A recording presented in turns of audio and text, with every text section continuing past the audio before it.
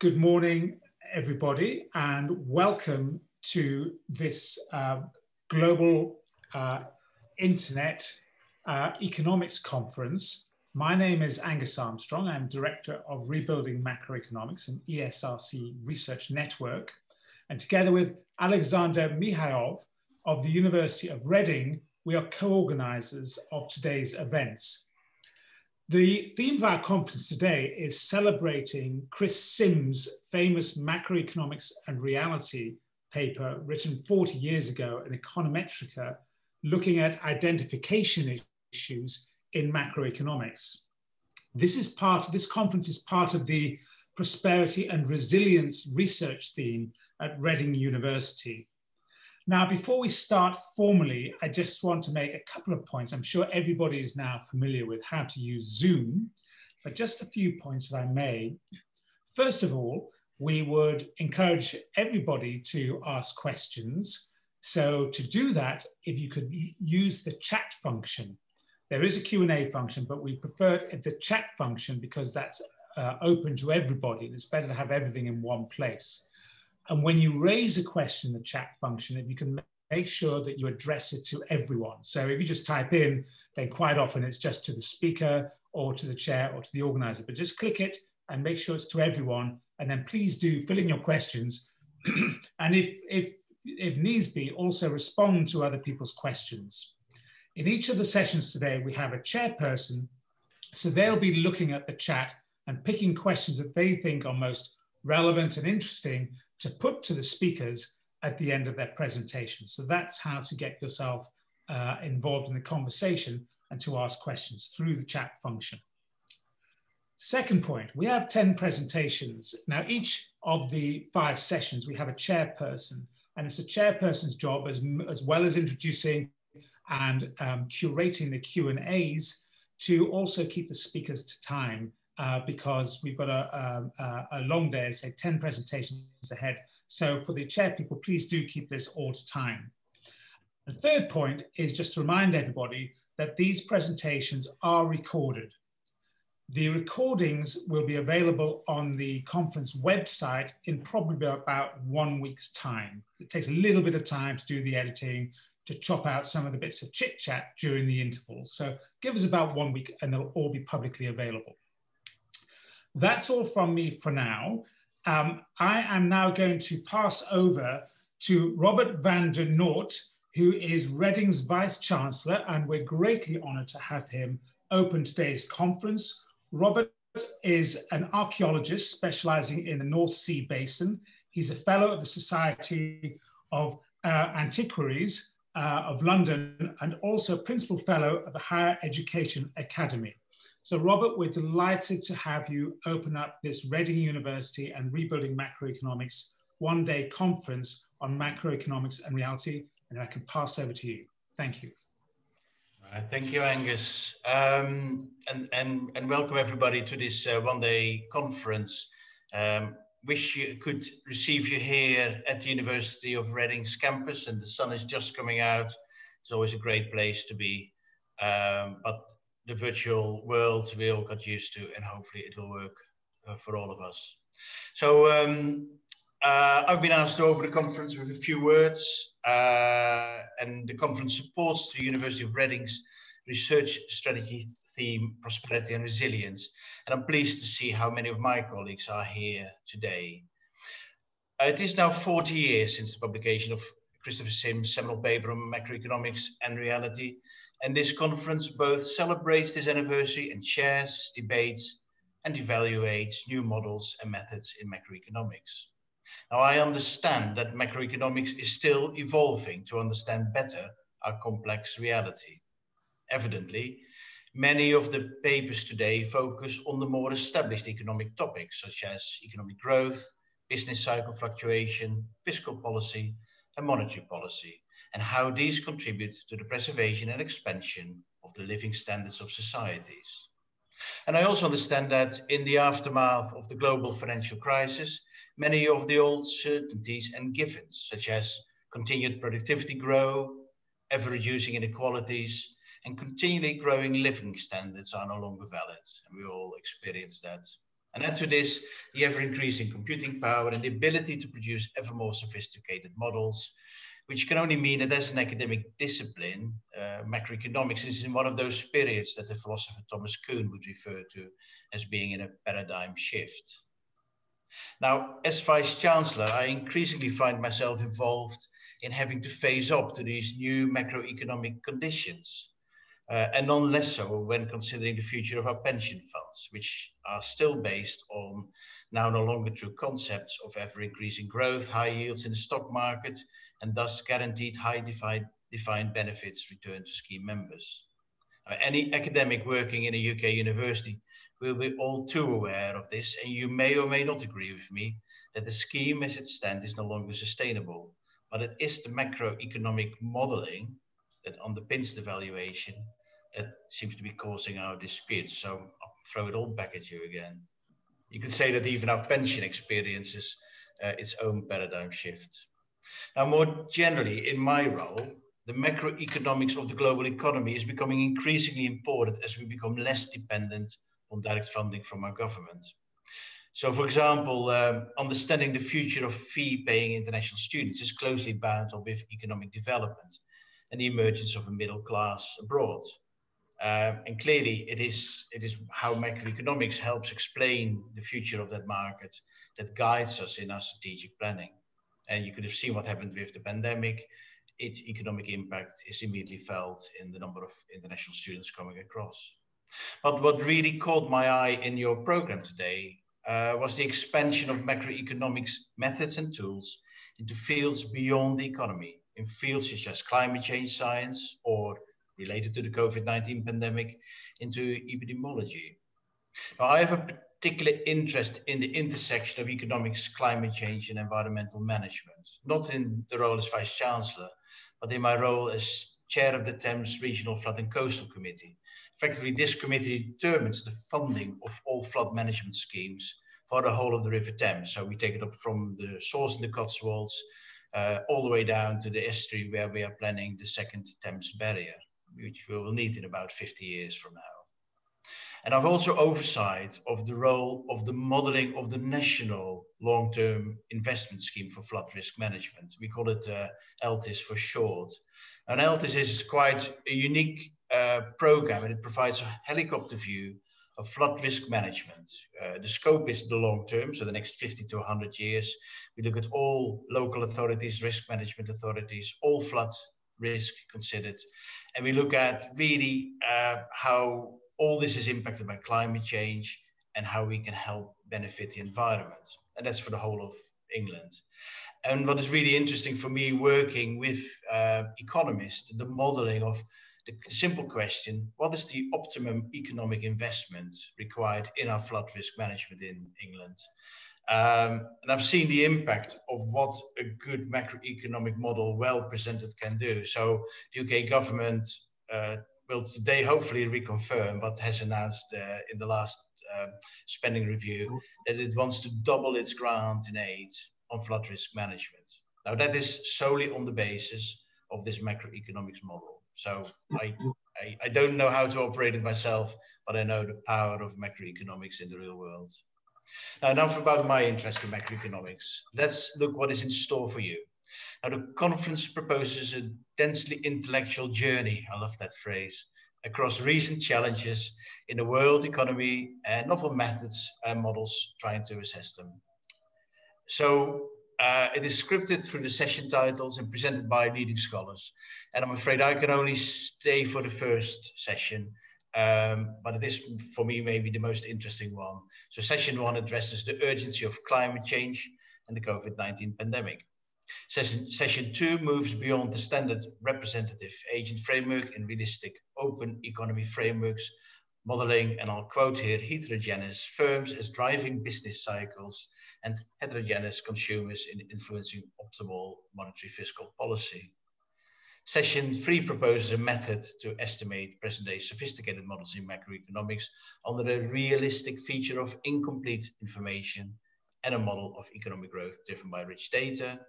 Session four presents computational advances that empower us to solve complex, uh, heterogeneous agent models using machine learning algorithms.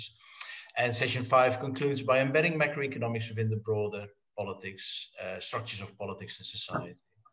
So as a final, and I won't keep you much longer, but the conference joined by two groups, the university's Economic Analysis Research Group and the ESRC's uh, Rebuilding Macroeconomics Network, uh, where Angus already talked about. So let me say just a few things about the university's Economic Analysis Research Group.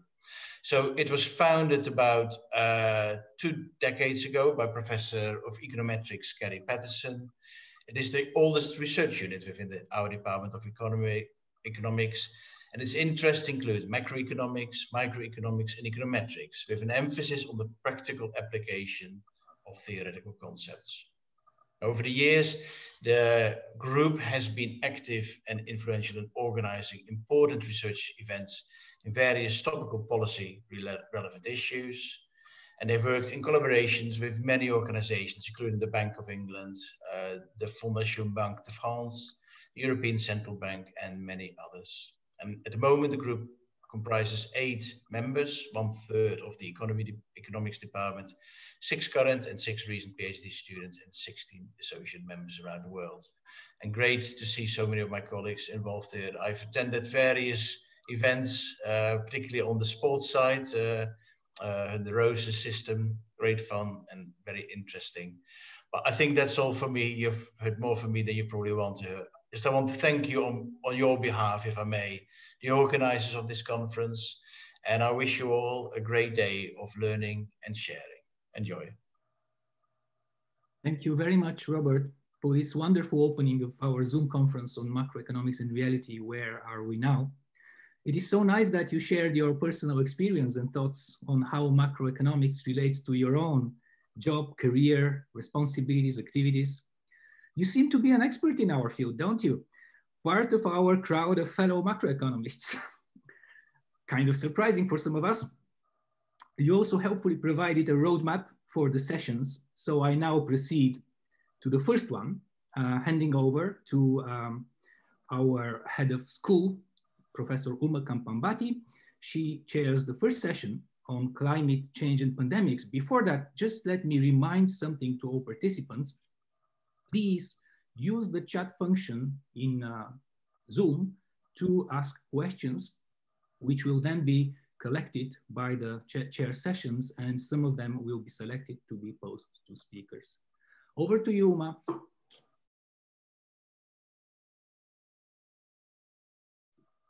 Thanks, Alex. Um, welcome, everybody. Uh, this is, um, as Robert said, the first session of, uh, of the conference, and it is on climate change and pandemics. We have two papers this morning um, by Per Krusell of uh, Stockholm University and Mathias Trabandt uh, of the Free University of Berlin. Um, I've been asked to keep very strict time, so I will, which means that I will, in, I will let you know when there's five minutes left to the end of your talk. I understand that you have been asked to prepare for 30 minutes. Is that right? Yeah. So, uh, so it will be 30 minutes. I'll let you know five minutes before the end, and then there'll be 15 minutes for questions. As um, Alex said, if you put your questions into, um, into the chat function, I'll keep an eye on it and uh, flag up any at the end. Thank you. So uh, the first paper is Climate Change and Macroeconomics by Per Krusell. Per, I think, is here. Yes. Um, so over to you then. Thanks. Uh, I take it you can see my screen now? Yes. Okay. So I, I, I have um, um, slides. I'm happy to share them later with you if you're interested. Uh, there's a little bit more material in the slides uh, on purpose because there may be questions and I will then visit slides I may not actually cover on the main presentation. So I'll kind of start from the big picture because it's useful for me. Um, so first of all, what to do about climate change. There's a scientific consensus that humans cause, cause warming, that it can be substantial, but there's actually less agreement or at least there's a lot of uncertainty on how much warming there will be and how warming affects human welfare in various places. Um, uh, so, but having said that, there is clearly consensus that we should limit emissions substantially. The only qualification to that is for people who are convinced that geoengineering will kind of allow us to do something that undoes what we do. But very few people are willing to rely on that alone. So I think this is consensus. We should limit emissions. And the question now is how. Um, so I think for that question, economics is absolutely central. The how question uh, needs to be answered based on an understanding of how our, our societies work. And that means to a large extent how our economies work. And who has knowledge about that? We do. Uh, to the extent anyone does, we do. Natural scientists are not good at this, uh, nor are engineers. Um, and it's unfortunately my, my experience that they are uh, not necessarily aware of it. They often propose um, courses of action that are not really cognizant of, uh, of how market economies work. And so I think well, actually, this is both a challenge and a golden opportunity for us to help the world and showcase, uh, maybe um, improve our reputation among econ skeptics, how our subject and our understanding of the subject could be useful. Uh, I, am very serious about this. It's, it sounds like big words, but uh, I think it's maybe one of the few big opportunities we have. Most recently, we went through a recession. We blamed for not being able to predict it. I don't know. Let's step up to the plate and do something. Um, and I think it, the stakes are huge. If, if we don't solve the how question in a smart and cheap way, um, in particular, if we propose expensive solutions, the world's populations will probably not buy into them. Uh, they will kick out leaders who uh, propose expensive solutions in favor of people who are climate skeptics and so on. So it's super important to come up with smart and cheap solutions. Uh, not because economists always want to save, but because here there's more, to, more at stake and we do want to stop climate change, okay? So how do we do it in principle? I was a British economist who figured it out 100 years ago exactly it's trivial because warming is a byproduct of economic activity. It's a it's a cleaner cleaner case to uh, maybe use a bad metaphor uh, for a pure uh, externality than anything. Markets fail. Um, so Pigou basically said what we need to do is apply a tax equal to the to the damage, to the marginal damage that polluters are um, not paying. Um, so, and with this tax in place, markets will work well accompanying the tax. And I think there has been no basic quibble with this insight since, since 1920. Uh, add to this the fact that carbon spreads very quickly in the atmosphere. So if you emit carbon in Stockholm, it will affect the global climate, you know, a year or a couple of years later uh, everywhere equally around the world. It spreads that quickly. So that means that this tax you have to apply shouldn't really depend on where you emit, okay? Whether you emit in Stockholm or in China. So, so the solution is a uniform across the globe global carbon, carbon tax. That's Pigou's recipe, and that's kind of um, old, literally old insights. Uh, and I think economists have been repeating this message like parrots. Um, um, without having a huge effect. Um, I think a super important exception is the EU uh, trading system, uh, which is now being expanded to cover more, or the plan is to expand it. The price has been adjusted upwards because of changes in the way uh, that system works. Really great, but these ex the, um, this exception and maybe one or two others involve a tiny part of, glo of global emissions. And so, so then why, uh, why haven't people listened to us? Um, I think maybe number one, it sounds more natural to do other things. Um, taxes are like abstract for many people. Um, and they don't necessarily understand why the tax is good. Uh, could also be fairness concerns. Somehow that um, it's not fair to use a tax for some in some places for some people. So what I'll focus on in this talk is a possible explanation number two. Not, not that three is not relevant. I will touch on three, okay?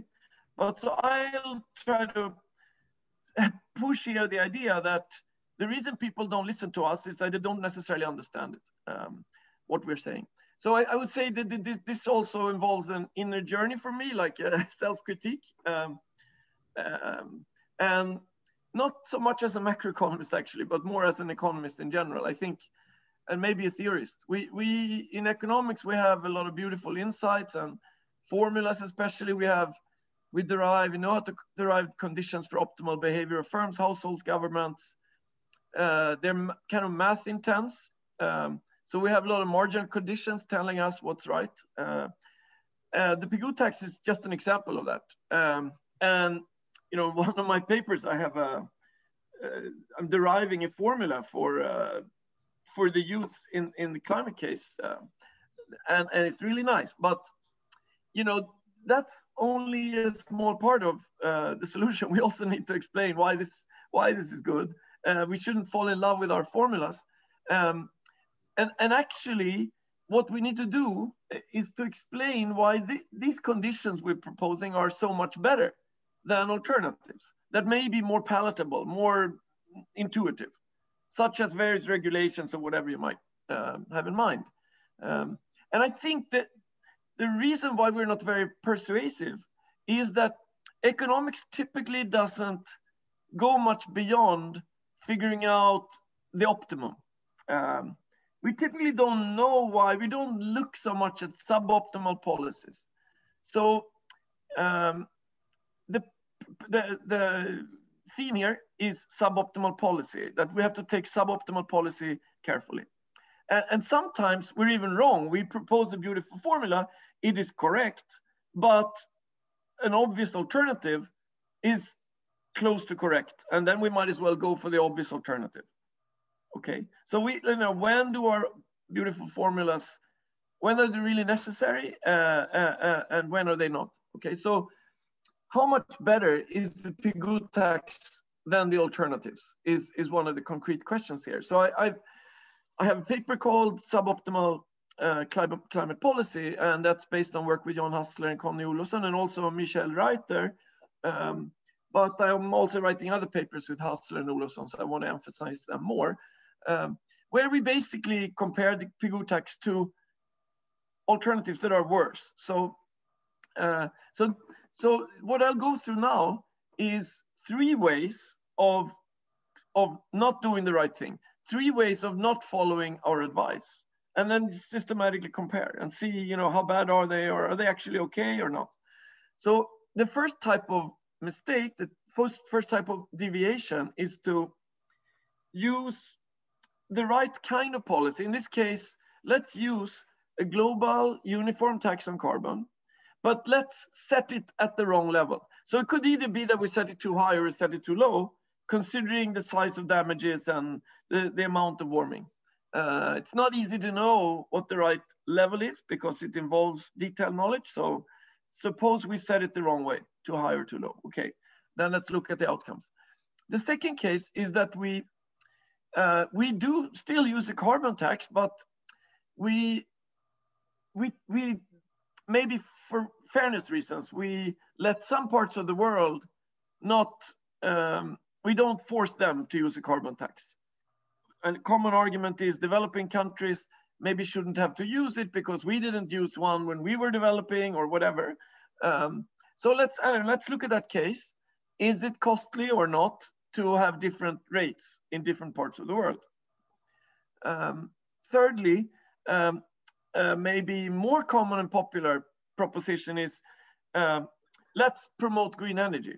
So I know that economists wouldn't say um, that you shouldn't tax carbon. They would tend to say, let's tax carbon and let's subsidize green energy.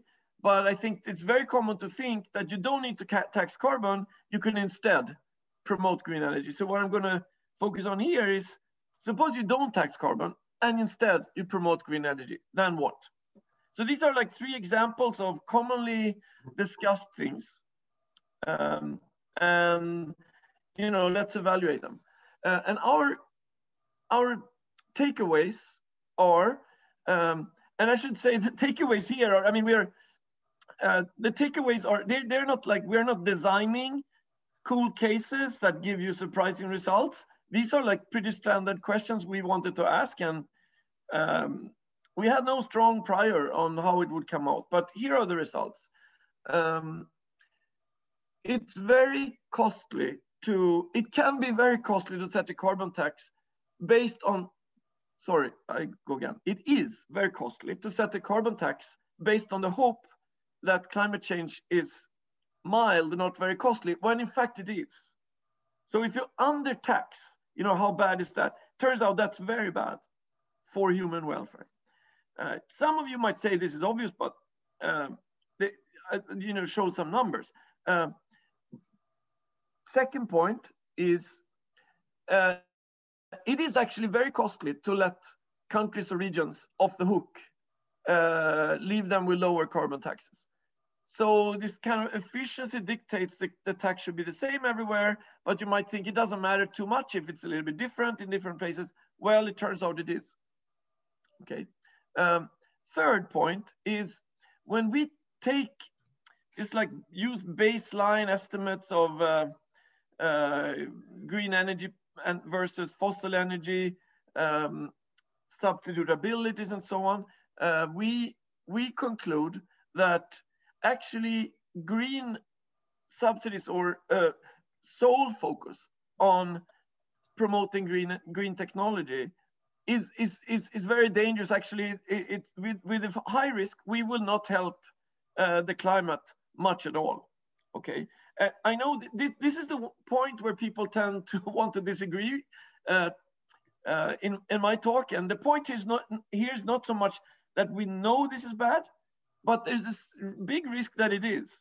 Uh, so kind of for precautionary reasons, um, we, we, uh, we want to emphasize this. Don't try, it. we can fix it by just pushing for green. Okay, and I'll try to explain this. The first point, um, that it's very costly to set a low tax when actually climate change is a big deal, can be very costly, um, is, is interesting, particularly because if you make the opposite error. If you set a high carbon tax, being pessimistic that climate change will be very costly, there will be a lot of warming. So if you set a tax that is too high in that sense, that turns out to not be very costly. So a tax based on being pessimistic uh, turns out to not be very costly at all. So, so actually taxing too high is not very bad at all. Taxing too low is very costly. So it's very asymmetric, okay? And, and that's kind of the key takeaway there. So um, um, I have to just check it uh, time. Uh, I'm doing okay, I think. So how do we arrive at these answers? I mean, this is the sense in which this is a macro paper. We use quantitative macro theory. Um, so we use an integrated assessment model a la Nordhaus. Um, it's actually very similar to, to Nordhaus's framework. It's a little bit more kind of easy access than his, I would say. Um, what it does is simply it has equations from natural sciences and economics, and quantitative here means that these equations have parameters that are selected to match historical data. Um, and uh, what type of models are we talking about? Well, the economic model is an optimal, essentially an optimal saving version of Solow's growth model in a market, uh, from a mark with a market description with firms that maximize profits and so on. Um, uh, and then this system we can then use, uh, we can apply various policies in the system, we can uh, simulate paths for economic outcomes, for climate outcomes, and we have well-defined notions of human welfare. We can translate utility levels into observable things like consumption. Uh, and so it's like a laboratory that allows us to do this kind of cost benefit analysis. Let me point out that this is not a model that you solve with pencil and paper. Uh, it's very simple, so you can almost solve it with a pencil and paper. But the point is not to show off a cool model. The point is that actually most people can use it and you need to do a few things on the computer, um, but not too many. Um, and I think you can go, go a long way in terms of kind of creating realistic uh, output. So the model description here um, contains two slides describing the model in words and then follow some equations that I, I will skip because I'm thinking if people have specific questions, I'll go back to, to those and point to equations. But um, so the key features I mentioned, it's a neoclassical growth model in a market, in a market interpretation. So discrete time, people live forever. There are regions. R can in principle be a big, big number. I'll kind of show you later how um, uh, how we, or, or I'll mention at least what these regions are, but they're like the US is one region, Europe is one region, uh, China is one region. Uh, we can go to much more heterogeneity, much, more regional tail, but for the purpose of this, I think you only need like seven or eight regions. So all these regions, they consume, um, they don't produce oil uh, in all regions except uh, one, um, in any regions except one, uh, that is OPEC and Russia that we kind of designate as the oil produce uh, oil producers. So the oil producers sell oil to the rest of the world. Uh, within each region, we abstract from inequality and just have a representative agent for the purpose of this talk. It's kind of easy to add inequality and I think important for some reasons, for some purposes. Output is produced in uh, an extended version of this uh, Solow model, like the Dasgupta Heal version with capital labor and not only an, a natural resource, but an energy composite that we assume is a CES um, nest of oil and gas, um, including also um, including also kind of new versions of uh, like shale gas and stuff like that. Um, coal, importantly, and, and green energy. So they, they go into a nest, CES nest, which then goes into the Cobb-Douglas function. On top of that, there's a total factor productivity, productivity level of, of, of production in, in a region.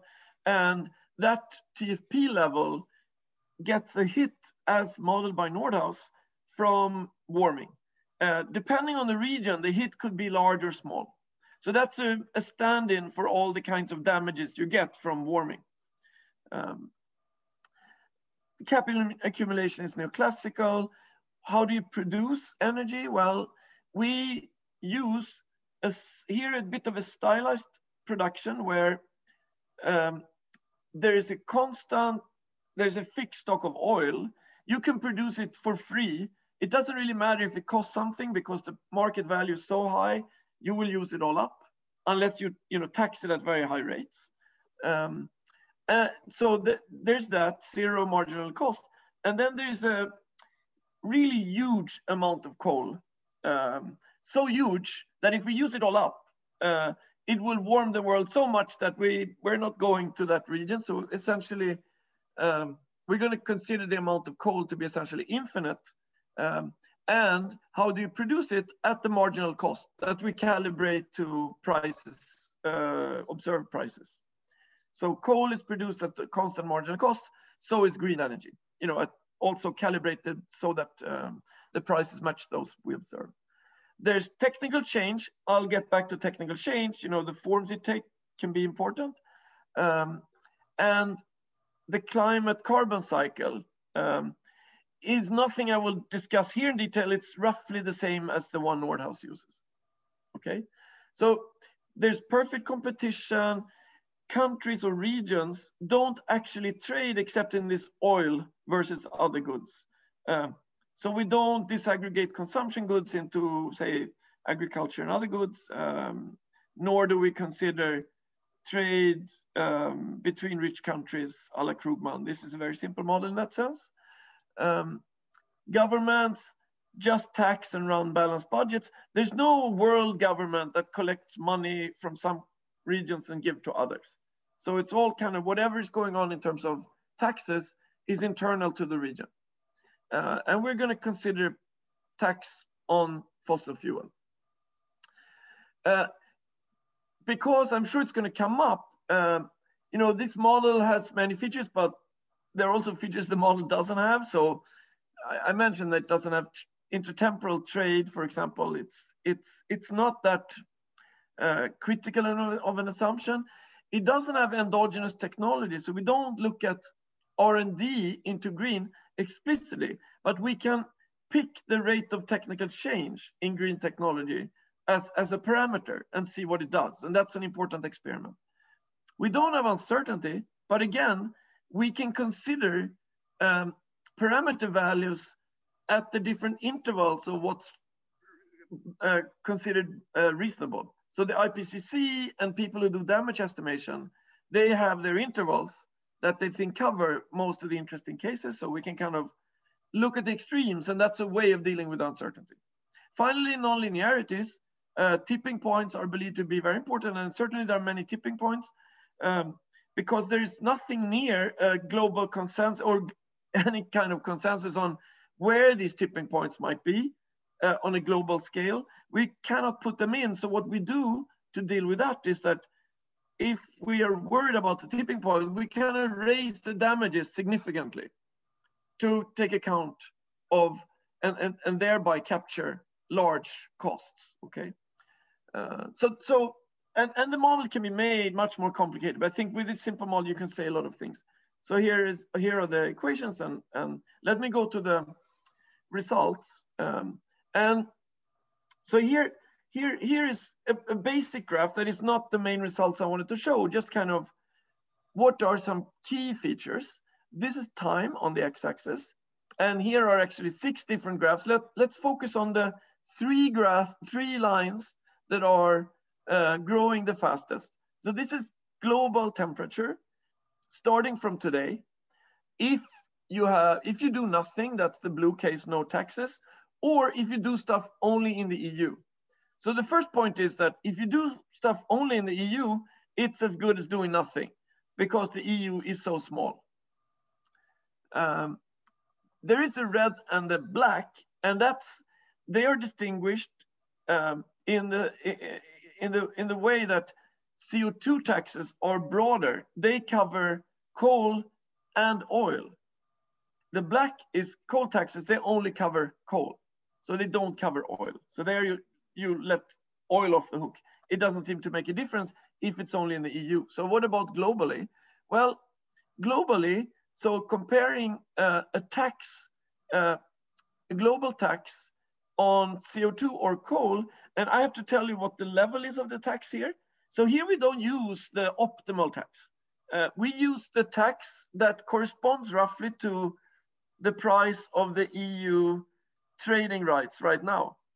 So suppose we were to use those all over in the world at equal rates, okay?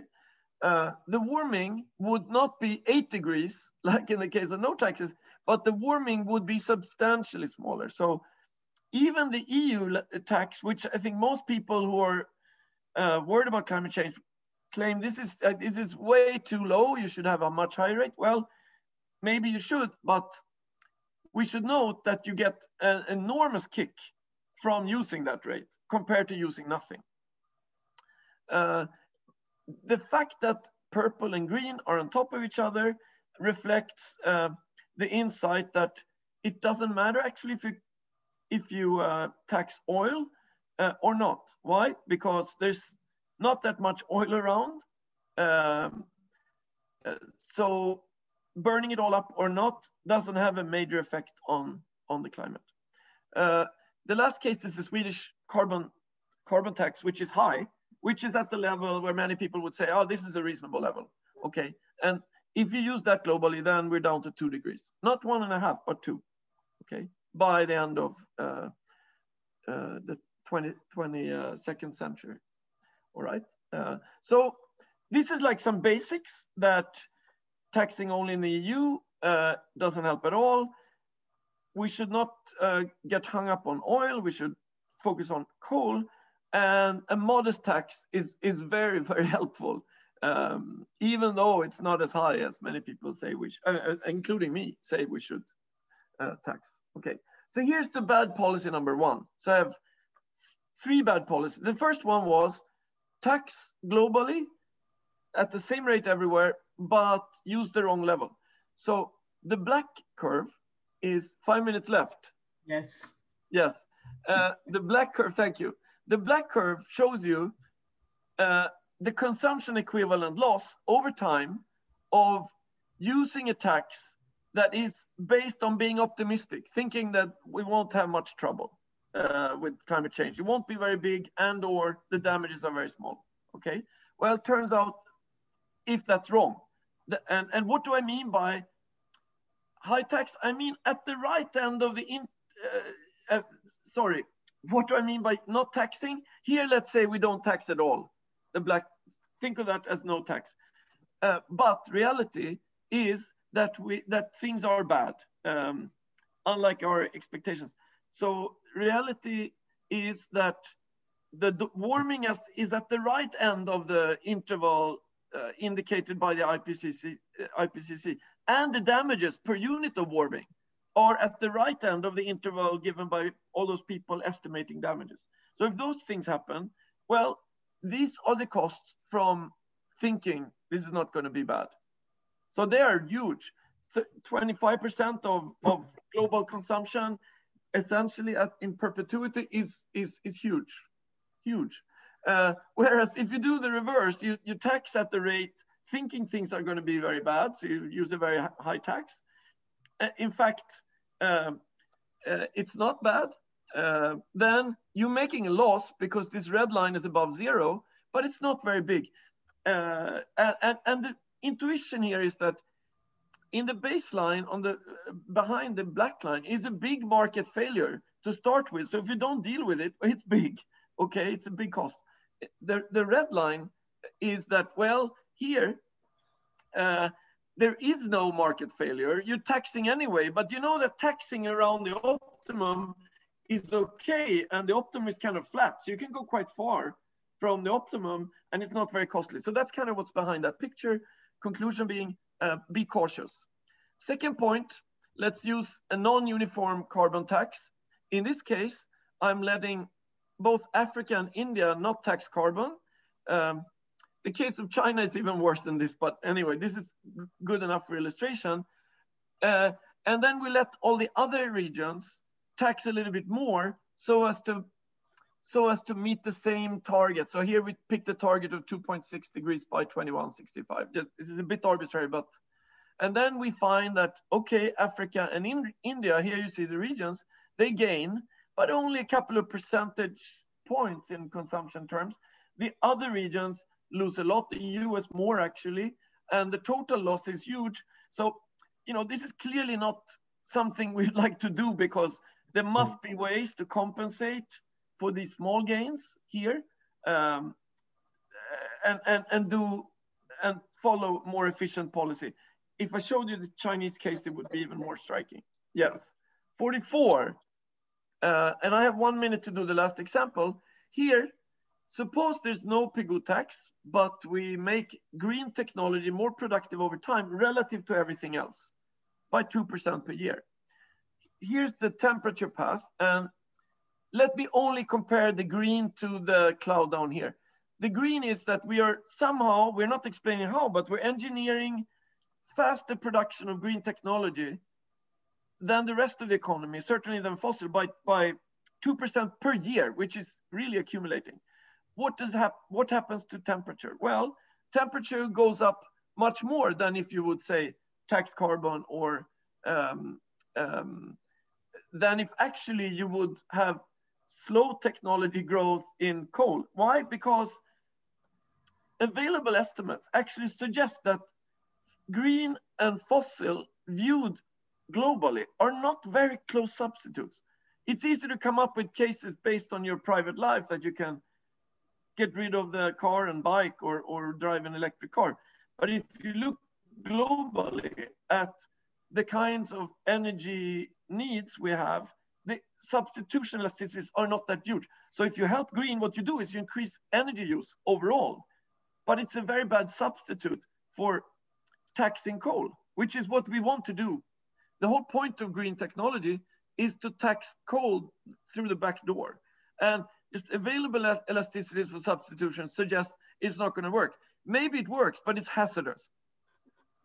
Okay, that's it. I mainly just want to say, I, I find this a very productive area for economists, especially for us macroeconomists. And there are lots of surprising answers to the even most basic questions in my experience. And people just haven't done the work and we should all join in.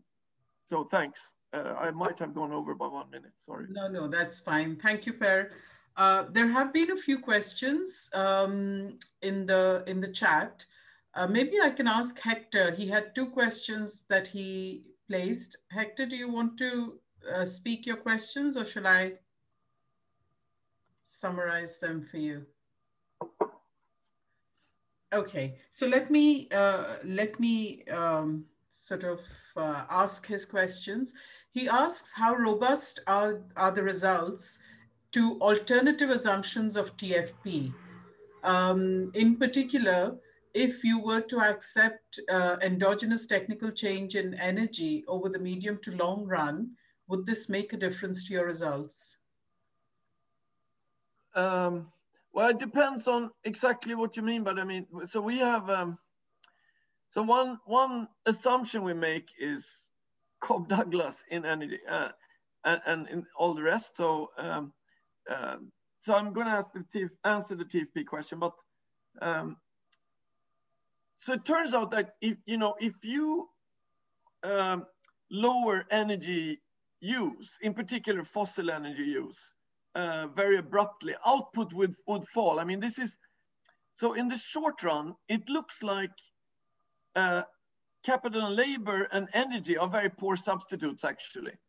Uh, you can see this from looking at the price of oil when it goes up in the data, the, the share of oil costs and firms goes up. So it looks like price follows shares. And that look that suggests it's Leontief. It's a it's a very complementary input. But uh, so what what firms do in response to price changes is that they save on this stuff they come up with ways of not having to use so much oil. They come up with alternative products. that don't use it. So, so kind of if you look more at the share uh, and how it responds over longer periods of time, then you Cobb Douglas is not maybe perfect assumption, but it's it's not bad. So behind the Cobb Douglas production function, I would say there is there is a endogenous technical change in saving on energy. So that's not fully an answer to your question, but it looks like I have no endogenous technical change, but I'm saying the Cobb-Douglas assumption embodies that in a way. Uh, because I think in a very short run, it's for sure not Cobb-Douglas. So it's kind of by thinking endogenous en energy. Then I think endogenous green and so on. I we we think of that as being part of the energy bundle, not so much about the TFP. TFP is more uh, it's Nordhaus's way of capturing all the kinds of damages we have. So what shows up in TFP is what's interest, interesting is is um, is the damage, and and the damages don't directly reflect green technology. It's some people say green technology is the way of the future. With more green technology, we'll have you know wonderful new world. But that's not going to happen by increasing tfp it's going to happen by simply having more energy available. If if it's so good like solar if we can use it very efficiently great we have more energy. But it will not show up in tfp it will be like an input so that's my attempt okay thank you there have been a couple of questions about coal um, so one of these is what's the intuition that only coal matters, not oil? And the second asks, since it's all about coal, can we compare prohibition of coal production with a tax on coal? Uh, yeah, I mean, so the first question is what's the intuition? The intuition is, first of all, all oil and coal are equally bad kind of per unit of carbon, there's no difference. Both hurt the climate. So it's not that coal uh, is a worse carbon. It is essentially the same thing as oil. But uh, the market value of oil is much higher than uh, the market value of coal. Why? Because oil is a much more useful uh, source of energy. Um, and so, and there isn't that much oil. That's the point. That if even if you use up all the, and when I say oil, I mean conventional oil. Sometimes people include the oil that's really deep uh, down the oceans, for example, but it's very expensive to take up. So there it's more like you could I compare it to coal. But conventional oil, there's still a fair amount left, but it's so efficient and there's not so much left of it that it doesn't really matter if we it doesn't actually matter if we tax it or not. It's efficient to tax it, but all that's going to do is postpone a little bit its use. It's going to be used up no matter what. Um, and that will only be a small effect on global uh, global climate. And um, and then the question was, can we prohibit coal? Sure, we can, but um, I think if we put if we use quantity restrictions like prohibiting stopping coal entirely, large parts of the world will will go under. So it's we we cannot cut fossil fuels to zero. We will have to limit it substantially. So a good system for that is to tax. Alternatively, if you know the right quantity, you can do the European trading system and have a, a given cap on the amount, and then people can trade within them uh, who gets to use that oil within the within the limit, and that works equally well. But um, it's kind of all coming down. It's equivalent to, to taxing at a certain rate. Um, yeah. Um, another question, uh, actually, this was the first question that came up. Do you include prohibitions, in particular banning cars, when you're talking about green energy in the model? Um, I mean, no, green, green energy just means make, in the case of cars, make them available, uh, make the production of batteries and cars that run on um, electric batteries, batteries available at a lower cost. That's that we include uh, in our model. Uh, we don't we don't explicitly pro use prohibition regulate uh, regulation in the model. Instead, we compare with just various levels of the tax. Tax a tax wouldn't, unless it's you know enormous, wouldn't get rid of all of the use of cars. And I, as an economist, if you ask me, is it efficient from a society uh, perspective that I drive my car to work today? Um, well, I have to think about it. Maybe. I mean, it, it's, it's, my car is a, is a diesel car.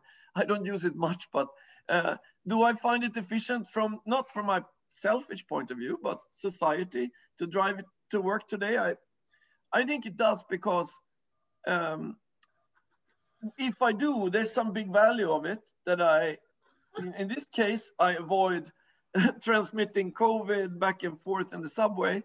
Uh, I always take the subway otherwise, but you know, so I think prohibition, I think, is not the right answer, and it's it's way too costly. If you go for prohibition, you know, the world's populations will just say no, and uh, the the world will get hotter. So, um, so I think you have to kind of find a smart way of um, of getting rid of fossil fossil energy, and it is actually to tax it. Sorry for long answers to short no, questions. No, that's that's fine. The, there's one uh, more specific question and a more um, sort of discursive question. This is a specific question from Angus. Is there is good evidence that we discount the future hyperbolically? Can you say how sensitive is the cost of taxes if we change uh, to such preferences in the model?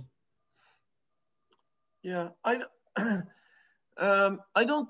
I don't think um, the, the the the discounting uh, is important if you want to calculate the optimal carbon tax. Okay, So it's kind of well known that um, it's well known that uh, for for a very strong discounting, when you don't care much about the future, you know, you shouldn't have a very high tax and vice versa. But uh, whether it's hyperbolic or not, I think is not critical. But my point here is that it's not really so relevant to calculate the, the size of the optimal tax correctly. Why? Because as I showed in this graph um, here, uh, maybe you could argue the optimal tax is here, or if you follow the Stern report, it's about the Swedish um, turquoise level. Okay, it's based on very low discounting, but you know the reality is here. That's the path we're on. Uh, you know we're down here already, but if we don't tax, so it's it's not so. I don't think it's very fruitful to discuss exactly how high can I make that carbon tax if I assume some type of discounting or other. The key thing is, is this is where we're heading if we don't tax carbon. If you tax carbon at the modest level, you, you, you, you do the world a fantastic favor, for future, future generations. There's no quibble with that. Um, so to me, it's like I'm pushing the question aside a little bit uh, because I don't think it's critical. Um, it's critical for calculating the correct level of the optimal tax. Um, but it's also philosophical if you agree or you don't agree. But anyway, but we're so far from that that economists need to educate the world like what, uh, why our proposals are good, not exactly the level. Great. So, uh, Per, that is a great link into the last question. A couple of minutes, please, on this. Um, so Hector asks, do you think economists only enter into a problem once it is already acknowledged by the other sciences, other disciplines? And could economists do more to quantify um, climate change and uh, to measure the size of the problem? I focused on macroeconomists today because this is a macro conference, um, and so on purpose I stayed away. I I think one of our main um, tasks is to measure um, is to measure systematically the effects of climate change around the world. One is to measure also the costs of, you know, taxing around the world. Because notice in France and elsewhere, large parts of the population don't like proposals to tax carbon. So we need to also measure and say, okay, it's not that bad, or if this is true, which I think, we need to do careful measurements on both the sides of damages and costs. And we know how to do it, other people don't know how to do it, oh, other people, I should say. Natural scientists are not equipped to do this. And so here, I think we need to uh, be ahead of, of others. I think climate change, climate, climate science is actually a new science, relatively new science. Um, and Nordhaus entered it in the 80s and uh, he was alone, but I don't know, we're, we're a few decades behind, but at that point, climate science was relatively new. So we're a little bit behind, but I think we now need to step up. I think it's a obviously world recognized problem and we need to show the other scientists what we can do as economic scientists. And these are very useful. I think cost benefit analysis is central. And it takes all this measurement. Uh, otherwise, you can't do it. Cost measurement is about, it cost benefits is about numbers. It's not about like stylized quant qualitative equations or anything. It's, you know, you get, you have to sit down and do numbers. And that's what we should do. Okay. Thank you, Per. Um, there is another question. I, I think people can keep posting, but we are running out of time. So I'd like to thank you very much. Um, it was, yes, it was a really interesting talk. Um, if I can now ask Mathias Trabandt.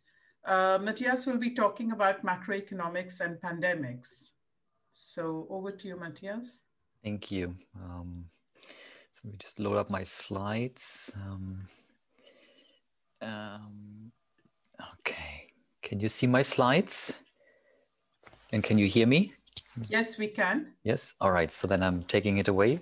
Well, um, first of all, thank you so much for the invitation to um, talk at today's conference. It's really a big pleasure and honor uh, to be here today. Um, uh, Alex uh, asked me to um, you know, talk about some of my work that I did since uh, you know the COVID crisis uh, you know started. And so that's what I'm going to do in the next, uh, you know, 30, 30 minutes.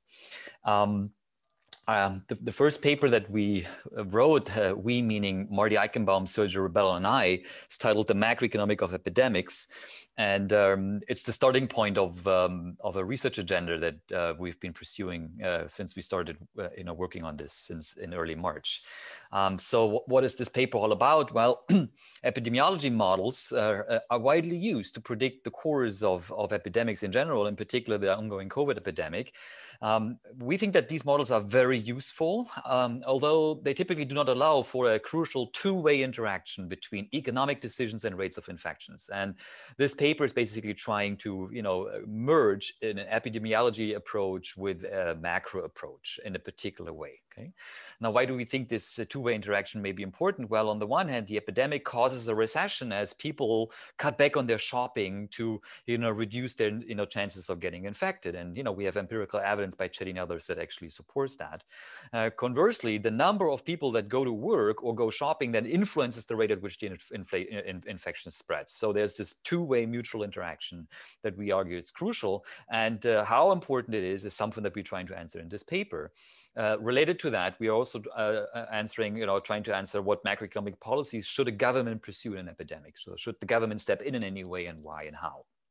All right, so uh, this leads us then to you know the, the model that we've put together in this paper. The point of the departure is the standard epidemiology model by uh, an SIR model by Kermack and McKendrick, where the uh, transition probabilities are exogenous, uh, and and we're going to endogenize them.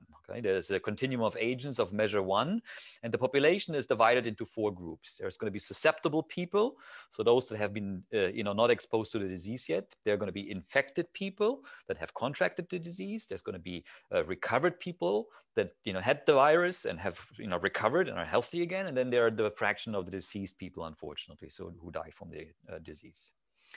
Prior to the epidemic, the macro economy looks like this. Uh, everybody's identical and maximizes the present value utility of consumption. So they have preferences over consumption and they dislike to work. Budget wise, um, we have that uh, uh, agents have labor income. They receive some transfers in order to finance their stream of consumption. And very similar to what Per has just uh, talked about, you know, we are entering a Pigouvian tax here. Uh, mu is a, is a Pigouvian tax, and it's what we call a proxy in this paper as a containment measures that reduce social interactions. So from now on, I'm going to talk about mu as the so-called containment rate.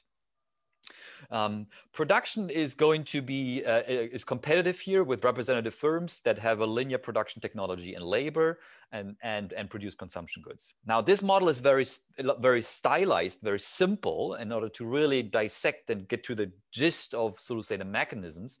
Uh, in about 15 minutes, I'm going to you know show you what happens if you extend this model to allow for say features like capital accumulation, agent heterogeneity. All these things are you know things that I'm going to cover you know at, at, at a later point of my presentation. Um, so we're keeping this very simple on purpose to really be able to zero in on what's the what is what what are the important dimensions to to think about. Uh, population dynamics are now you know how do how do we you know we want to combine now the macro economy that i just described pre-epidemic and the sir the kermack mckendrick you know, epi model. And this is so to say the way to do this or how we do this in this paper is that the newly infected people so the people that have you know are catching the virus you know they're they're given by a so-called transmission function. So the newly infected people t you can become infected via three channels in this model. You can become infected because of consumption related related activities. You go out to a shopping mall, and you contract the virus there. You can get the virus by going to work or you can get, get the virus by you know uh, general interactions. You're running you know you're using the subway you're touching contaminated surfaces and so forth okay? Now on the consumption part how do consumption infections you know are generated? Well these are random meetings between the susceptible people that that go shopping and the infected people that go shopping. These are random meetings between the two and pi 1 is a parameter and so these are the, the, the number of infections that are generated by just going to the mall Um, likewise, on the labor part, we have the number of susceptible people that go to work that ha don't have the, the, the, the, virus yet, and how they are interacting with people that go to work and do have the virus. And, and that creates random meetings and creates uh, new infections. And likewise, SNI here is just these are the random interactions between susceptible and infected people, you know, in the park or in the subway and so forth. All right, so that's how you how the model creates quote unquote these uh, new infections then the number of susceptible people tomorrow is today's susceptible people minus the newly infected people that have been removed from, this, from the pool of susceptibles. Infected people remain infected, you know, in the next period um, from, from the last period. There, there's the new arrivals, so to say, of newly infected people. And then there are uh, two things that happen in this model. There's a fraction, uh, pi r of the people who had been infected who recover from the infection. So they're going to be removed from the pool of infections. And unfortunately, sadly, there are also people passing away in the model from the infection. So with probability pi d, people do, uh, do die. Um, the number of recovered people is uh, tomorrow is today's recovered people plus the, the, the number of people who had the virus and have recovered. And the number of deceased people, again, it's just a stock keeping exercise here, the number of deceased people today plus those who actually have passed away, unfortunately. All right. Now, what are the choices? How people how do people make choices, which is at the core of our analysis? Well, the utility in all these people in our model, susceptible, infected, and recovered, they they take decisions. They, they're maximizing their present value utility out of uh, consumption and labor contemporaneously, and taking into account that life goes on, there's continuation value with the probability one minus tau, a susceptible person didn't catch the virus and remains susceptible. With the probability tau, the person this does catch the virus and isn't becomes an infected people tomorrow. And it takes into account that uh, its decisions on consumption and work is affecting his or her probability of getting an infection. So if you cut your consumption, you're going to reduce your probability of catching the virus. If you if you go less to work, you're going to cut your probability of getting getting the virus. Okay. Um, the structure is very similar on all the other, you know, infected and recovered people. So I'm going to skip that for time reasons. Budget constraints is something that I have ex explained also previous slides. Okay. Now, when we take that model and we, uh, you know, we want to sort of say uh, calculate it, just as Per said, this is not a, you know, done on pencil and paper type models. We want to do quantitative analysis here. So we calibrate this model on a weekly parameterization. We set the mortality rate to point uh, to half a percent based on Korean and US data. We match statistics from the US economy prior to the epidemic. Um, and um, we, we, we, uh, one of the statistics that we are matching is the value, the statistical value of life as used by US government agencies, which is a 9.3 million, and that the model replicates all these kind of features, okay? Um, we just we, we, of course you know uh, discuss robustness of our results along many dimensions and uh, i referred to interested people to you know take a look at to at the paper for for a long section with the robustness analysis. Uh, what's of course important is the transmission function. So how are we calibrating these parameters pi 1 pi 2 and pi 3 and you know we we were very explicit about this in the paper um, you know using data from ferguson from the bls and from you know from lee um, we are we are uh, uh, backing a, a very verifying in the data that one sixth of the new infections are due to consumption, one sixth of the new infections are due to work, and the remaining two thirds are due to the general infections. Then we are also, you know, structuring our parameters such that, you know, eventually 60% of the population recovers or dies from the infections in the simple SIR model. Again, robustness is discussed in the paper. All right. Well, that's it basically uh, in terms of the model, like marrying a standard macro model with a SIR model. Now let's take a look now what these what the model does predict quantitatively. This figure gives us um, the, the standard SIR model. So that's the model where there's no economic actions taken into account. So a pure epidemiology model, if you like, our starting point. And what happens if you combine that with the macro approach? You know, the, the plot just illustrates the differences between the two. A pure SIR model means that there are, there are infections going up, susceptibles kind of fall eventually to you know 40%. You're going to see people passing away, unfortunately, because of the virus. There's a little bit of a fall in aggregate activity here, but that's just by you know people being sick, they're not going to work, and so those people actually who fall sick, they are being removed from the labor market at least in part, and so that means there's a slowdown in consumption hours. By contrast, you know in the model that actually has this two-way interaction between the macroeconomy and the epidemiology part, you see there's there the, the, the dynamics are different. More importantly, you see that the number of people people dying in the economy where you take that two-way interaction to account is smaller than the, than in the, in the very in the mechanical you know epidemiology approach. How is that basically being generated? Well, it's generated by the model people cutting back on their consumption and work in order to protect themselves to you know not catching the virus and exposing themselves to the virus. Okay? So in other words, this is this trade-off that this model you know embeds now that you know cutting back economic activity generates sizable recessions at the benefit of fewer people passing away. That's so to say what this model is, is, is illustrating here. Now, when you think at this from this level, then you know what macroeconomists typically want to do is they want to think about okay, what, what is it? Is this a supply side effect, a, a, demand side effect? Well, actually, the model has both. You know that simulation that I just showed you embeds a supply side and a demand side channel. Okay, the supply side effect is that people, you know, that the epidemic exposes people who are working to the virus, and so people cut back on reducing their labor supply in order to not contract the virus as much. Hmm? Likewise, there's a demand effect now that the epidemic exposes people who are purchasing consumption goods and people are going to cut back on that one. So there's a demand effect. And in this, what's so special about this epidemic uh, through the lens of this model is that there are both demand and supply effects at work at the same time that generate this sizable recession. Now, with this in mind, what I've shown you so far is what, what macroeconomists call a competitive equilibrium. So this is there's no government intervention here. Okay? Um, I started out my talk at that the question is, is there any scope for the government to intervene? And um, at the heart of, of, this, of this environment is that there is an infection externality, very similar to the pollution externality that Per was talking about in his talk uh, you know, a, a little you know, in half an hour ago.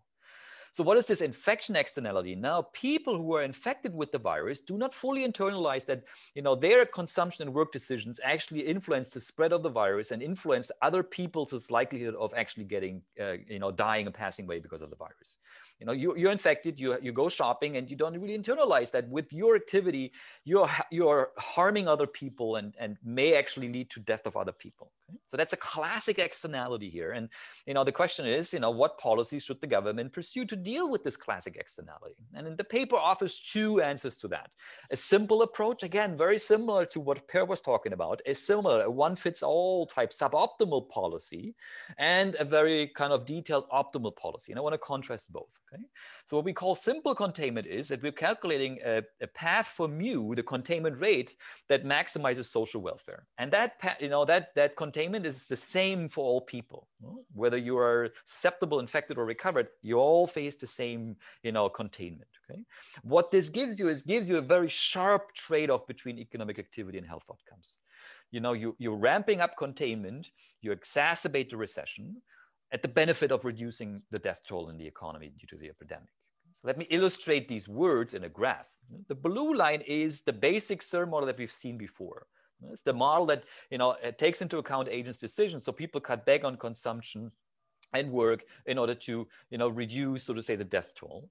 The black broken line now is different you know economy. It's the economy when we're choosing what is the containment rate mu that maximizes social welfare and the dynamic is such that the, the containment is ramped up over time uh, and, and then gradually you know, recedes. That's the optimal containment uh, rate. And what it does it is it makes the recession worse. People cut back more on their consumption, right? It's basically a partial lockdown if you think about it, at the benefit of fewer people passing away. Okay? And the optimal pattern is such that you know there is a trade-off that balances these two effects. And there's fewer infections, of course, and thereby also fewer deaths. This is the basic model that we are having. Now, we also consider an extension of this model that maybe has more to do, that basically reflects on a few more dimensions along what we have observed in reality. First, we're including what we call medical preparedness or uh, limitations in the capacity of the healthcare system. Okay? So in other words, when what we saw in Italy, say, or in New York City, you know, the mortality rate can really go up steeply as the number of infections really kind of skyrockets and the healthcare system becomes overburdened. Okay? And we take that into account in, in an extended version that we call the benchmark ERT model. We also take into account that you know there's maybe a treatment that has been developed, a medicine that is uh, developed, and there's a probability delta c that that medicine is actually being you know detected.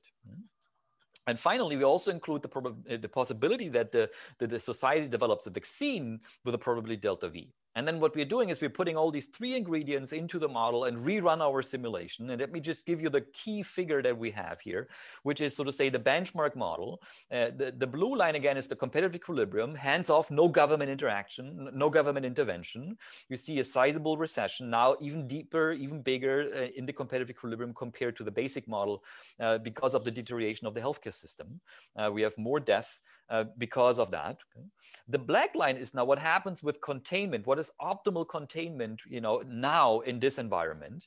And you see that, um, you know, again, there is this trade-off. You engineer a deeper recession that's hurting the economy, but at the benefit of fewer people passing away. What's interesting is now containment is more upfront, is more front-loaded. Even though the epidemic hasn't really started, you know, the, the, you, you still want to start containment really early on because basically you want to buy time until a vaccine is developed and found. Okay, so you want to try to preserve as many people possible at the cost of a bigger recession, but you do that because there is now the chance that actually a vaccine is, uh, is, is, is arriving in time. Hmm? All right. Now, so that's one type of, you know, uh, uh, containment, namely one fits all type containment. You know, the entire economy is subject to this MUC. You could ask, uh, you know, is there a smarter way to con- do containment? Is there some way that a social planner would basically be able to sort of say improve on that. And yes there is. And that's what we call smart containment um, when the planner would actually be able to treat people differently so it would be able to treat susceptible people different than infected people, different than recovered people. If the plan had the ability to identify these three sets of different people and would be able to, you know, treat them differently, then, you know, it would actually improve. Okay, so that's what we call smart containment. So we're maximizing social welfare, you know, to uh, such that, you know, to take into account the differences in these in, in the three people. Now, what happens now is that there's basically no trade-off any longer between activity and health outcomes. Okay, why is that? Well, what the planner would do is it would isolate the infected people from the economy. It would, you know, isolate those people. They wouldn't be allowed to go to work and to, leave the house, and thereby it would isolate the economy from the virus very quickly. And so there would be no costs associated with the recession, basically quantitatively. Okay, so in other words, you know, we have a very, very kind of mild effect of of this of the epidemic if the government is able to identify people. Now, what must happen here, of course, is the government must be able to identify the individuals who is infected, who is recovered, and so forth. And in this model, it's easy to do that because you know health statuses are known. But of course, that's so to say something that's very complicated in reality, if you like.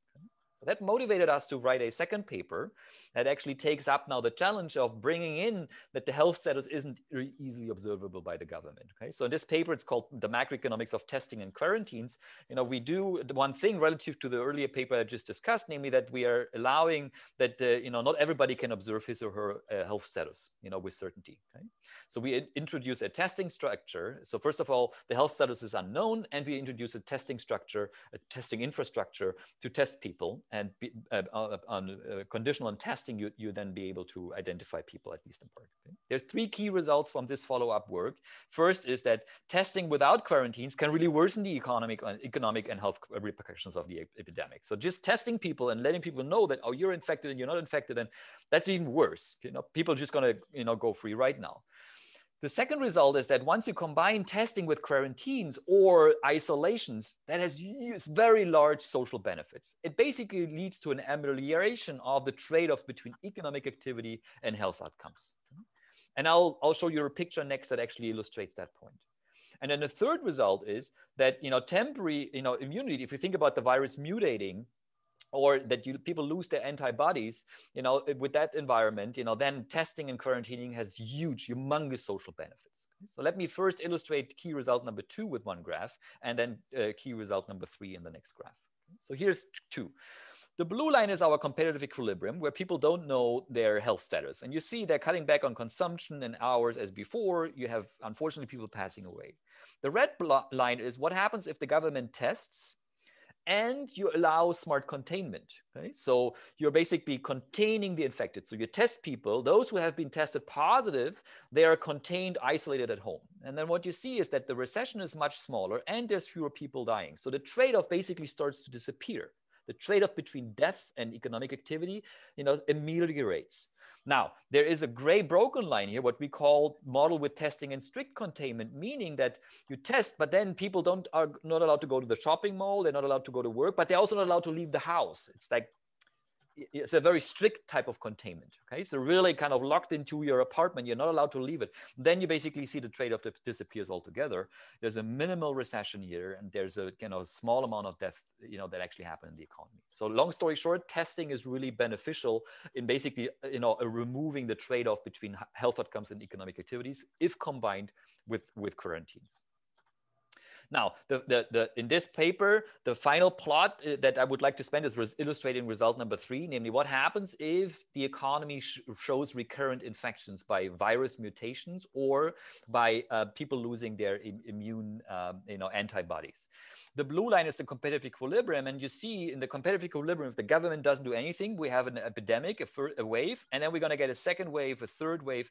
You know, after about two years, you know, these, these waves do disappear. So we have these oscillating waves in terms of, you know, the economy, in terms of the, the epidemic, you know, raging because of these reinfections you know taking place. And you see that the death toll can be really substantial because every wave adds to the death toll.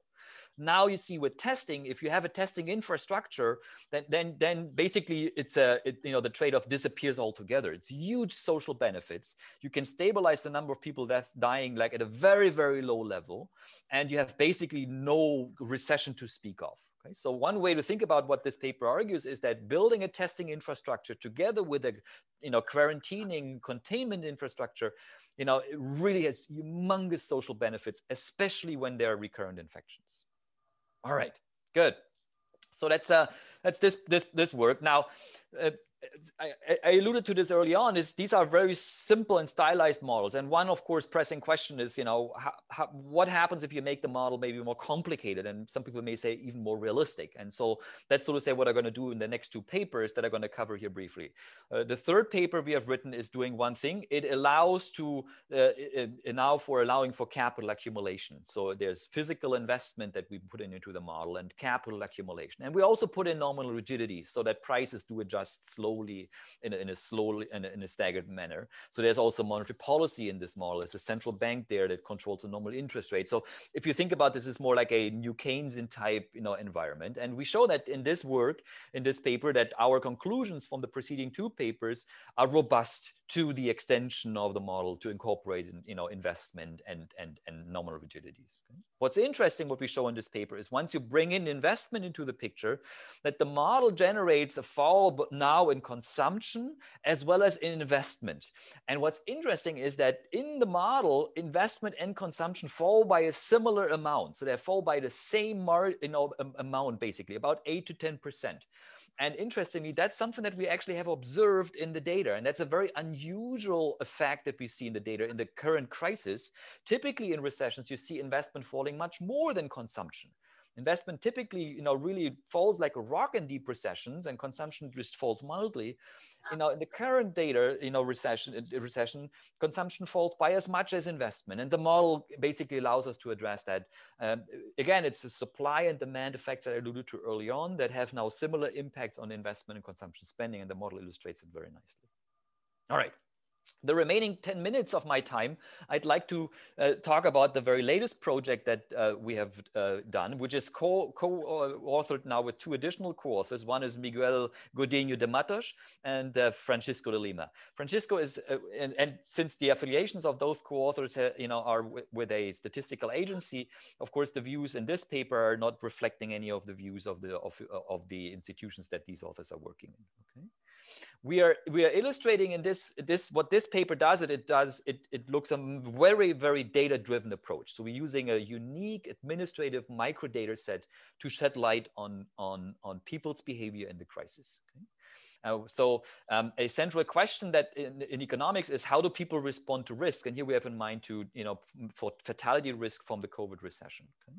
And and how you know can governments actually rely on people to take actions that are commensurate with the risks associated with so to say events like for instance epidemic environmental disasters terrorism and so forth okay um, the outbreak of the COVID-19 epidemic provides us with what we think about a, a natural experiment. Ex ante, the epidemic is a very rare event. And during the epidemic, death is still a seemingly small probability event for people. So it's a small probability event, the epidemic, and we want to understand how do people re respond and react to that event. And, and are they taking precautions to deal with the risk that the epidemic exposes them? Uh, you know, are they taking appropriate measures or is there no scope for government intervention to take place? Now, we think this is a natural experiment to really be worth considering, is namely that the probability of dying from COVID differs across people. So it differs depending on your age group. The fatality rate of young is very small, uh, but for older people, you know, 60, 70, and older than 80, the fatality rate is very high. So people have very different fatality rates, okay? and people could, and we are understanding, are people diff taking different precautions? Okay? People can cut their consumption you know, on goods and services that require social contact. And we are interested in are the young and the old taking different measures to protect themselves against the, the, the fatality risk, you know, associated with COVID. Now, how do we do this in this paper? We're using a, a unique administrative data set. Um, that that you know allows us to study how did the young and the old uh, you know change their consumption in response to the recession. Um, so what is this administrative data set? It's a data set from Portugal. It includes, so to say, the an anonymized monthly data on, on individual itemized consumer expenditures. We have data for all ages, uh, for all people's for people's age, income, gender, and even education and occupation. It's the, the data set comprises the entire universe of the po Portuguese population, anonymized, I should emphasize again, right? And we're drawing a subsample of 500,000. Now we have individual monthly consumption expenditures of uh, each person per week in our sample. Okay? And these expenditure data are not report, you know, based on self-reporting. No, they are uh, uh they are based on firms' reporting of tax VAT tax reporting. Okay? So every receipt can be matched to a mm. particular person as it contains its anonymized fiscal number. Okay? So we have really precise, extremely precise data on that dimension. All right, so um, we are estimating a fixed effects model. And uh, what that fixed effects model basically does is it regresses the expenditures that we have for each individual at point T on a couple of dummies. I have five more minutes, I guess, Uma, right? Perfect. That's great timing. Thank you so much. Um, so have, we are regressing the log expenditures of each individual on, you know, year and, and month dum monthly dummies and some, you know, individual fixed effects and stuff like that. All not so interesting. What's really important is the delta M and the delta MG uh, parameters here. So after is an indicator function that takes the value zero before the epidemic and starting with the value one thereafter. So delta M gives us how, how much are people changing their consumption of the young cohort cohort of people in the young cohort. Delta M gives us what's the differential change in consumption or expenditures of all age groups that are older than 49 years. Now, I could give you a big table with the coefficient results. Let me give you a little graph that actually illustrates this maybe in a better, you know, intuitive way. The key result is that in the data, the old respond by more than the young. Okay. In particular, here are the coefficients on the x-axis, and you see in the month of March, April, and May, it's the old cohort that cut back their consumption by about 50%. And we can estimate that very precisely. The young, by contrast, they also you know, cut their consumption, but they cut it by only about 30%. So long story short, it's in the microdata, uh, you know, that what we see is the young cut their consumption by much more than the old. Okay? Now, once you get into this epidemic, uh, once you get into the empirical work, there's of course a plethora of robustness analysis, and we'll we'll we address them in the paper. So we are you know cutting this into high and low contact goods, you know taking into account how much containment actually was likely to have, so to say, affected the individual's choices. We are controlling for income differences. We're controlling for comorbidity effects. We are looking at retirees and public servants uh, instead of public servants. Uh, we have we look at alternative models for seasonal and trends. Long story short, all these robust robustness you know, results basically give us the same message. The old cut their consumption by more than the young. Why? In order to cut back on their, uh, on their likelihood of catching the virus. What we then do is we're crafting a model in the second part of the paper, and this will be extremely brief now. We're just asking, can a standard model of risk taking explain what we saw in the data? Okay? And, and um, that model has, uh, has, has, a couple of features that I just want to brush over, and I'm going to go right to the model results. Uh, there's two age groups, young and the old. There's Epstein-Zinn preferences to model, you know, risk. We have stochastic aging. Uh, we have natural and epidemic mortality risk. Okay? And then we combine again that standard model of risk taking with an epidemic epidemiology model, the standard SIR framework, where we have the four possible health states from before. Um, I'm going to skip over this, but you know what people can do again by by changing their consumption, they can change in the model their likelihood or probability of catching the virus. That's really what's key.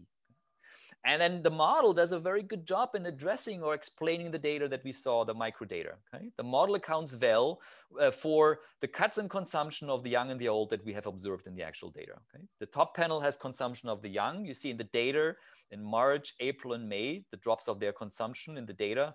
And the model does a good job here by taking the epidemic and containment into account. By contrast, the old, they drop their consumption much more in the data, and so do they in the model. Now, the model allows us now to uh, rip apart, if you like, the epidemic and the containment that took place okay, at the same time. So when we simulate the model with only the containment, and so in the model as a counterfactual simulation, switch off epidemic. So just pretend the government does containment, but there wasn't actually an epidemic. What happens then is that the adjustments are symmetric. So the old and the young, they basically cut their consumption by a very similar amount. So the bottom line is it's really the epidemic that caused the differential responses in people's reactions. Okay, so the difference in the behavior of the young and old really is reflected by the inflection risk, not by containment in the first place. All right, I'm going to my conclusions here. So um, this paper has highlighted that the small probability events, you know, play an important role in many economic models and now the focus of policy debates such as you know not only on, on, on, issues like for instance epidemic but environmental disasters terrorism all these small probability events. And we want to know how do people cope with these you know with these events. Now to model the people's behavior with respect to such events it remains really a controversial issue. It's not you know it's a big debate out there what how do we model these rare small probability events okay? Our results suggest that people responded in a way that is commensurate with the risk they face, actually. You know, so the current, the corona crisis, the natural experiment that we're looking at is that, you know, we, we saw that people do, res, you know, react to that. There, there's different probabilities depending on age and people react differently, you know, in reflecting, so to say, their mortality risk. Our results are surprising in the light of a literature that actually has highlighted difficulties that people have in assessing these small probability events. And, and our results, you know, seem to suggest, so to say, otherwise. Okay? Now, let me maybe then go full circle to the very first paper I presented. The fact that according to our results, people behave on average rationally in the face of such event does not imply that there is no role for government intervention, of course. Okay? Going full circle to our first paper is really that, you know, we argue that in an epidemic, the competitive equilibrium is not socially optimal. So we still have that infection externality similar to the pollution externality that Per was talking about, and that you know that the infected people don't really take into account their effect on the spread of the virus on other people's you know health and and, and income. So it's the, that externality that the government policies like containment, testing, and quarantines can be welfare enhancing, and you know that's something that to, to keep in mind. All right. So again, thank you so much for for having us, uh, having me and, and my co-authors implicitly at the conference. Um, you know, it's a big honor uh, to be here today and talk to you guys. Thank you so much. I really appreciate it. Ah, I should say one thing. If you go to this website, which is the very uh, at the very bottom of the slides, you go there. Um, we are offering all the MATLAB and uh, MATLAB and Dynare codes, depending on the projects, you know, for for download. So if you want to work with the with these models, they're all available for download and and and usage. And um, I thank you very much again for your attention. Thank you. Great, thank you, Mathias. Um, so there are a few questions here. Um, again, a couple of questions from Hector. Mm-hmm. Um, the first question he asked was about the role of uncertainty and whether your models, the quantitative results, yeah. are robust to alternative behavioral assumptions and reactions. He then goes on after your last paper, and I'll, I'll read that question out as well so that you can answer both together. He goes on to say that uh, you, your last paper partly replies to my question, but you do not seem to have measures of individual subjective expectations of consumers mm-hmm.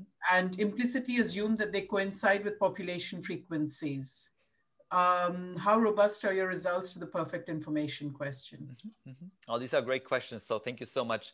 Now, um, frankly, um, we think that we are at the beginning of a research agenda here that we started in March, and um, there are many things that are you know are worth you know shedding light on and and dwelling deeper.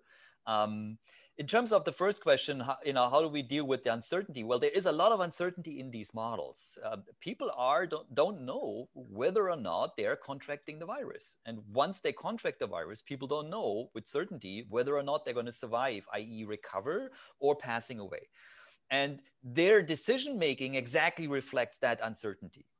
Now, the, the way expectations are formed, of course, may be crucial or is crucial for the resulting allocations. And, and what we have sort of say highlighted here is, uh, uh, you know, through this sequence of papers, all the way through the last paper I, I talked about, that, that, people take an irrational approach, that they take into account, you know, the knowledge of information and the structure of the economy and take the best informed, sort of say, um, you know, decision-making process to cope with what they know about the structure of the economy and the information flow, but taking into account the, um, the the asymmetries, uh, taking into account, to say, the uncertainties about, so to say, the eventual outcomes. And what we show is that, at least from an allocational perspective, in the very last paper, is that the decisions that people take through lens of our model, which is rational decision making, coincide or can account the, what we observe in the data. Okay, so had we found an obvious mismatch there, that say the data would, uh, you know, uh, is what it is, and the model would, you know, would suggest, you know, we, we have a completely different dimension along which adjustment should take place. We would sort of say discard that model. But that doesn't seem to be the case. The model does generate allocations that are very similar to that. So a priori, we can't rule out that this model is completely, so to say, off the line. On, on the contrary. Now, frankly, I think it would be ph phenomenal to have data on, on consumers' expectations. What did they expect in the moment of a crisis at the individual level? But to be frank, I think we will never have that data. We are blessed with having this administrative data set where we can look at what people did, but um, I think it will be very hard, at least for the you know to, to get individual uh, you know uh, data on expectations formations. Um, i think that's as far as i, I can say but I, but that said it's a it's a it's a it's a re, it's a research agenda that we're not pursuing on our own of course that you know the that the colleagues are around the globe are, are working on. And, and i think that's a fascinating issue to kind of continue to work in in, in subsequent work undoubtedly. So i really appreciate uh, you know the questions. Great. Thank you. Um, so Nicola asks, um, this relates to your, the first paper that you presented. The, yeah. uh, you state that the initial consequence of any epidemic is a reduction in labor, labor demand and consumption. Could you specify how people would cut their labor supply? Is smart working uh, not compensating for that enough? Um, so I think I got to be a little careful here. So what they do is that the, the, model has, so to say, a supply and demand effect. So the demand effect is on the consumption side, right? So people demand less consumption. Now with it comes, of course, a, there's also a supply effect that they cut back on their on their labor. Um, the way to basically see this is that you know people, uh, if they can, and in this model, they they they they can do that. They cut back on the amount of hours that they supply to the labor market. They they are not so to say do, doing so to say their you know standard so to say approaches of going going to work um, now there, I sense the question has, you know, the, the, the, there's a there's an element to this question that maybe thinks about, okay, what happens if you have agent heterogeneity?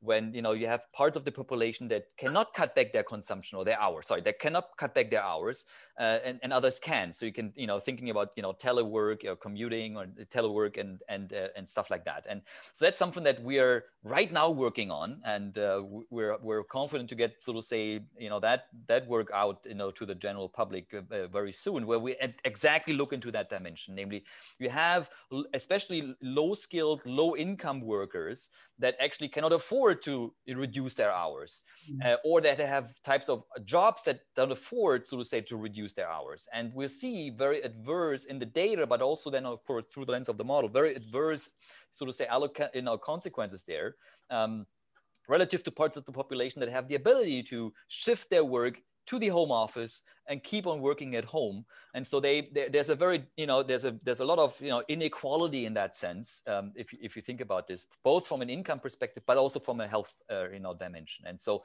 um, I think all I can say for now is, uh, you know, stay tuned. Uh, you know, the, the, we're planning to po post the paper in the in the next couple of days and and uh, and make that available to the general public. Um, Great. I think you actually exactly pick up on what she wanted to know because she ended by saying perhaps data shows some degree of voluntary unemployment. Yes, yes, yeah, that's and that's what people. I mean, that's what you see that people, you know, that they're you know for the parts of the population that can, mm-hmm. they're cutting back on their on the supply of hours, you know, and and that's exactly what people did. They they just did not go the the last extra mile and in, in getting the last project running uh, you know, compared to what they did a year ago before COVID actually did happen. We see that in the data. Um, but of course, that's very heterogeneous. You know, it's not the same for everybody there. And of course, the very first paper as simple as it is, it was we kept that as simple as it is to really dissect the mechanism. That maybe overstates this a little bit, right? The, the, the first paper, the, the title that we're looking at here on the slides, does not reflect that. There is no substitution into home, you know, offices or you know people have to make a living and so that they cannot you know reduce their hours. That's not the margin that we have in this paper. That can be done and uh, again it's fascinating but we kept this on purpose very very kind of uh, transparent to really kind of get a first pass on on the basic effects. But uh, as i as i emphasized again there, you know this is a very you know uh, exciting um, uh, area of, of, of current contemporary work. Yeah.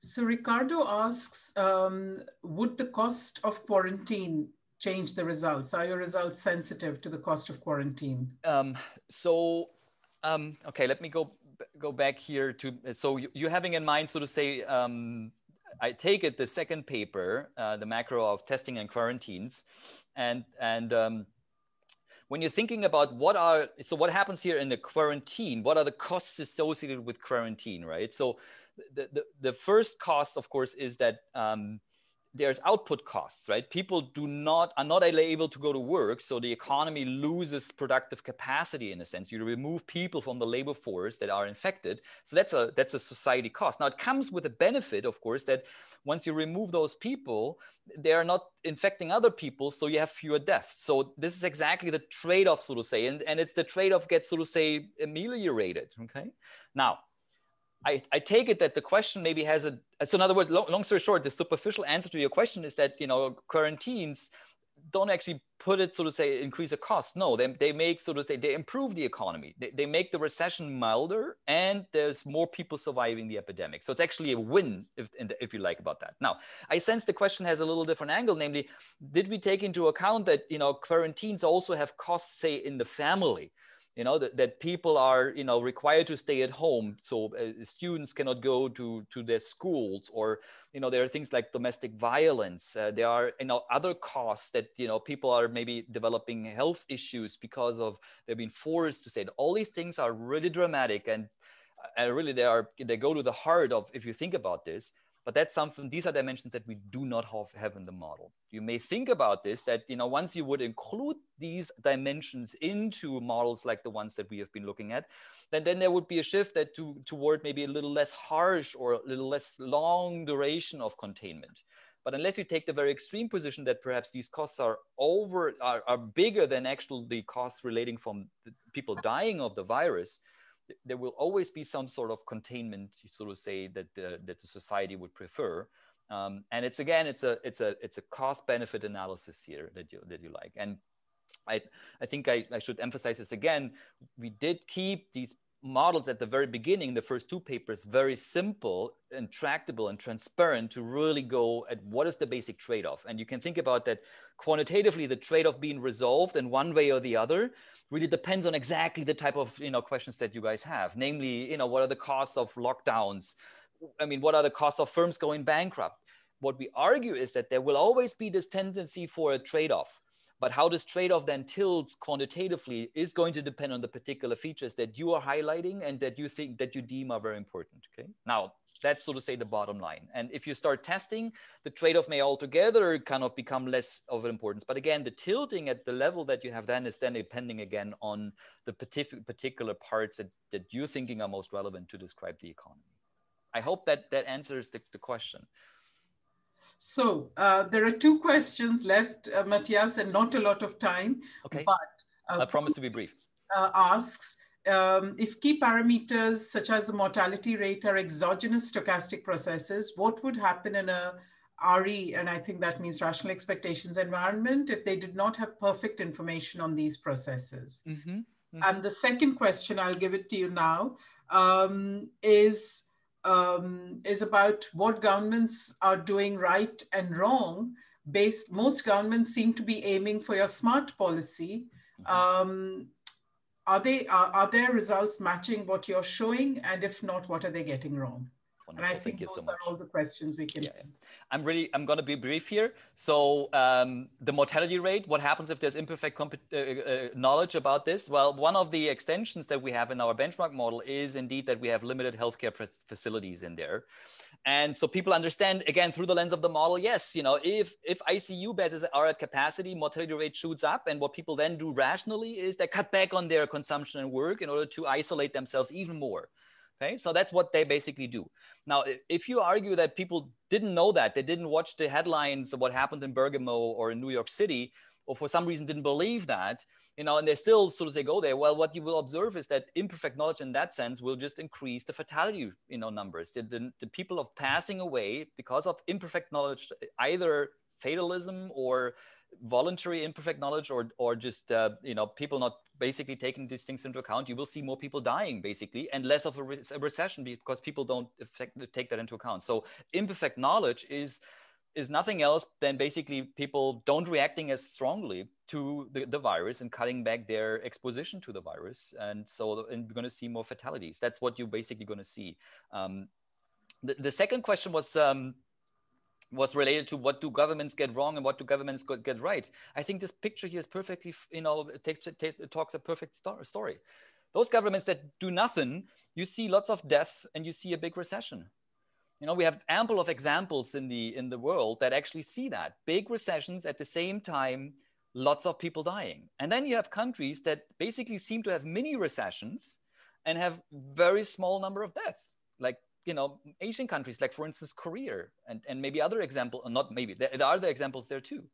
So what we what i would argue here is that there are governments that seems to have found something or f- uh, that have pursued policies that we offer in this work as so to say the array of policies.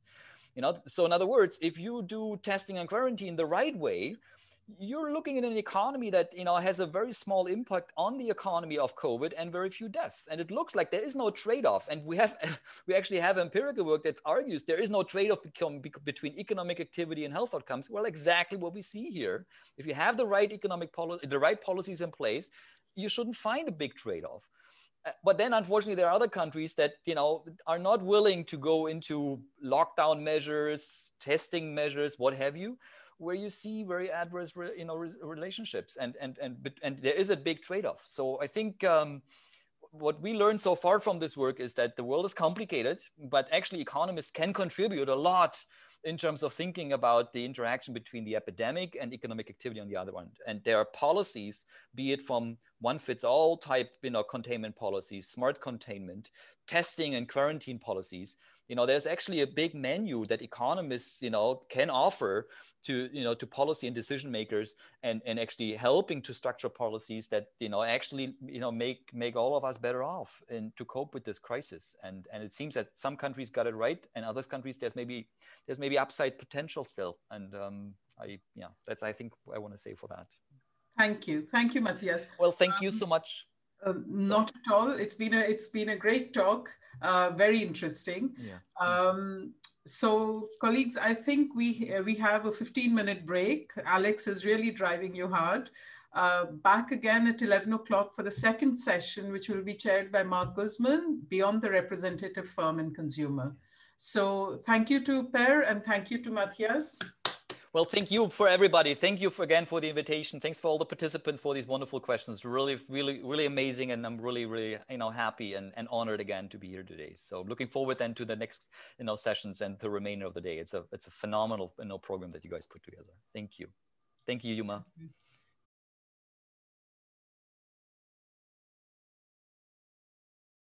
So I'd like to welcome everybody back uh, to the conference here on macroeconomics and reality uh, and to the beginning of the second session uh, entitled Beyond the Representative Firm and Consumer. Uh, so we have two uh, individuals speaking uh, during this session, Isabelle Méjean and Alexander Mihailov. And as with the uh, previous session, about 30, 35 minutes for their presentations and then about 10 to 15 minutes for questions. If you have a question, can you please put it down in the chat? And if you could make sure above the message you write, it says to, uh, please make sure it says all panelists and attendees so that everybody can see what the questions are. So I'd like to uh, welcome our, our first presenter today, uh, Isabelle Méjean. Uh, she's a professor at the École Polytechnique and a CEPR uh, research fellow. Her primary areas of research are international macro and trade, and she's extremely successful in it with publications in the likes of Econometrica and the AER. She's also a co-editor for the European Economic Review and a successful uh, grant recipient from the European Research uh, Council grants. Uh, so with that brief introduction, I will hand it over to you, Isabelle, uh, to tell us about foreign shocks as granular, granular fluctuations. Okay, thanks very much. Thanks for having me in this uh, great uh, conference. Um, so the paper I'm going to present is a joint work with Julian Di Giovanni, who's now at the uh, New York Fed, and Andrei Levchenko, who's in uh, Michigan. And uh, the basic uh, question or the basic thing we would like to do in this uh, uh paper is to kind of revisit the question of international business cycle shock propagation, but taking the point of view of individual firms. So this obviously relates to a huge literature in macro uh, that um, uh, studies uh, business cycle movements. And in this literature, in the textbook version of this literature, but also most of the literature that has followed, uh, the view is that um, international movements come from uh, the uh, propagation across countries of shocks through relative price adjustment. And this takes place in models that, to a very large extent, feature a, representative firm in each country or eventually in each country and sector. So by definition, this neglects an important feature of the data that has been extensively uh, uh, documented uh, in the trade literature, which basically says that uh, trade is the business of a small number of very large firms. So this is true both on the import and the export side. And in previous works with uh, Julian and Andrei, we've shown that uh, this uh, sparsity in the participation of firms uh, to international trade matters uh, for explaining business cycle uh, co-movements as individual firms' decision to participate to trade with one particular country has a significant impact on these firms' co-movement with that country. So this suggests that firms are important channels through which uh, shocks can propagate across countries and thus integrating the sparsity in firms' decision to participate to trade might be an important factor uh, to better understand uh, international movements.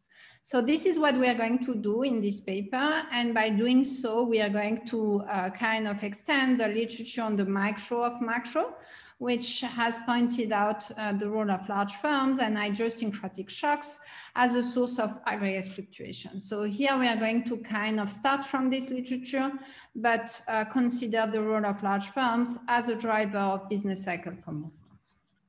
So more specifically, we are going to try a firm level view of international shock propagation and the very simple argument that we're going to develop in the paper is that foreign shocks, even when they are purely aggregate by nature, are going to affect firms differentially depending on the extent and nature of their international linkages.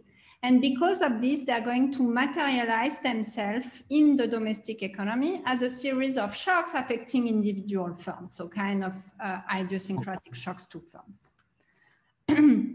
So in order to study the consequences of this, we are going to build a quantitative model that will have uh, heterogeneous firms, multiple countries and multiple sectors. And what is going to be uh, kind of nice is that we can implement this model directly on very rich data. So the data we are going to use cover the universe of French firms and we have information about many things about these firms, including the structure of their cost, their size, their value added, and also a full view of their uh, trade participation at the bilateral level. So we are going to build from this uh, rich firm level data, append those with the world input output database so that we can calibrate the model uh, with multiple countries and multiple sectors solve the model in general equilibrium, taking into account the granular impact of firms. So we are going to uh, take fully into account the heterogeneity across firms that we see in the data, including when solving the model in general equilibrium. And then based on this model, we're going to simulate both hypothetical and actual foreign shocks and study how these shocks propagate uh, to uh, the French economy and how this propagation uh, uh interact with heterogeneity across firms. So let me summarize what we find. So here we are going to come up with three main results. The first one is a novel style effects that uh, we uh, um, document thanks to our uh, firm level panel data. And this style effect shows that uh, larger French firms tend to be significantly more sensitive to foreign GDP uh, growth than smaller firms.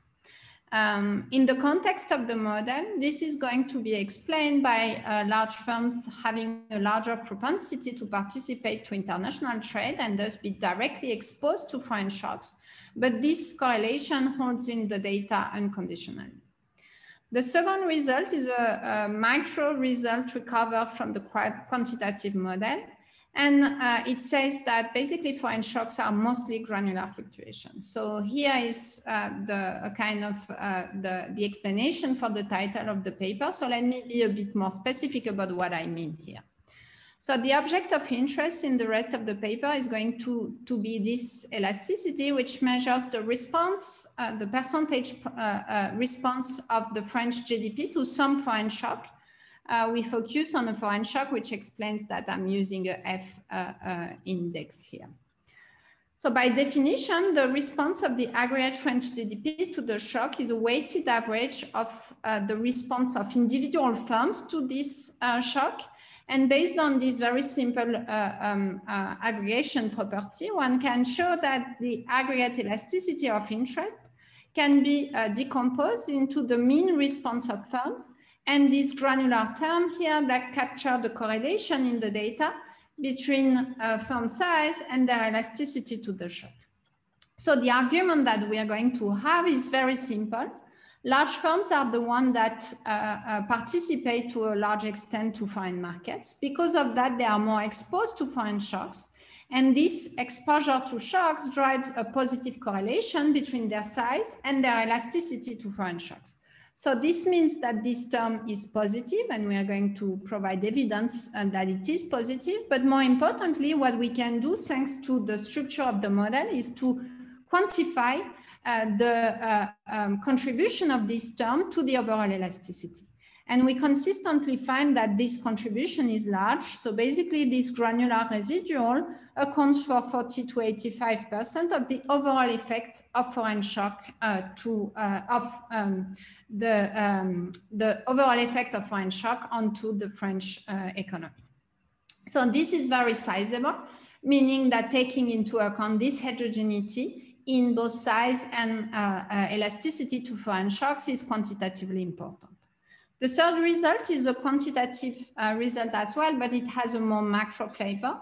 And it shows that firm heterogeneity uh, in importing tends to dampen the aggregate impact of foreign shocks. In order to show this, we are going to uh, construct an alternative model that mutes heterogeneity across firms within a sector. And we're going to find that the exact same mod, uh, the, the, this model calibrated in the exact same way and fed with the exact same shock it, uh, implies elasticities that are about 20% uh, larger. And the reason uh, why we have this dampening effect is because in uh, the full model, the shock is going to reallocate market shares towards the larger firms that also tend to have a low influence on domestic GDP, conditional on their size. The reason being that these firms tend to produce out of both domestic and also foreign value added. So there is a, a bit of a spillover from the reallocation of market shares towards uh, the impact it has on the domestic uh, um, uh, labor market. And this is this impact that uh, explain uh, the dampening effect. So I'll come back on this afterwards.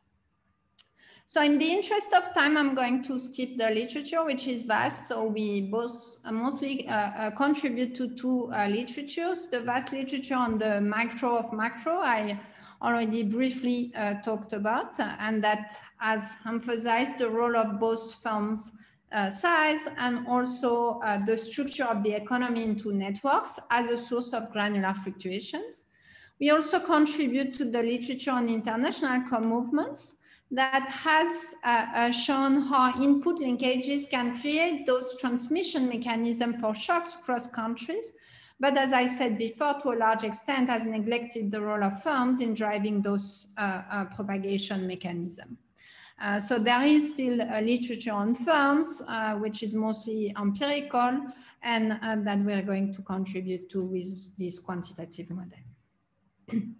so if there are no uh, clarification question, I can perhaps go directly to the core of the uh, uh, presentation.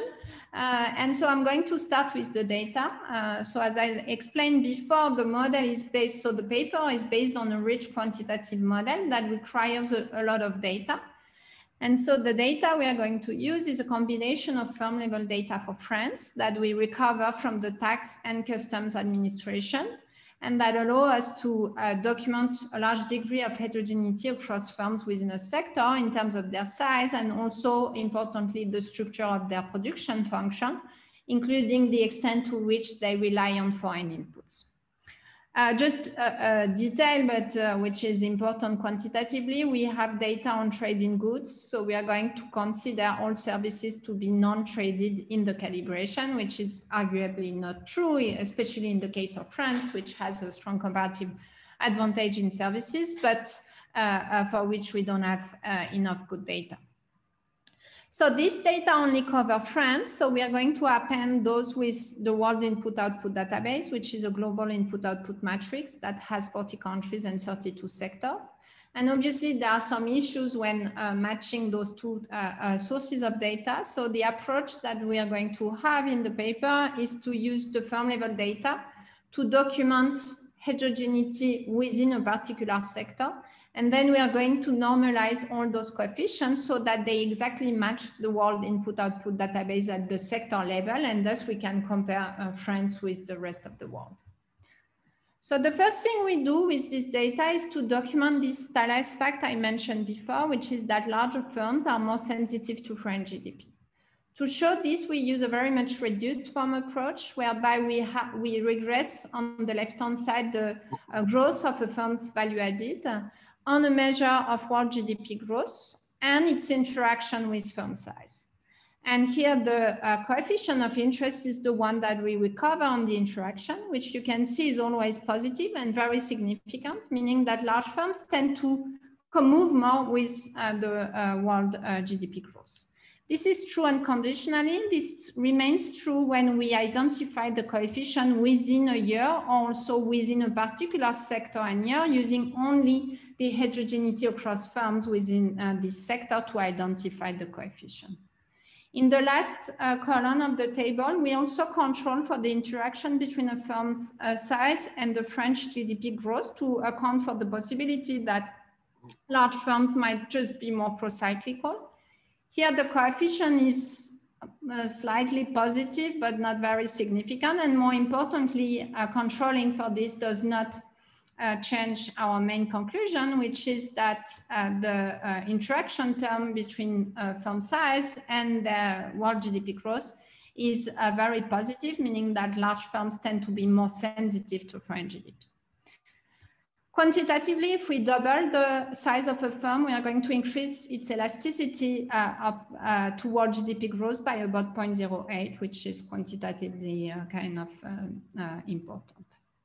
So in, this is true unconditionally. In the context of the model, this uh, um, uh, elasticity, so this heterogeneity in firms' uh, elasticity to foreign GDP growth is going to be uh, explained by uh, firms' propensity to trade.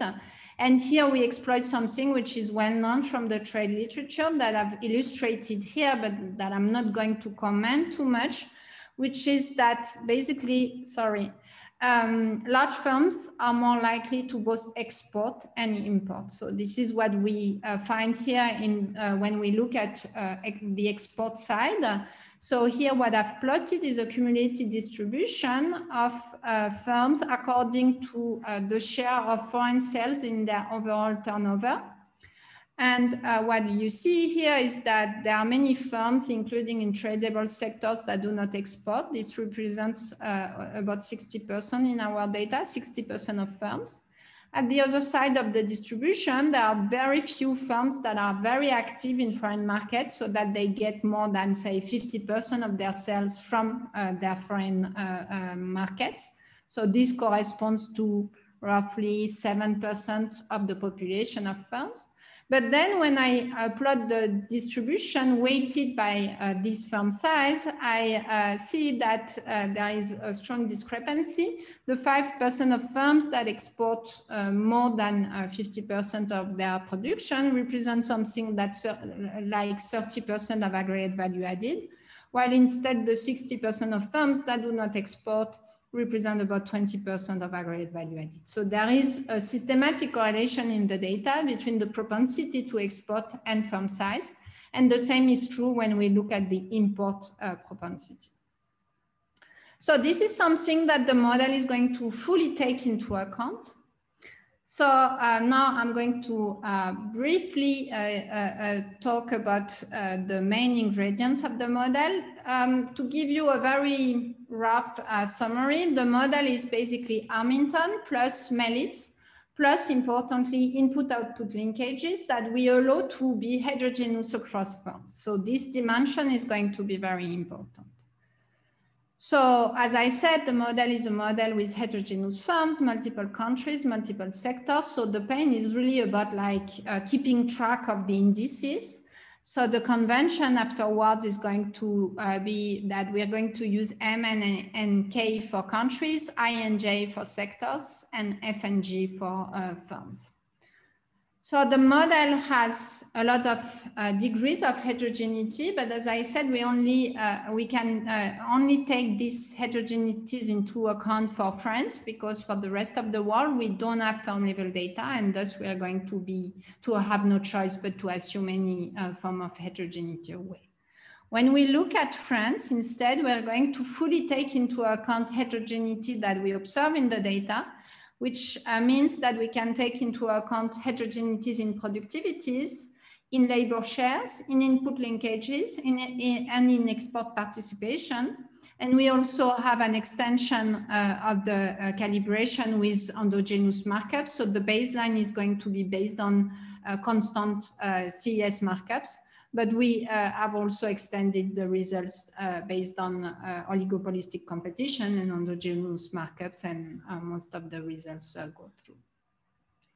So we have, in comparison at least to the literature, we have a richer structure of heterogeneity across firms that uh, we are going to be able to put in the model because we have rich data to calibrate this heterogeneity. So the rest is uh, kind of standard. So from the point of view of households, we are going to have a representative household in each country, uh, which has GHH uh, preferences. Uh, so a disutility of labor, meaning that we have an endogenous uh, labor supply. Uh, and on the consumption side, we are going to have a, a nested consumption, so a Cobb-Douglas across sectors. Then a CES across origin countries. Remember, M is a country. So here we have the elasticity of substitution between countries, which is equal to sigma in one particular sector J. And finally, uh, we are going to have a last uh, layer of CES, which is going to aggregate consumption across various firms from the same origin country. Okay, so here we are going to have uh, a firm, uh, an aggregate across firms. And this is going to be aggregating across all firms that we see active from country M and sector J in a particular market N. So this is something which is important. I forgot to mention. We are going to use a model that does not take into account endogenous responses of the endogenous of the uh, endogenous uh, response um, responses of the extensive margin to the shock. So instead, we are going to assume the uh, selection of firms into uh, um, exporting uh, markets is, is constant uh, in presence of a shock. So this is a, a shortcoming, but uh, we've shown in previous uh, um, work that the responses of the extensive margin at business cycle frequencies are quantitatively small, so we can neglect them. So based on this structure of demand, we can uh, rewrite the demand, which is faced by a particular firm in country M coming from a particular origin uh, destination country N. And we can write this as being a share of the uh, bilateral trade flow. So the bilateral trade flow is going to be solved for in uh, general equilibrium. And then the heterogeneity across firm is going to, uh, uh, uh ha uh, to have consequences for what is the share of a particular firm in a particular destination.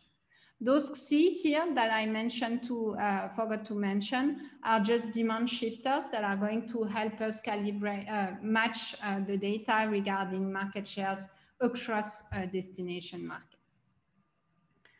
So the most important uh, uh, part of the model has to do with firms. So as I said, the baseline is going to assume monopolistic competition, but we have a robustness assuming oligopolistic competition. And firms are going to be heterogeneous in terms of their productivity, the preferences of uh, consumers from uh, various countries with respect to their variety. And importantly, we are also going to introduce a rich structure of cost with a lot of heterogeneity, in particular in terms of firms' labor shares, and also uh, the structure of their inputs, and in particular, how much of those inputs are sourced from abroad. As I showed before, this is very heterogeneous across firms. So this is kind of unusual in the literature to have that degree, that additional degree of heterogeneity. But because we observe those shares directly into the data, we can take into account this source of heterogeneity. So how much time do I have? Like uh, 20 minutes or, or 15 minutes? Yes, you, you've got about uh, 10 to 15 minutes.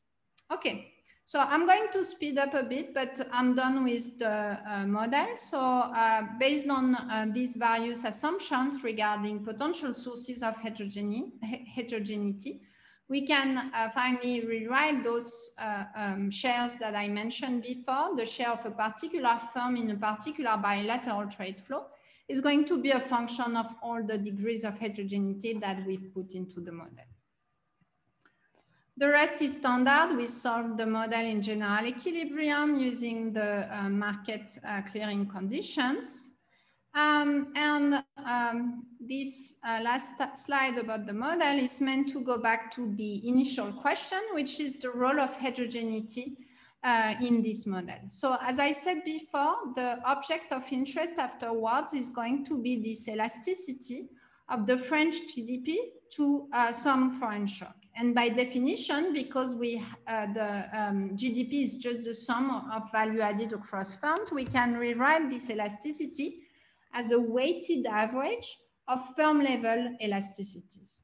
Okay, and this is this formula that gives us the decomposition I already mentioned of the aggregate elasticity into the mean response of firms and the covariance between firm size, these omegas here, and their elasticity to the shock. So what the model is uh, um, providing us with um, is a theory for this covariance. And in particular, in the context of the model, we are going to have a very rich uh, distribution of those elasticities that is going to uh, um, reflect uh, the differences across firms in terms of their exposure to uh, shocks. So in particular, firms' uh, cost structure is going to have consequences about firms' direct exposure to foreign shocks through their uh, input purchases. Uh, so this is this first part here. And uh, the uh, heterogeneity across firms in terms of their export uh, um, decisions is, is also going to have consequences about uh, their direct exposure to foreign demand shocks. So basically a firm which is importing a lot of its inputs from abroad is more exposed to foreign productivity shocks, which are going to translate to the firm through the price of inputs. Uh, and likewise, a firm that uh, gets a lot of its sales from foreign markets is more exposed to uh, demand shocks. So what is nice is that because we are going to uh, calibrate the model, taking into account the full heterogeneity in those exposure, we are going to be able to simulate the whole distribution of those elasticities and uh, quantify the extent of, their, uh, of its covariance with uh, firm size. Um, so this is just for the calibration. We solved the model in general equilibrium. Uh, we are going to work with the model in growth rates, which allows us to get rid of many parameters and instead use what we observe in the data, which are input shares, sales shares, etc., to calibrate the initial equilibrium and then apply shocks to this uh, equilibrium to derive the elasticity uh, of the French GDP.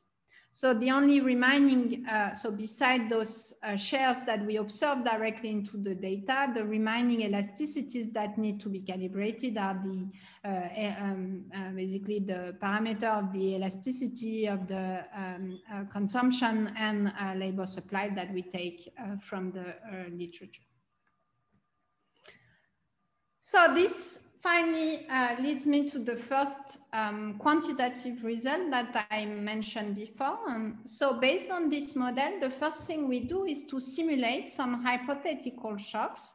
And so in particular, what we're going to do that I'm going to discuss is uh, either a worldwide shock to uh, foreign productivity. So all foreign, shock, uh, foreign countries are hit by a positive 10% productivity uh, shock uh, in this part of the table, or uh, there is a positive demand shock for French goods that also affects all foreign countries.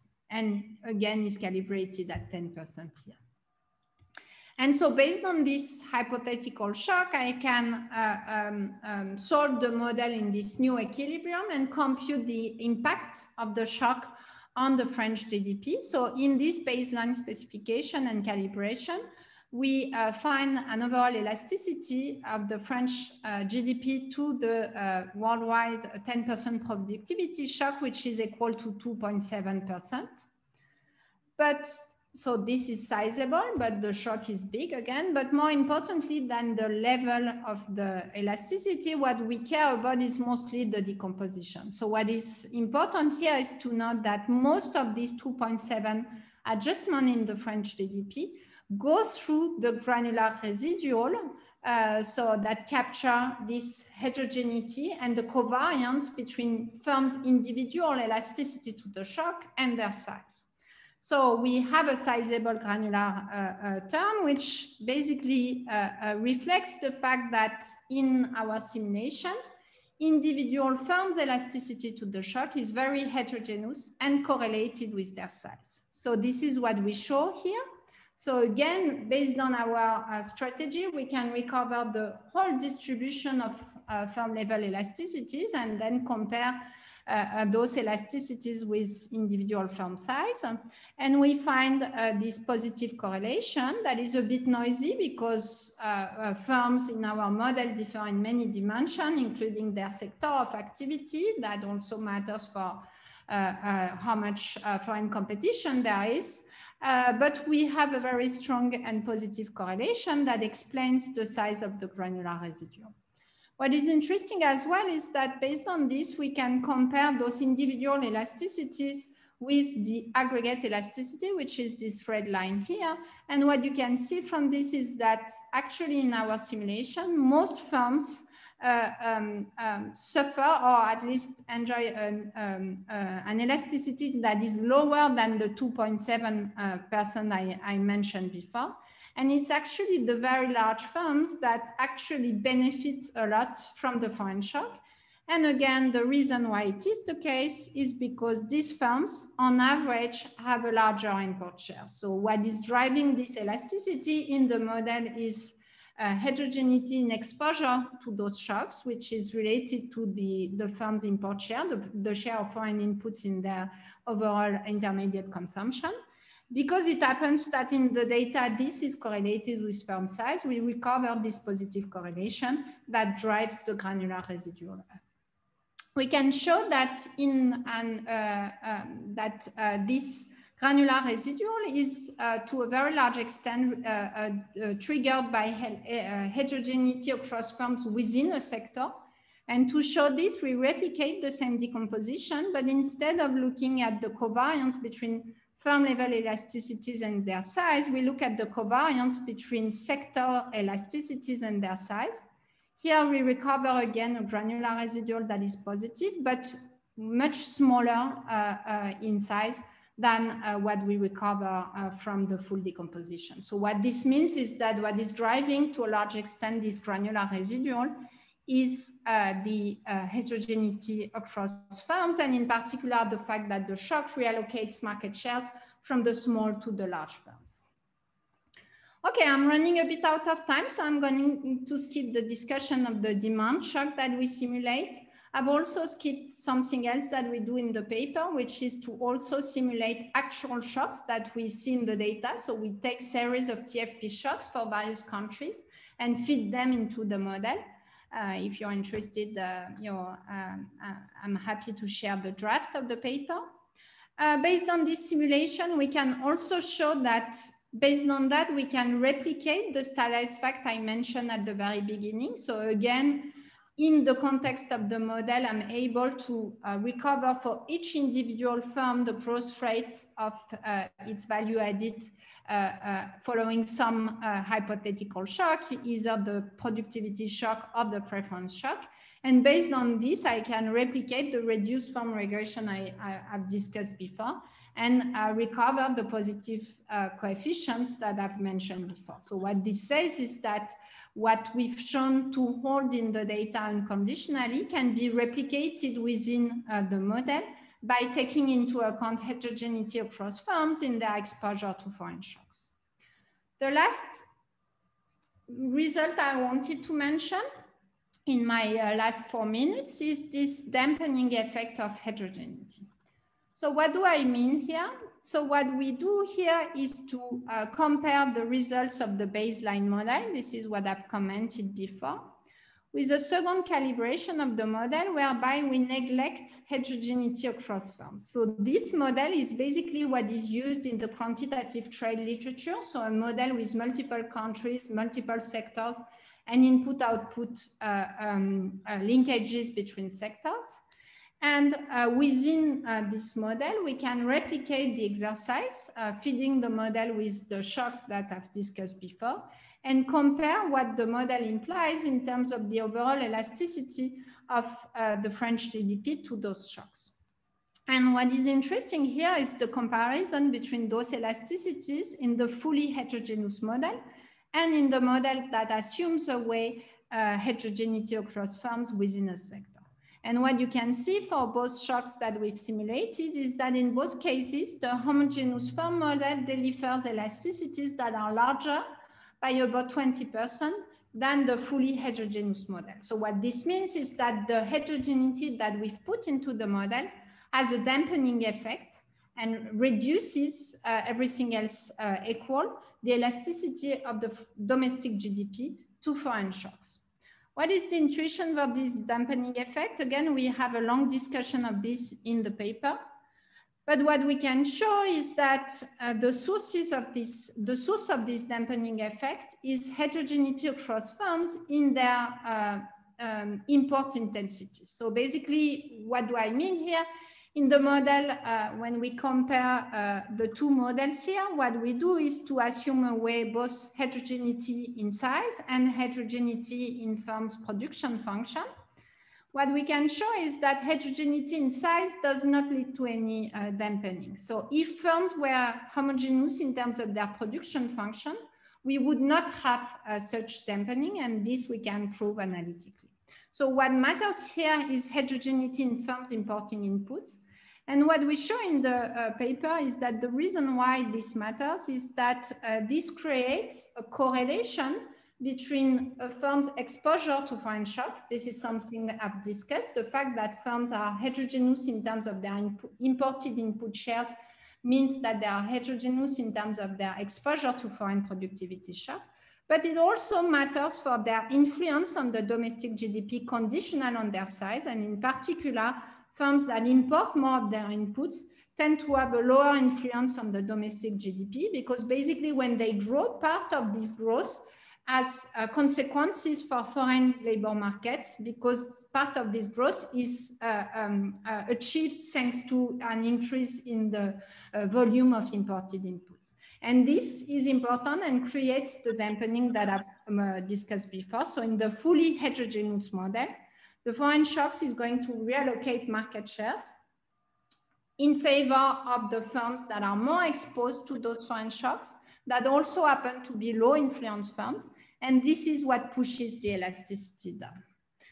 Um, sorry, I'm uh, running a bit out of time, so I'm going to conclude with this, but I'm happy to answer questions on this uh, dampening effect. So again, what we've shown in this paper or what we've provided is a firm level view of international shock propagation that emphasizes the role of heterogeneity across firms in their exposure to foreign shocks as a source of, uh, as an important feature for the uh, uh um, understanding of the co-movements of business cycle across countries. Okay, and thank you very much for your attention. All right, thank you, uh, Isabelle. Uh, we have a couple of questions. Uh, the first one comes from Hector, who says that, um, or asks, does the INSEE FICUS database detail the breakdown of French firms' production costs by home versus foreign sales? For example, what fraction of a firm's capital stock or employed labor force is dedicated to sell abroad versus sales in France? And he asks this because he uh, says another important source of reallocation in response to a foreign shock is within firm reallocation in addition to a cross firm reallocation. So this, the model fully takes into account. So the only thing that we do not take into account would be on uh, responses at the extensive margin. So potentially a firm which is hit by a foreign shock, uh, um, or in particular, if the shock was negative, a firm could potentially decide to stop exporting to that destination and then focus more on, on, the, on the domestic economy. So this is the only source of adjustment that we do not allow, adjustment at the extensive margin because we think of those adjustments to be quantitatively less important, at least over the business cycle. But otherwise, the model fully takes into account the fact that individual firms facing adjustment in relative prices in all destination and all origin country for their inputs can uh, decide to reallocate uh, their input uh, purchases and their sales across uh, markets. So this is something that the models take into account. But again, everything in this adjustment being related to general equilibrium adjustment in relative prices. What is important to notice is that, again, something which I find uh, important is that the model is solved taking into account the fact that some very large firms can have more, uh, more of an impact on equilibrium prices. So we do take into account the fact that the granularity of firms, their, their size in itself can be uh, can matter for uh, aggregate adjustment in relative prices.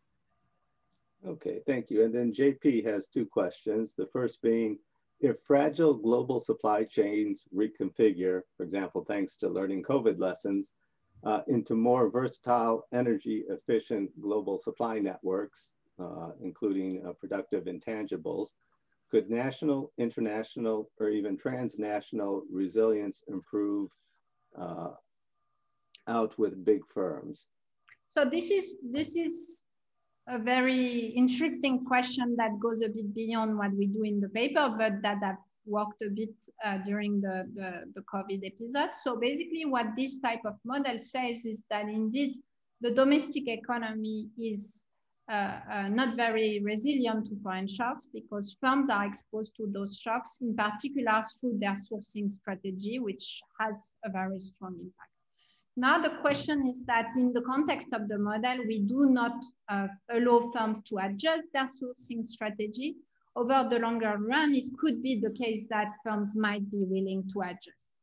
So here the, the, the answer that I would provide is based on some other uh, uh, research I'm doing with uh, more detailed, even more detailed uh, uh, data, whereby we, we show that there is a very strong degree of persistence in firm-to-firm -firm, relationship in international trade. So firms organize their sourcing strategy based on some long-term contracts with other firms. And what we argue in this, uh, based on this, uh, what I would argue based on this paper is that if there need to be, or if there will be uh, an impact of the current crisis, we should not expect to see it in the very short run because there are very important investments that are put in the organization of those supply shop, supply chain, sorry, and this uh, very large in investment means that firms are unlikely to adjust over the very short run, in particular because the crisis itself uh, has probably deteriorated their, their ability to invest. So over the very long run, it might be that the accumulation of big shocks, this one, but also before, say, the tsunami in Japan that we've seen has had consequences in global supply chains, might induce more uh, adjustment in how firms organize their supply chain, at least how, how well they diversified their supply chain. But we shall not expect to see this in the in the very short run because this uh, implies very important investments that uh, need to, to, that will not materialize in the very short term. Okay, and then he follows up on that with uh, the following question. Can you generate ex ante hypotheses for what could happen to productivity and labor as a result? Or would we simply see ex post greater inequality driving the slow onset of crisis as automation, uh, for example, et cetera, exasperates uh, rent exploitation of debt and demographics, stirring up more uh, fast onset of the crisis?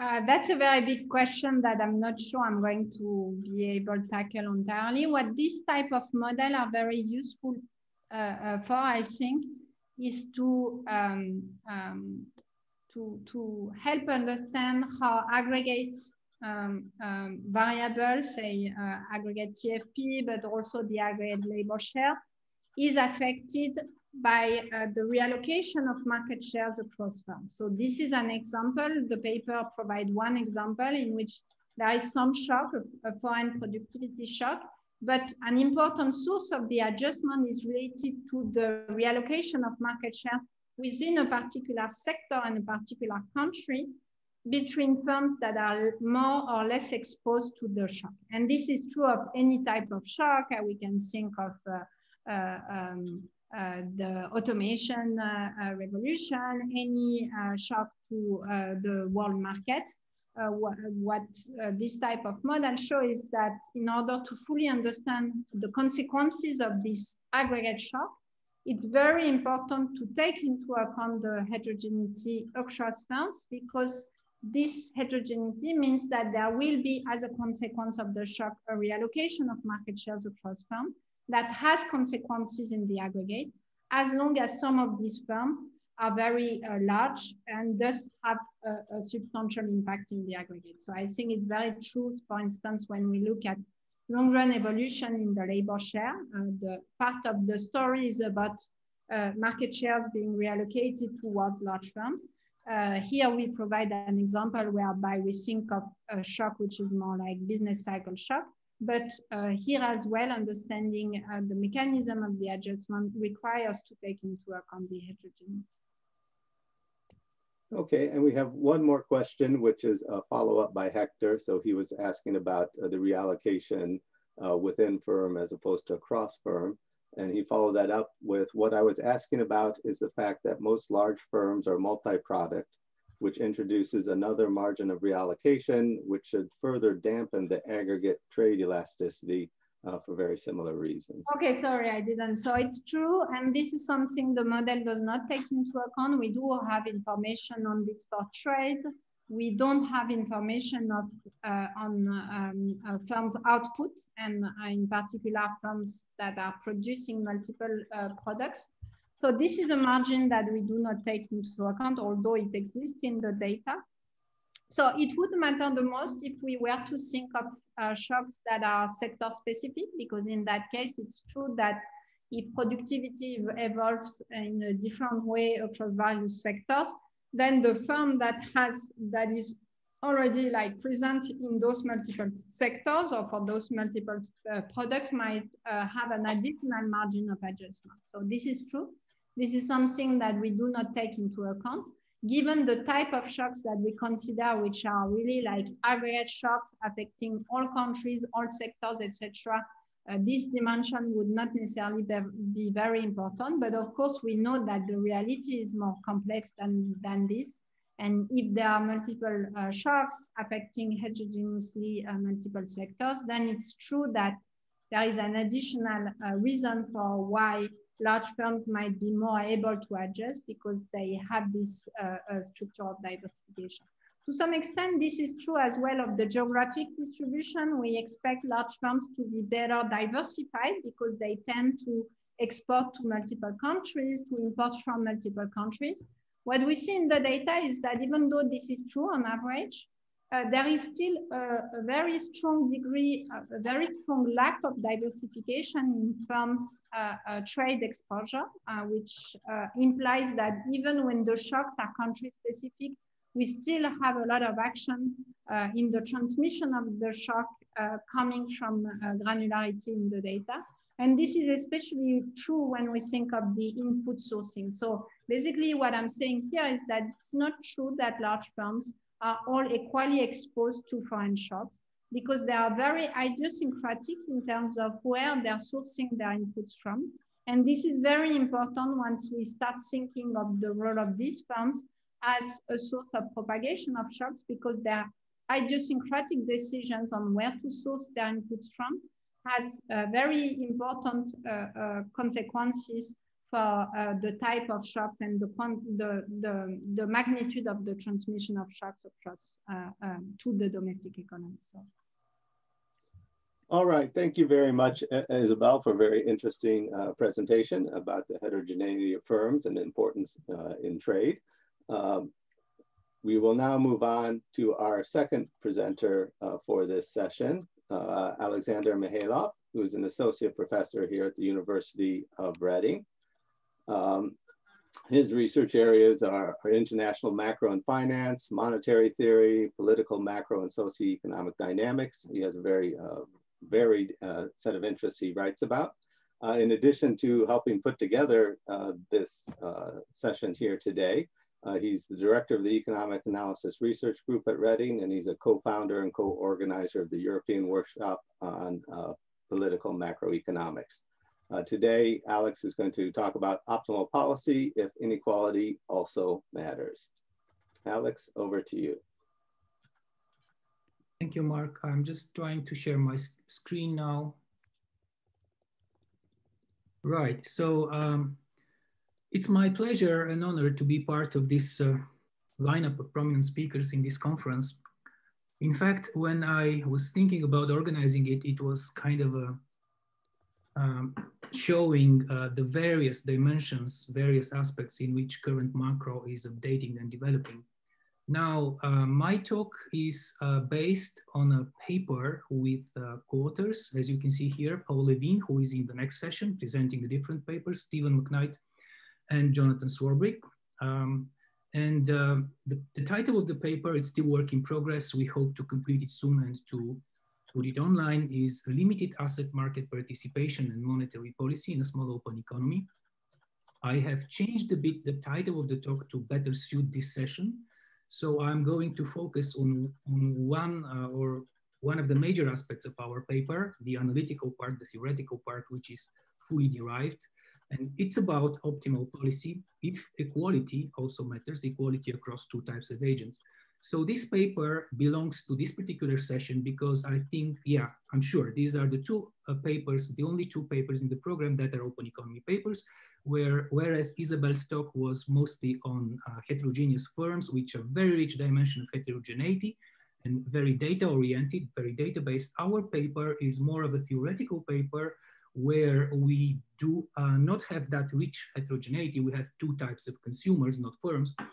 But um, uh, so, um, so the important point is to, to figure out analytically what could policy uh, do in a model where agents are not equal because of their constraints, uh, although they have equal utility functions, identical utility functions. So the plan of my talk, uh, I will start with uh, introducing these consumer types uh, and how this feature of limited asset market participation integrates, uh, combines with trade openness, because that's, that's the center of our, of our interest. Otherwise, we have a very, very uh, state-of-the-art uh, dynamic stochastic general equilibrium model of a small open economy, which has a rich production, production structure with wholesale sales sector and retail sector. And we do a numerical analysis in addition to what I'm going to show you here analytically. So uh, the model is really uh, quite uh, rich and, and complete, but I'm not going to have time to focus on its numerical analysis. I'm going to focus mostly on the theoretical results we are able to derive in a simplified uh, analytic version of the model. So I will show you these two elements of the model that are important for understanding what happens in the aggregate economy, what generates the different types of, consum of consumers, and then how this affects uh, the structure of the economy, which will be the constraint when the social planner or the decentralized markets are going to optimize. So my focus will be on the welfare theoretical analysis uh, that we derive a few propositions, basically uh, novel results uh, arising from the combination of limited asset market participation and openness, which hasn't been done in the literature. And that's basically our major contribution. So um, this literature on limited asset market participation is in fact at least 30 years old, goes back to a series of papers by John Campbell and, and Greg Mankiw related to the, uh, to the permanent income hypothesis, uh, which was one of the major research topics back at that time. So they divide consumers into patient. These are consumers that are Euler equation optimizers. They are intertemporal optimizers. There are also, however, in society, other type of consumers, which they call impatient, that's the original work by Campbell and Mankiw.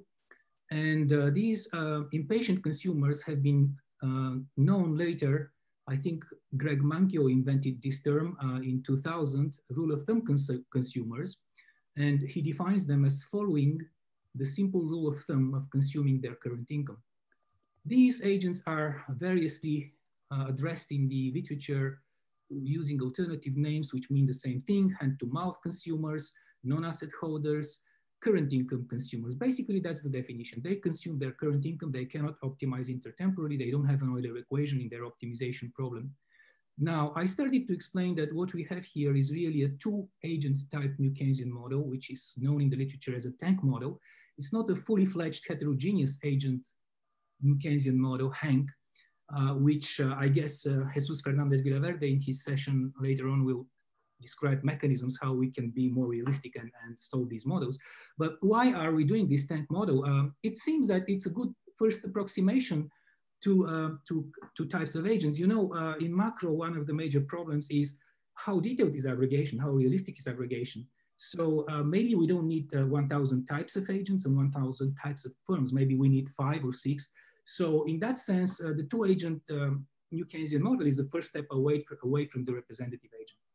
And as I, as I said, recent literature by De Bortoli and Gali and Bilbiie shows that these are good approximations. Apart from that, uh, my, my analysis is related to a topic that's very popular uh, in the recent six or eight years, especially after the publication of Thomas Piketty's book. So income inequality and uh, a number of authors, basically Aguiar and Bils and co-authors in recent papers have found that consumption inequality tracks very well income inequality. And they also estimate in a very recent paper, which was a surprising uh, thing to me, 40% of the US households are hands to mouth uh, based on the panel study of income uh, dynamics. So I go back to the data to motivate the two features that we put in our model and that haven't been explored together in, in the related literature. Let me focus first on the first line of pie charts. It shows from right to left, the proportion, the fraction of Euler optimizers, so Ricardian agents, um, consumers who optimize intertemporally, relative to current income uh, um, spenders. These are the hand-to-mouth consumers, the, the purple small sector. And as we go from high income economies to low income economies, we can see how much more important this uh, hand-to-mouth sector becomes, about 80, 85% in low income countries. Doing the same in the second line where trade openness is shown, we see that high income countries are generally much more open, whereas low income countries are less open. So these are relevant features of the reality which we want to capture in our analytical exercise. The full description of the data is here. I'm jumping over this slide in the interest of um, time because I have shown it in terms of graphs. So um, the closest literature to us is closed economy literature. Basically, our model is, um, the analytical part of our model integrates the work by Florin Bilbiie in 2008 in uh, JET and um, the work by uh, Jordi Gali and Tommaso Monacelli in the Review of Economic Studies in 2005. So uh, Gali and Monacelli is a representative standard new open, new Keynesian uh, small open economy model. They don't have uh, two types of agents. They don't know, they don't have these uh, Ricardian and, and credit constrained consumers. Florin Bilbiie uh, is not an open economy paper, but he introduces the types of consumers. So we combine these features from these two models. And why this is interesting? This is interesting because Bilbiie finds in closed economy that this feature, of limited asset market participation, alters the transmission mechanism of monetary policy in a very curious way. You know, we teach our uh, students even in year one that uh, if the real interest rate goes up, that would induce a contractionary effect on aggregate demand through um, basically increasing saving, reducing spending. Uh, but uh, this is not the case when uh, a substantial fraction in society are, are hand-to-mouth consumers, and this is a result uh, discovered by, by Florin Bilbiie analytically. He terms this inverted aggregate demand logic. So in this case, uh, opposite to the, to the conventional logic, an increase in the real interest rate leads to um, not a contractionary, but expansionary effect on aggregate demand. And moreover, um, when you have this uh, region, this inverted aggregate demand logic, the Taylor principle, which is basic rule of central bank to operate monetary policy, basically the aggressiveness, they have to respond more than one to one to expected inflation in order to, to steer the economy to uh, determinate equilibrium. So this principle is also reversed when, uh, IADL, uh, when we are in the IADL region. So basically we wanna study um, combination of a small open economy like Gali and Monacelli but not having only a representative agent. And our contributions are along two dimensions. So uh, in addition to the richness of uh, the numerical results, we are, we are still at this stage when we want to uh, confirm the analytical results through numerical simulation. So that's what we have to finish in this paper. But apart from that, analytically, we are ready with uh, these two, um, two aspects of the paper. We study equilibrium determinacy under interest rate rules and in particular interest rate with inertia and price level tar targeting, which is novel to the literature. And we have some interesting results which kind of reverse what we know about these interest rate rules. And then we study the second aspect of uh, the second way to model monetary policy through a, through a central bank uh, objective function, which is micro-founded following uh, Rotemberg and Woodford. And uh, we, we find different ways of um, approximating such a model depending on different concepts of what is the underlying equilibrium concept of the economy. So I'm going to talk more about this in my talk. To give you a flavor of where the difference in consumers uh, arises from, let me look at the utility function first. It's the same for both agents. In the general model, we keep it isoelastic, where the coefficient of relative risk aversion sigma is allowed to be different from one, but to, in order to uh, get analytical results, we have to uh, do what the literature does. By the way, we are, we are here in a company of about uh, a dozen papers, which generally, if you want to have some analytical results on that, you have to specialize to logarithmic utility, given uh, also the open economy dimension. Now, even if this seems a restriction, uh, we can argue that uh, we know from the real business cycle literature since the time of King, Plosser, and Rebelo that logarithmic consumption basically matches well balanced growth path in long run growth theory. So it is it may not be as restrictive as it may seem initially. This slide here, opposite to the previous one, shows where the difference between the two types of agents comes from. Uh, so uh, they have identical utility, but they have different budget constraints.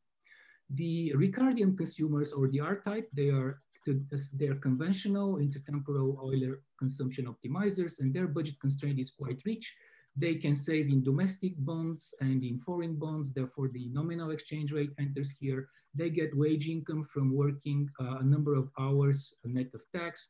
They get uh, rents from capital and uh, they can consume and invest.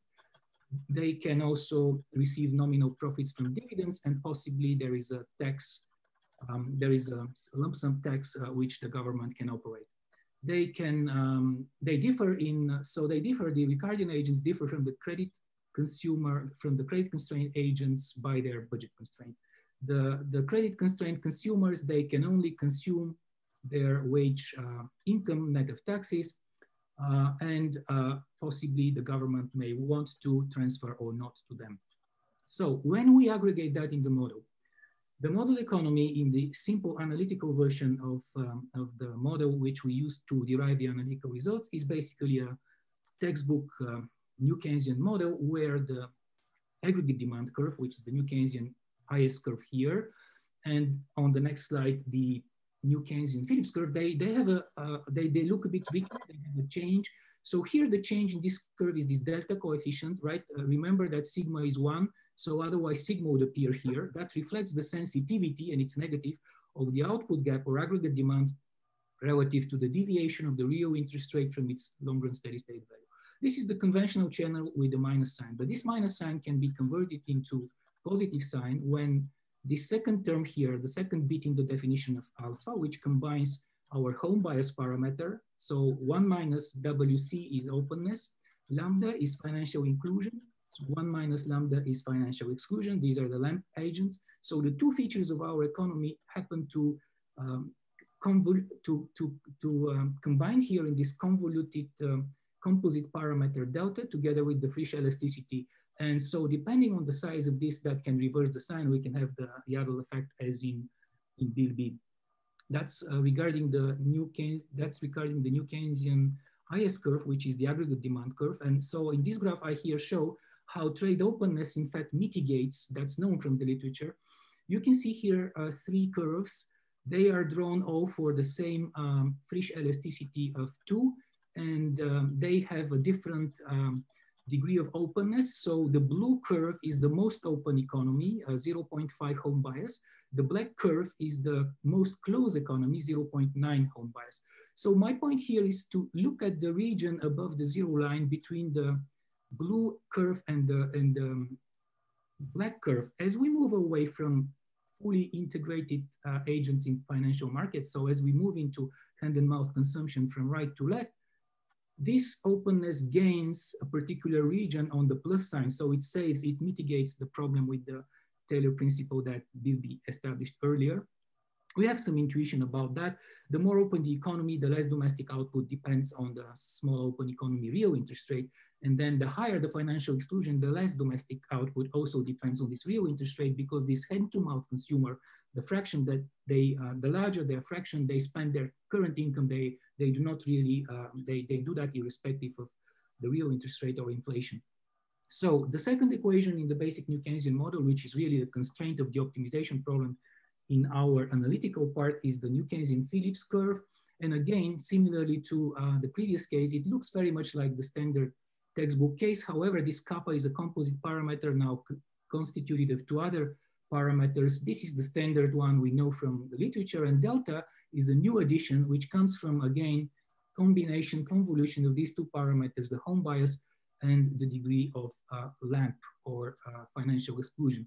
So now it's, it's only the slope. The slope becomes more, um, because we derive analytically uh, these derivatives here, so we can say that uh, this delta, therefore kappa, therefore the slope of the Phillips curve depends positively on trade openness, right? This is home bias, change the sign positively on trade openness and positively on exclusion because lambda is inclusion, right?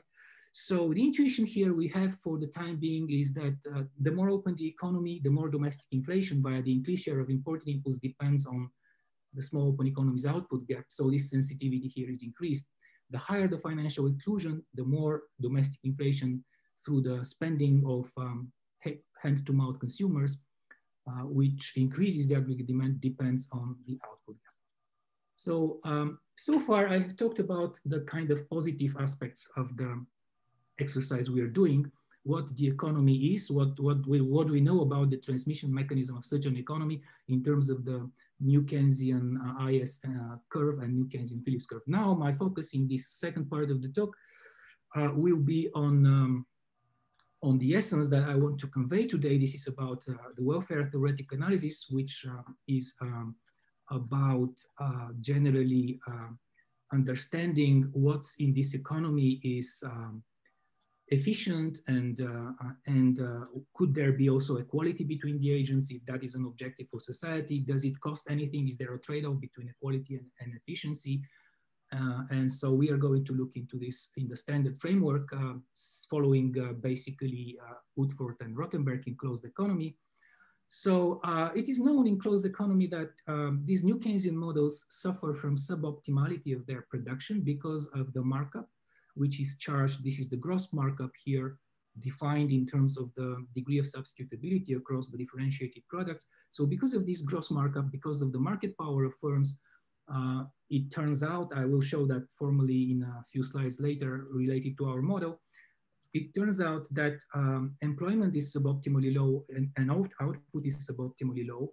So the, there might be an employment subsidy uh, in this new Keynesian literature that is a typical instrument which can offset completely this, this um, distortion. This is a market distortion. So I'm now talking about, because if we want to talk about policy, we should enumerate, uh, we should list and address, but potentially address the imperfections or the distortions in this economy. There are three market distortions in our model and three behavioral ones. I start with the market distortions here. Those in the closed economy are well known, market power and uh, relative price dis dispersion.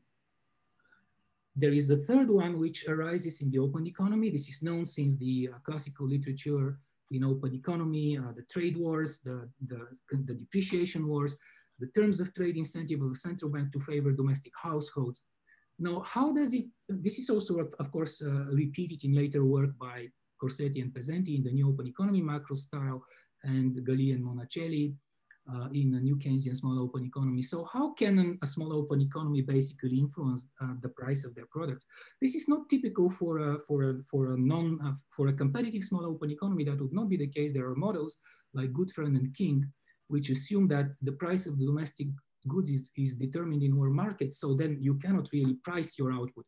However, the, the typical feature of the new Keynesian small open economy model is that because of this imperfect substitutability between domestic and, and foreign differentiated products combined with price rigidity, which allows short-term real effects of monetary policy, in fact, uh, monopolistic producers, firms are also price setters of their differentiated product, right? So um, this is the third market imperfection. Gali and Monacelli have exactly this kind of model with a representative agent, and they design an, a subsidy which, which, which offsets exactly the combined distortions of market power and price rigidity and thought manipulation, terms of trade manipulation. We will have something similar in our efficient equilibrium. However, this efficient equilibrium will not be equitable in the sense that agents will not have the same consumption and hours in the steady state. So uh, there are three behavioral uh, assumptions that I think are novel in, in our setup, especially the number two and number three, because um, the, first, the first behavioral assumption is already in the domestic economy New Keynesian model by Bilbiie. So these credit constrained agents, they are, they are deprived of the ability to allocate part of their wealth to ownership of shares in domestic firms, right? By, by our assumption that they just consume their budget constraint, they cannot save. Moreover, in an international market, that would be the same for foreign dividends, so they cannot own foreign firms. And finally, when we assume complete asset markets in, in international consumption risk sharing following Gali and Monacelli, so these agents also are deprived of risk sharing, whereas the Ricardian agents can share risk internationally. So there are three additional uh, behavioral distortions which policy might wish to address, neutralize partially or fully, again, we don't come here with a definite conclusion. We are just doing the mathematics, still trying to understand the intuition and trying to compare the trade-offs. So uh, I said that uh, I will show you a little bit more formally, which also appears in our model, why, why these uh, new Keynesian economies are suboptimal. Basically, it boils down to the fact that in the steady state, the marginal rate of substitution between hours and consumption um, is not equal to the marginal product of labor and to the real wage because of this wedge here, one minus phi. Phi is the wedge of inefficiency defined in terms of the gross markup. The larger the gross markup, the bigger the inefficiency. So it shrinks because this is a fraction, it shrinks the, the value of the real wage relative to the marginal product of labor. So the real wage is uh, suboptimally low, therefore the output um, and the hours that people provide the employment are suboptimally low and, and the new Keynesian setup in this sense is not first best, is not optimal.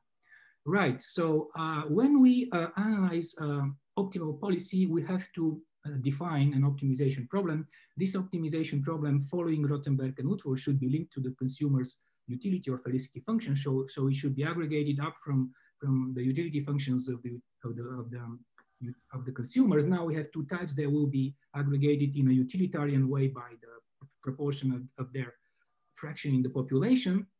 And in the past, these models were solved about uh, deterministic and constant steady states. So there is no time, time indexing here. And this deterministic steady state was normally the flex price equilibrium, which is called the, the natural rate in the New Keynesian literature. But the natural rate, because of the features of the new Keynesian model is not efficient, it's suboptimal. So there is uh, another kind of uh, uh, benchmark, which is the efficient equilibrium. And now we, we introduce following Florin Bilbiie here, a different type of equilibrium, which is the so-called equitable equilibrium, where agents in the steady state are the same in terms of how much they consume and how much hours they supply to the labor market. So three possible definitions in our setup, and they may be deterministic and constant, but the most recent, the more recent literature generally approximates uh, to the second order, the, the, the um, uh, function for optimization, the social welfare function around uh, stochastic and time varying baselines. So not steady states really, but a baseline which is time varying and stochastic. And we are going to see uh, three corresponding ones, which are the flexible uh, laissez-faire market equilibrium, which is distorted. It's neither efficient nor optimal, and we we find that we find that mathematically. There is another equilibrium which is efficient but not equitable, and there is a third equilibrium which is equitable but not efficient. So there, the interesting result of our work so far is that uh, there, there arises a trade-off between equality and efficiency. The economy cannot be in, in these two worlds. It, it has a, a, limit of choice, which is potentially uh, the, uh, the, the job of our politicians, policy policymakers, and, and some consensus in society, some constitutional agreement. Now, to move to the to a few analytical results, uh, let me see how much time I have. Five, five, six minutes, Mark. Yeah, you've got about six or seven minutes. Right. So uh, we simplify the model to a log utility and um, unitary uh, sigma and unitary uh, elasticity of substitution and no fixed costs. And again, I'm saying this uh, all open economy macro literature basically does it when, when we uh, strive for analytical results. We have these uh, two um, uh, subsidies here, subsidy schemes. The first one is basically the same as in Gali and Monacelli, and it ensures an efficient equilibrium. But as I said, this scheme is not, is not um, equitable in the same time. This, as you can see, is a tax subsidy on firms, F for firms, and it depends on openness, not on, on lambda if we want to ensure an equitable equilibrium there in the in the in the um, uh, following uh, Bilbiie in the closed economy setup, we have to introduce an additional tax subsidy here to the C to the credit constrained uh, credit constrained household. So H is for household, and this ensures equitable but not efficient equilibrium. Uh, so uh, basically, we have an interesting decomposition, I think, in our paper where generally we can present the deviation of output from the equitable allocation as a multiplication of three relative terms. The first one is the standard output gap in New Keynesian models, deviation from um, natural rate of output. The second one is deviation of the natural rate from the efficient one. And the third one is the deviation of the efficient from the equitable one. Right, so here is the result of our several pages of algebra to arrive, to arrive at a microfounded um, uh, macro-founded social welfare function. The first term, the quadratic terms in terms of inflation variability and output variability are kind of standard. In any kind of New Keynesian setup where we have um, some sort of suboptimality, there is a third term here, this linear term in, in the output gap which arises. This is known in closed economy, it's in the Dulles textbook, but in our case, it has a richer structure. So we denote this by lambda xi because i can be one of the three possible approximations of our model, with the three being efficient one. So if we are in the efficient steady state, the lambda term will, will um, vanish and we will have, because the state is efficient, we will just have a pure quadratic function without any linear term. The linear terms appear when we have um, this phi inefficiency. Uh, so this term only is exactly as in the Gali textbook with distorted steady state. What our model brings is this additional uh, lambda x1 term defined here. You can see defined, it depends on openness exactly. So the combination of openness and uh, lamp plus the free elasticity. So basically we uh, can interpret this uh, linear term here in terms of the suboptimality, it captures the fact that any marginal increase in the output gap relative to the steady state value has positive first order effect on welfare. So welfare loss defined here decreases, that's why the minus sign. Because the output is suboptimally low, any push of the central bank above the steady state has a positive uh, influence on agents' welfare. I'm uh, going to show you only this final result before I conclude. This is the inflation, the optimal central bank policy, the optimal uh, targeting rule under inflation. The targeting rule is the solution of the optimization problem by the central bank.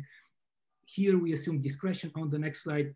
Uh, we assume commitment. I'm not going to talk about the, the, commitment case in the interest of time, but it is very similar to uh, what I'm going to describe here. So you can see that the final solution is some prescription for the central bank to manipulate the output gap negatively, so in the opposite direction of the, in this case, it's the contemporaneous inflation, it could be a forward-looking inflation uh, rule. So this is known as, as leaning against the wind in the literature. So the central bank leans against the wind.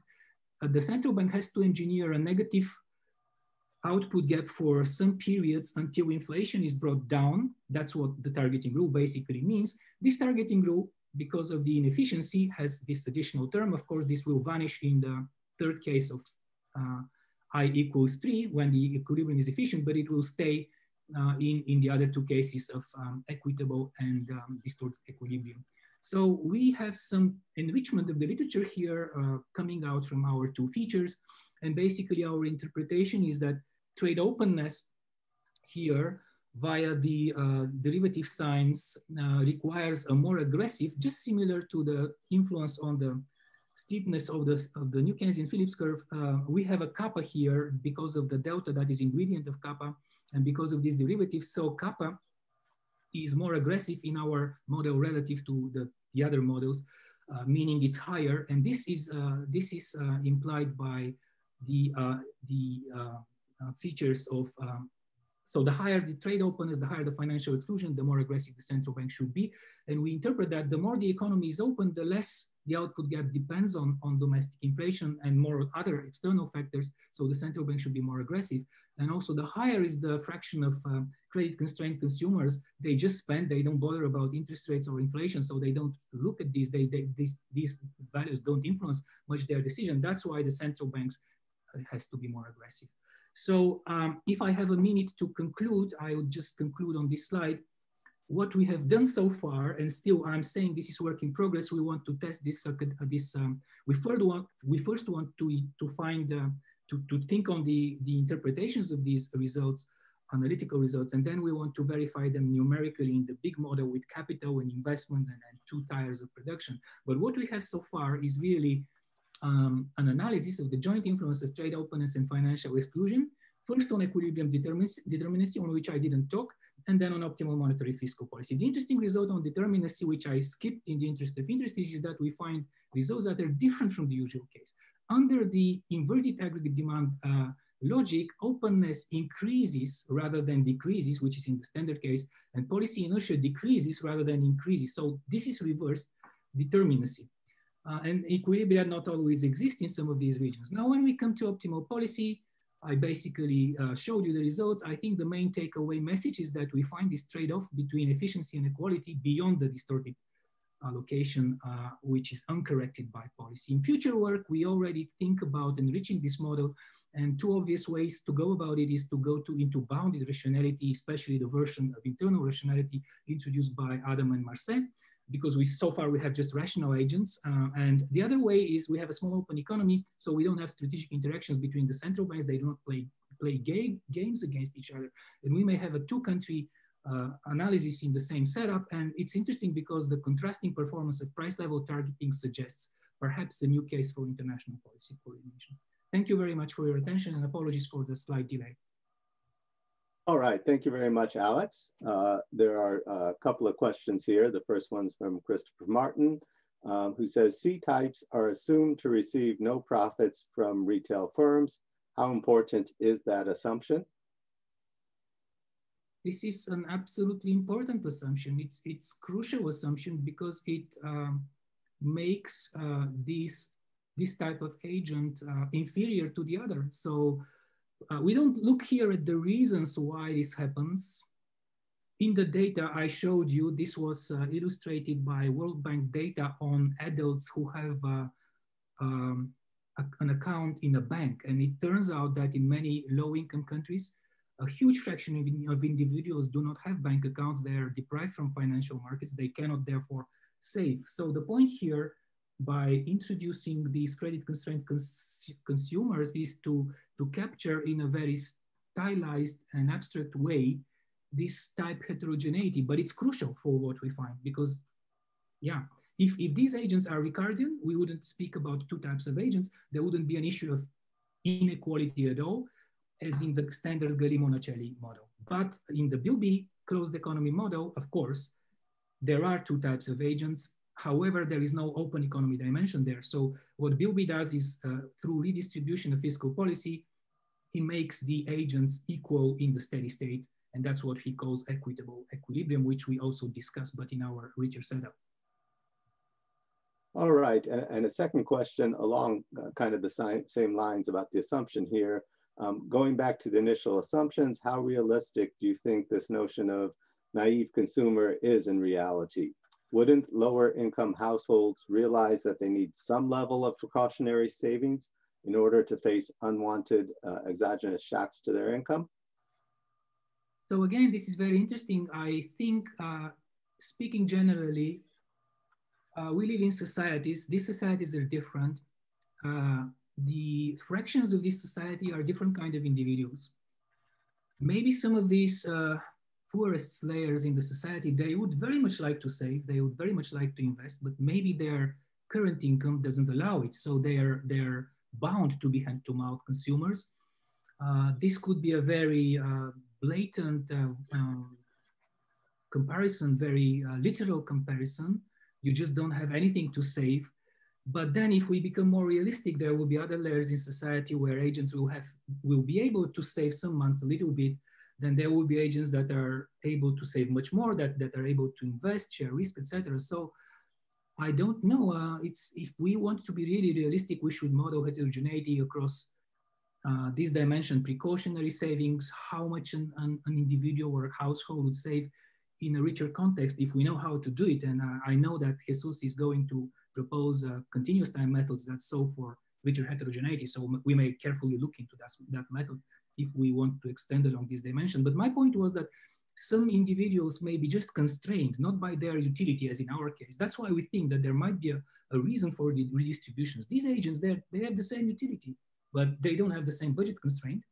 Again, here we don't study the cause, what produces these different budget constraints, but realistically, there are different kinds of, of budget constraints and, and uh, different degrees of um, how much you can save. So yeah, precautionary saving and various degrees of savings could, could enrich the model further. All right, thank you very much, Alex. Those were uh, the questions that uh, they had. So I'd like to thank both Isabelle and Alexander for some very interesting discussions that uh, looked at very different dimensions of heterogeneity in macroeconomic models. Uh, we will now have uh, a hour break uh, for lunch, um, and please rejoin us at 1.30 UK time or whatever time it is, wherever you are. Thank you very much.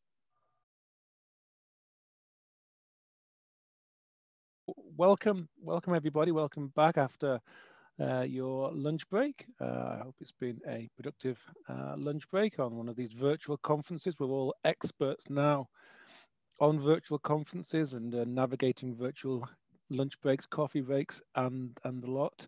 Um, it's great to have you all with us, uh, especially those of you who are now going now will be joining us from from the other side of the Atlantic, where hopefully it's not a, uh, a kind of hour where you can uh, think about joining. Uh, we're delighted here at the University of Reading to be hosting this event. Um, we're delighted um, for the uh, the hard work of uh, Alex Mihailov and the Economic Analysis Research Group in putting this together, putting together a wonderful set of speakers. Uh, and this this particular talk is no exception either. We have two fantastic speakers with really timely and interesting looking papers to come in this session. We have first of all um, Paul Levine from the University of Surrey. Uh, and then after that, uh, 2.15 UK time, we're going to have Laura Veldkamp of Columbia Business School uh, presenting. Uh, we'll try and keep things uh, as close as we can to time, so I will uh, badger Paul along and Laura at the various points. and um, if you want to ask questions, please do use the, the chat function as you've been doing so far today, and I will relay questions uh, when uh, Paul and Laura get the end of their talks. I'm especially delighted. I always uh, try and pull this card out of the hat uh, when I get the opportunity. But I'm especially delighted in introducing Paul to introduce a fellow Mancunian. Uh, in this global this global event. Um, it's fantastic to uh, to introduce a, a, fellow uh, Mancunian, someone who hails from Manchester. For those who aren't aware what a Mancunian is, for our international audience, uh, Paul uh, has a, a, a very uh, esteemed track record in macroeconomics, and his paper that he's presenting appears to be on an extremely timely question. Um, um, namely what can we learn when it comes to impulse response functions uh, about what's actually going on uh, uh, out there, uh, given that we're econometricians uh, and we observe the real world as it is, what can we learn? Uh, Paul's title is Information, VARs and DSGE Models. I've whittled on far too long, so Paul, over to you. Please take away your talk. Well, thank you for your um, introduction and in, in, invitation. Um, actually Mancunians are now called a Manc rather than and I, I do hope you don't support Manchester United. That's nope. okay. Let me share my screen. Um, so, okay. Um, can everyone see that screen? Is that? Uh... Yeah, we've got your paper now. Yep. You might, if you can make it, I guess, full screen. That's. Yeah, um, perfect. Right, this is a joint paper with my, first of all, long-standing co-author Joe Pearlman. Um, and in fact, the, um, the subject matter is based on work that goes back some 40 years now. Um, uh, uh Stephen and Bo are more recent uh, uh, co-authors and um, let me uh, go straight to the first slide, which is really a summary of the paper. Um, it's a succinct summary of the paper.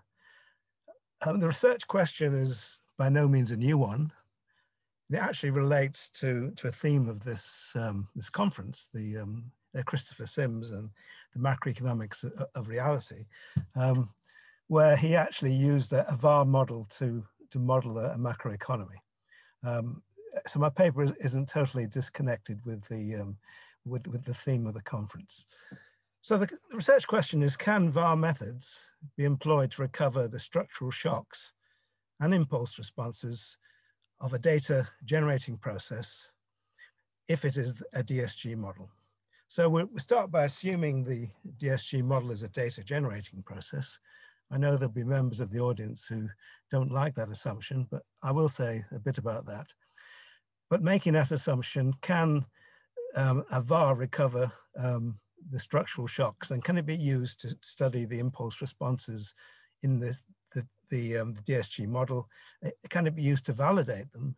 And can it be used in a sense to, um, to disprove or find faults in the underlying uh, DSGE model? An important contribution of our paper actually is in the next bullet point. It, it brings together a number of, of quite separate strands of literature. Um, and the first strand is, is really um, some macroeconometrics um, literature, and it's, it's on the issue of fundamentalness and invertibility. Uh, these two terms are used in different parts of the literature. I'll say a little bit more about that as I proceed. Uh, the second strand is on imperfect information in what I call a representative agent model. Again, I'll, I'll um, expand on on why I'm referring to a representative agent model. The third is, if you like, a more recent literature on heterogeneous agent models. And we look at a class of models that distinguish local, idiosyncratic information um, and aggregate information. And finally, if fundamentalness, and I'll explain that um, in due course, if it fails, there is a notion of approximate fundamentalness that one can use. So the main results. First, validating a DSGE model by comparing its impulse responses with those of a data VAR must take into account the information assumptions in the data generating process. These are information assumptions on the part of both agents and the econometrician. Uh, the uh, second main result is that we demonstrate conditions that relate to these information assumptions for which it's impossible, it's impossible for data VAR to account for the impulse responses of a DSGE model. Okay, th this is a somewhat negative conclusion, but I do um, I do temper it late uh, uh, uh, towards the end um, in ways in which I'll explore.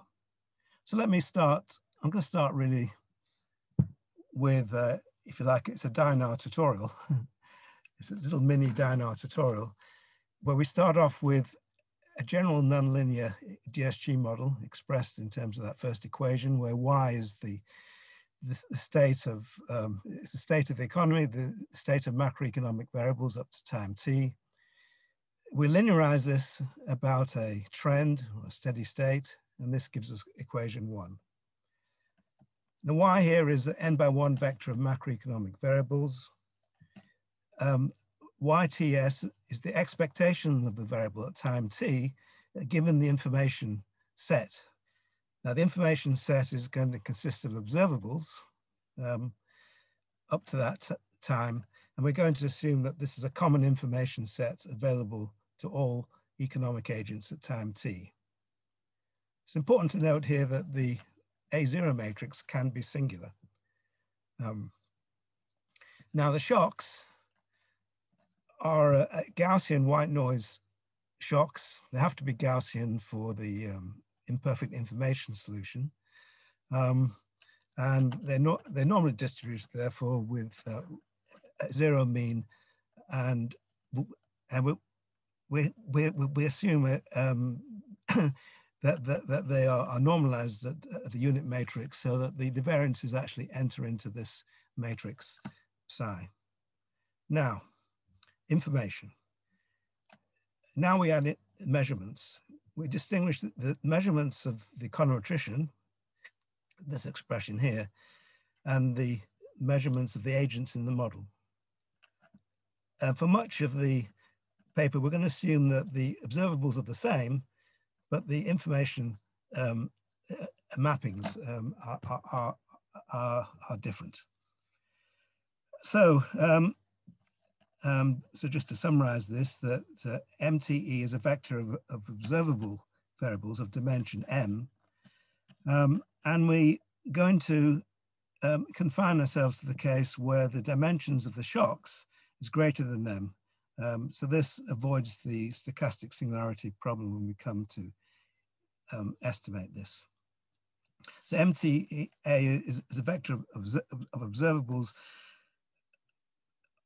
up to the maximum they can observe the full state, and this is the case of perfect information. So let's um, let's turn to expectations and information assumptions. Um, in the new shocks literature, agents observe uh, just observe these the so-called new shocks, but the econometrician does not. So that in this case, agents have got more information than the econometrician this is the so-called famous missing information problem. Um, so missing information on the part of the, the econometrician. And in all, in the textbook and, and in the standard econometrics literature, this is the, the, the highlighted cause of non-fundamentalness. Um, I, I, would at this point mention a very interesting paper by Lubick, who, who generalizes our setup to allow for agents with different imperfect information sets. Uh, but the main assumption, the, the, the main point in this slide really is, is the default assumption. In Dynare, the default that's not even mentioned is that agents have got perfect information. So in other words, if we just go back to this slide, the, this matrix LA is the, is the unit matrix. So when we press stochastic simulation in Dynare, this is the information assumption that's made. Now the question then is, how does the econometrician's problem change if agents don't have this perfect information, but instead have imperfect information? At this point, I should just make a note about terminology. Um, imperfect information is also known as incomplete, also known as, as partial, also known as private. Sometimes all this is referred to as an informational friction. Um, I know the terminology is, is confusing and I have to say Joe and I have contributed to this, that we've used incomplete, partial and private in, in different times in different papers. Um, but we're now settled on imperfect information. So the next question on the next slide I want to consider is, can a representative agent model actually assume imperfect information? Uh, can it make sense? So let me try and make sense of a rational expectations model with imperfect information. Now this starts with a, a comment by in this paper by Svensson and Woodford that if in an RA model, all private agents have a common information set, then they must have full information about the relevant state variables.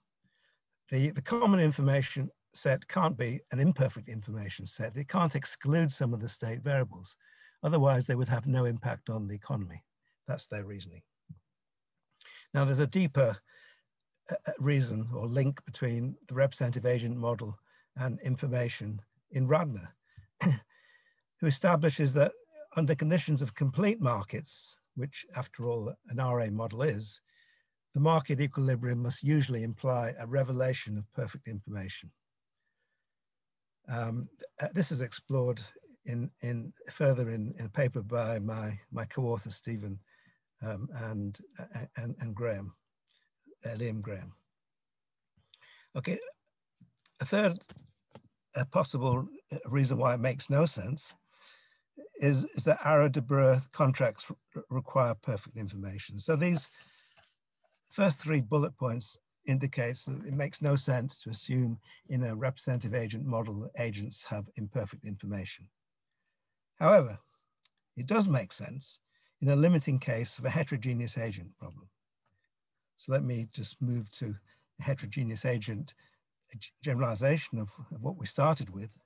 I want to generalize the first equation by adding all these terms in red. Now, as, as well as an aggregate model, which is what you had before in one, we, we have a model of decisions by agents on, if you like, on islands, decisions of households and firms on islands, and expectations of those firms on islands, uh, uh given by these extra dynamics in terms of the uh, individual agents' decisions and in terms of the aggregates. Hawaii T2 now is, is purely an aggregate um, that doesn't involve individual decisions. It would include, for instance, exogenous shock processes. Now, the link between the global variables and the um, and the island variables are on this, this, this next bullet point. You just integrate over the the individual decisions. Um, and we also have global shocks. So we have idiosyncratic shocks and global shocks. And we have to generalize the, the, the, uh, the measurements. Um, again, we have the aggregate measurement equation here. And then the idiosyncratic or the island measurement equation in, involves these extra terms and an idiosyncratic shock. Um, again, um, when we aggregate over the, the idiosyncratic shocks, that, that, these sum to zero. and um, if we actually exclude the idiosyncratic shocks, um, then we're back to the, um, the uh, model, the representative agent model, um, represented by one. Now we can talk about perfect information with idiosyncratic shocks uh, on the assumption that agents observe those idiosyncratic shocks, but that's not a, a particularly interesting case. Now, this is a special case. There are special cases um, of, of, of, this model um, given in the, the, these various equations. Um, um and, um, and the number of papers by Nimark, um, my co-author Stephen and Liam Graham have a, an important paper in this area. Rondina and, and Walker is another important paper. Angeletos and Whoa Angeletos in particular is, is, an industry in this area and it's published a lot. Um, there's another paper that we refer to in our paper by Forni et al. Um, that has no saddle path dynamics and has a particular property that, that in fact is not general. Um, now the next um, bullet point is encompassing setup that encompasses all these, these cases. Um, and um, I move quickly just to make this point about um, the um, finite state space um, solution. Until until Rondina and Walker and came along, the the way one solved this model was to set up a hierarchy of expectations, where agents form expectations of other agents' expectations and so on. And one looked at the convergence of this hierarchy. Now, in fact, we can completely avoid that complication using the new techniques that Rodrina, Rondina, I should say, and Walker have, have pioneered. And Joe and I have done some, some more work on this that I'm going to report. So um, let me let go to the first theorem of, of the paper. Um, uh, by the way, how, how, long have I had? Because I, because you, you you you did introduce me. Uh, there was a long talk about Manchester at the beginning. You've had uh, just about uh, 16 minutes or so, Paul. Okay, right. Um, okay, theorem one shows how to map equation one into Blanchard-Kahn form. And, and what we see is we have these extra terms that are not invo involved in, in equation one. Uh, they involve uh, current expectations of current variables. Remember, under imperfect information that they're not observed. Um, and so the uh, um, and the measurement equation of, of, the agents is generalized in this way. Um, in the standard Blanchard-Kahn setup, we have two types of variables. We have uh, predetermined variables or backward variables, zt, and forward-looking variables or jump variables, xt. And if you take out those red terms, you would see a, set, setup that you should be familiar with. And uh, going back to the, this special case, this is one of perfect information. Um, again, if you um, if if you specialize M and M1, M2, and M3 and M4, you're back to the model without those terms in red, which is perfect information. So let me um, uh, go through the imperfect information solution. Um, now, following work that I mentioned that Joe and I have been working on for, for many decades now, we, we apply the, the Kalman filter updating, and this is given by the, these, the, these, these two uh, bullet points. Um, uh, uh the Kalman uh, filter forms the best estimator of variables at time t based on the on, on the estimate at time t minus one of current variables and based on this, this linear combination of the, uh, the prediction error, where X is the, the Kalman filter.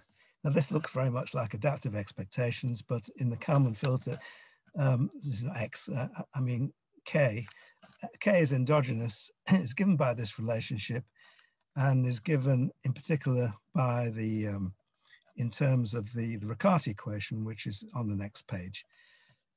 Everything else here is in terms of the fundamentals in this um, setup here.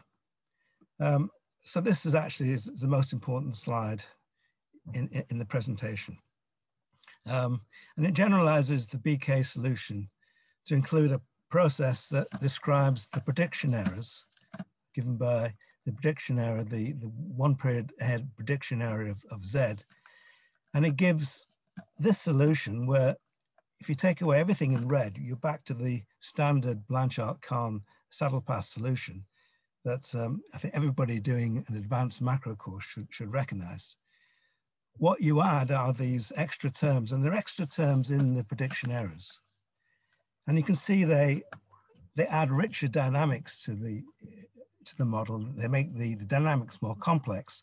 And it's these terms in red that are going to drive all the results in, in, in the rest of the talk. Um, what's um, everything here is in terms of, of the fundamental matrices defining the model, apart from the Riccati equation matrix PA, which is a solution of this equation here. Um, now this is a steady state solution. It's when all the Kalman filter learning settles down. And um, we'll look for a positive definite solution of the Riccati equation it's well known that um, there's a, a unique, um, there is a, a, solution and it's unique under quite mild conditions, um, which um, if you're control theorist, you would recognize as observable, observability and controllability. Um, again, you can go back to the agent under perfect information as a special case um, where M1 is the unit matrix and M2 is zero. In this case, the um, J is equal to the unit matrix. And the Riccati equation simply reduces to the covariance matrix of the shock, so there's nothing to solve. Um, theorem one. Um, theorem one relates to the limiting case. Um, the limiting case is when the covariance matrix um, of the idiosyncratic shocks becomes very large. In other words, it, it's, a, it's a model where the idiosyncratic uncertainty by far outweighs the aggregate uncertainty. Um, so although agents receive signals about the composite shock, remember the, the measurement equation, the, the, the signal of the aggregate shock is too noisy to make any inferences about it.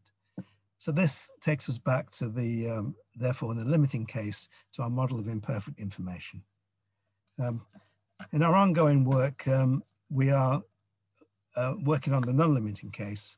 Um, and to summarize then, at this point, we have a, a, perfect information, an imperfect information solution to our RE linearized solution, where the imperfect information solution is the limiting case of a heterogeneous agent model. So that's where we are at this point. Um, so this takes me to the A, B, C, and D of VARs. And uh, here I want to summarize the um, work of um, Fernández-Villaverde, who's, um, who's also giving a paper and uh, uh, maybe looking on at the moment. Um, and um, the starting point of this is, is a log linearized RE solution of a DSG model with this can be either perfect or imperfect information. It has the following state space form, where these this is the state, this is A, B, C, and D. I've used tildes because I'm using A, B, C, and D for other things later on. Um, and you can see S is, a, is, is the state. Again, M, T, E is, is the state of observables. Um, we must have that this matrix has got stable eigenvalues. Um, um,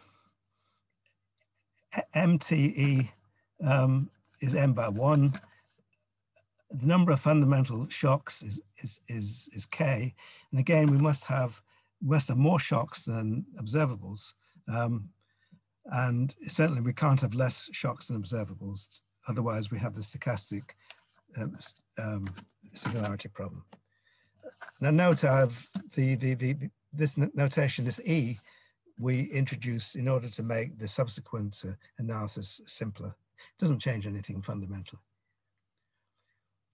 so the first result is the uh, the poor man's invertibility condition, um, which um, I'll come straight down to here. It consists of a rank condition, and it consists of a stability condition, in which case we can back out the shocks by solving for the state space representation, and we get an infinite var. So the, um, the equations four and five, a little bit of algebra um, gives you this. Expanding the series, we get this. As long as we have this matrix as non-singular, that's the rank condition. As long as this summation um, converges, these are, this is the state, in other words, these, this matrix here has got stable eigenvalues, then the summation exists, and this is the infinite var representation of our model. Um, now, um, now, what happens if this invertibility condition fails? Now, the, now this is most important because the, the failure of invertibility is, is all pervasive in, in DSG models. If it fails, there exists a so-called innovations representation in terms of the one period ahead prediction error. So this is the one period prediction error of the observables for the econometrician. Um, this is the innovation. And the resulting VAR that the econometrician estimates is not what she thinks it is. It's not the, the VAR in the fundamentals. It's the VAR in these, these innovations. If the system is invertible, all is well, because the innovation is, is a linear combination of the structural shocks. Um, and what this suggests in the case of, of non-invertibility, where this relationship doesn't hold, is a measure of non-fundamentalness, which regresses um, the structural shocks on the innovations and uses a standard ordinary least squares measure of goodness of fit. Um, under uh, invertibility, uh, uh, this is going to be zero. Uh, this is for each shock. Um, but we can use this to indicate the, um, the breakdown of fundamentalness for individual shocks. If it's close to one, then we can conclude that fundamentalness is not that important for this shock. And one further important bullet point is that in the absence of invertibility, one must use the imperfect information solution to compute A. I'll come back to that. Um, I've got, I've got about, um, I've got about five minutes, have I? I'm sure we had more than five minutes talking about Manchester. You've got about five minutes, Paul. okay, the, okay. The, the two definitions of of invertibility. Um, we distinguish A invertibility from the viewpoint of the um, of the agent, that system one is A invertible if agents can infer the true values of shocks from the history of the observables. And then the concept of E invertibility, the system in one is E invertibility if the value of shocks can be deduced from the history of the econometrician's observables. Um, now, theorem three established a necessary link between these two concepts. Um, for the, we also have a generalization of the poor man's invertibility condition. And for a square system, it again consists of a rank and stability condition involving the A, B, and E matrices, but these are different under the um, perfect and imperfect information solutions. It's important to realize that. What theorem three says assume we have a square system and assume that the poor man's invertibility condition holds under um, perfect information, but agents do not have perfect information as an endowment. In other words, somehow they don't observe the, the state. Um, again, we have a square system, and then each of the following conditions is necessary and sufficient for the others. The important thing here is that invertibility is only possible holds if and only if we have this extra rank condition, um, which comes about because of the imperfect information solution, and if A is invertible. So E invertibility is only possible under A invertibility if the solution um, um, is only possible under A invertibility. And you should recall that um, or realize that A invertibility means that the imperfect information solution will exactly replicate the perfect information solution. Um, now I've got, um, that's theorem three. Okay, theorem four is actually relates to those slides. And theorem five is recoverability, which I always um, intended to, um, to, uh, to bypass. I mean, there is a further concept when um, one realizes that the econometrician always has an advantage in that she has the, the full sample. Um, so at time t, she can use the all the data from time t onwards to the end of the, the period.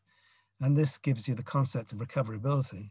The question is, can, um, can recoverability save the day? And our answer is actually no. Um, um, we have an analytical illustration, um, um, which I, I, just want to, can I have another five minutes? sure. Go uh, ahead, Paul. Okay. Um, okay, this, this is a fairly standard RBC model with capital consumption. Our measurement consists of the, um, the rental rate of capital. This is the interest rate. The innovation actually, uh, this should be the rental rate of capital. So there's a subscript, um, um, a superscript K missing. And I'm going to solve this under imperfect information and perfect information. And this is the result. Under perfect information, we have a ARMA 1-1 process. Under imperfect information, and this is really from theorem four that I glossed over, we have this solution um, in terms of the fundamentals, but the um, but the VAR that the the econometrician can recover is in terms of the um, of the innovations, which is this. So this is recovered by the VAR. In order to actually get back to the, the, the fundamentals, one needs this extra term, which is a Blaschke factor for those who are familiar with the Blaschke factors in this, this literature. Um, so the a theoretical VAR econometrician will estimate 10, whereas the, the DSG VAR econometrician uses the model will understand the Blaschke factor and be able to recover the shock from nine. I mean, given some um, um, identification um, conditions, which, which are by, by no means trivial, um, but in principle, um, if she can solve those identification problems, in particular, she would have to identify these parameters lambda one and lambda two in the model, um, and she can actually get back to recovering the, the, the fundamental shocks. So if I can summarize now, can I uh, um, just... Uh, you can, Paul, yeah, you can summarize it. Okay, I can summarize it actually in, in, in two slides. Um, it's still a standard process, uh, procedure to follow the precedent of, of famous authors to estimate a VAR and compare impulse responses with those generated by a structural VAR. Um, or we can estimate by Bayesian methods of the model and use Dynare to estimate the, the VAR model directly, that's the VAR solution, by Bayesian techniques. Um, but that assumes API. In fact, both of them effectively assume agents have got perfect information. And this next point just points out the all pervasiveness of non-fundamentalness in DSG models. It comes about through, through many ways. If data contains measurement errors, then these counter shocks, and the system cannot be fundamental. If some variables observed by the econometrician with a lag, it can't be fundamental. If there are new shocks, um, in other words, anticipated shocks with delayed effects, this can't be fundamental. Even in square systems, and this is in the A, B, C, and D paper, and also in our paper, a particular choice of observables can mean the, the solution is, is not fundamental. But the good news is that with their choice of observables and shocks, um, the Smets-Wouters is invertible. Um, but I, I, would just point out they they they they don't uh, they don't assume um, measurement errors. Um, if they did, we'll be back to the same problem. So my final slides. Um, there are other parts of the paper. We have a numerical solution. Um, um, the paper also discusses other possible ways that have been proposed to bypass VARs and so circumvent the non-fundamentalness of structural VARs. We don't say anything new about that, but we do point out a literature, a recent literature in particular, a couple of papers by, by, by Stock and Watson. And finally, let me just uh, have a little advert for our Dynare toolkit that will implement all the procedures in our paper. It contains uh, the solution for the imperfect information model, um, has Bayesian estimation under imperfect information. It has the poor man's invertibility test when the model is not a um, invertible. I should say when it's, it's not a, a invertible. It's a test, or if you like, it's a test for a invertibility. Um, there are tests for approximate fundamentalness, which I haven't talked about very much. There are many examples, and um, we're actually presenting this toolkit at the MMF conference in, in 2021 in the pre-conference um, course. So all of you out there, I see lots of people out there, this is very strange. all the, many of out there may, may well be, be a theoretical non-DSG VAR modelers. Um, if you come to our course, you can learn how to become a DSG VAR modeler. And that's, um, I think I'm just, I, th I think I'm more or less on time because I I think we had fun. Pretty much. Yeah, that was great, Paul. Thank you. Really, really interesting. And a couple of uh, questions that have come in. Um, we've got about uh, seven or eight minutes in which to uh, go over them. So Alex Mihailov, first of all, says, great talk, Paul. Would your paper claim that a DSG model-based estimation would be superior or preferable to an a-theoretical VAR estimation, or are there trade-offs? Um, well, the answer to that is short. it's a short yes. Um, I think, um, um, I mean, I, I, would favour quite obviously from what I've been saying, uh, Bayesian estimation of a DSG model. And then if you want to, want to validate it with the data, I, I see no particular reason why one should treat the, the VAR as a data. It, in these models, the, um, the papers often start off with, with theoretical VARs, um, and then um, with, um, and then they go on to, to examine various uh, identification schemes um, which have got no relation at all to, to, DSG models, even if they are invertible. These, these data vars um, become the stylized facts, and then they become the data, and then they come to the DSG model and compare the impulse responses with the so-called data. Um, now, I, I, don't see why one can't just compare the, um, the second moments of the DSG model with the second moments of the data. I think I'd prefer that as a as a validate as a validation procedure rather than using VARs. And in any case, if you want to want to estimate um, impulse responses, one doesn't need to use VARs. Um, we can estimate them directly uh, using the methods discussed in Stock and Watson. Um, but one has to say here, well, one needs good instruments for the for the structural shocks. Okay, thanks, Paul. And then Nicola Rubino uh, says, Paul, I was wondering, isn't the idea of having a dynamic stochastic general equilibrium model be the DGP perhaps a bit much, a bit too much theoretical and a bit to the opposite of what Sims might have wanted while building up his, his unrestricted VAR model? Um, I think you're alluding to alternatives to the to the, to, to the DSG model. Um, um, well, yes, this, this, this, paper is sponsored by uh, sort of rethinking macro that is looking at alternatives. Um, and uh, I'm quite sympathetic to these alternatives. I am working on behavioral models.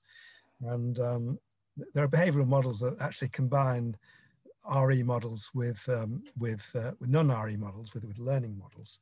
Um, so I think, I think I'm, I'm sort of agreeing with the, with, with the question. Um, and I would say this about um, about VAR models and DSG models and behavioral models. Um, I mean, if you wanted to, to disprove the, the DSG model, if you want to point out the shortcomings of a DSG model, what you can't do, this is what this paper shows, you can't, you can't look at VARs and compare the VARs with the DSG model. You can't do that to uh, disprove or to uh, invalidate the, uh, the, the DSG model. Okay, thanks, Paul. Uh, are there any more questions or comments out there?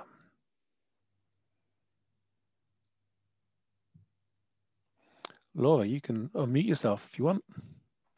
Okay. So I, I was just, um, I wanted you to talk a little bit about what you thought the role of, of VARs was uh, going forward, because it seems like, you know, this was a big evolution in a time when we mostly had just aggregate data to work with. And so it was a really big question, you know, could we identify model parameters given these sequences of aggregate data? But in today's reality, we've got all these micro series, right? We have surveys, we could, you know, go measure people's beliefs, we could, you know, so is, is the, the, you know, vast array of micro data that's available now a potential way to get around this? And, you know, if so, should should we still be using VARs? Or are there other techniques that that would be better suited to you know the, the modern availability of data and computing power? Um, well, I, I, I, did talk quite a lot about heterogeneous agent models, and um, um, exactly the same problems arise in those models as as, as in the aggregate models. Um, know, certainly the, the heterogeneous agent models um, do require, it's essential to use this macro data to, uh, to calibrate and I suppose ultimately to, to validate the, these models.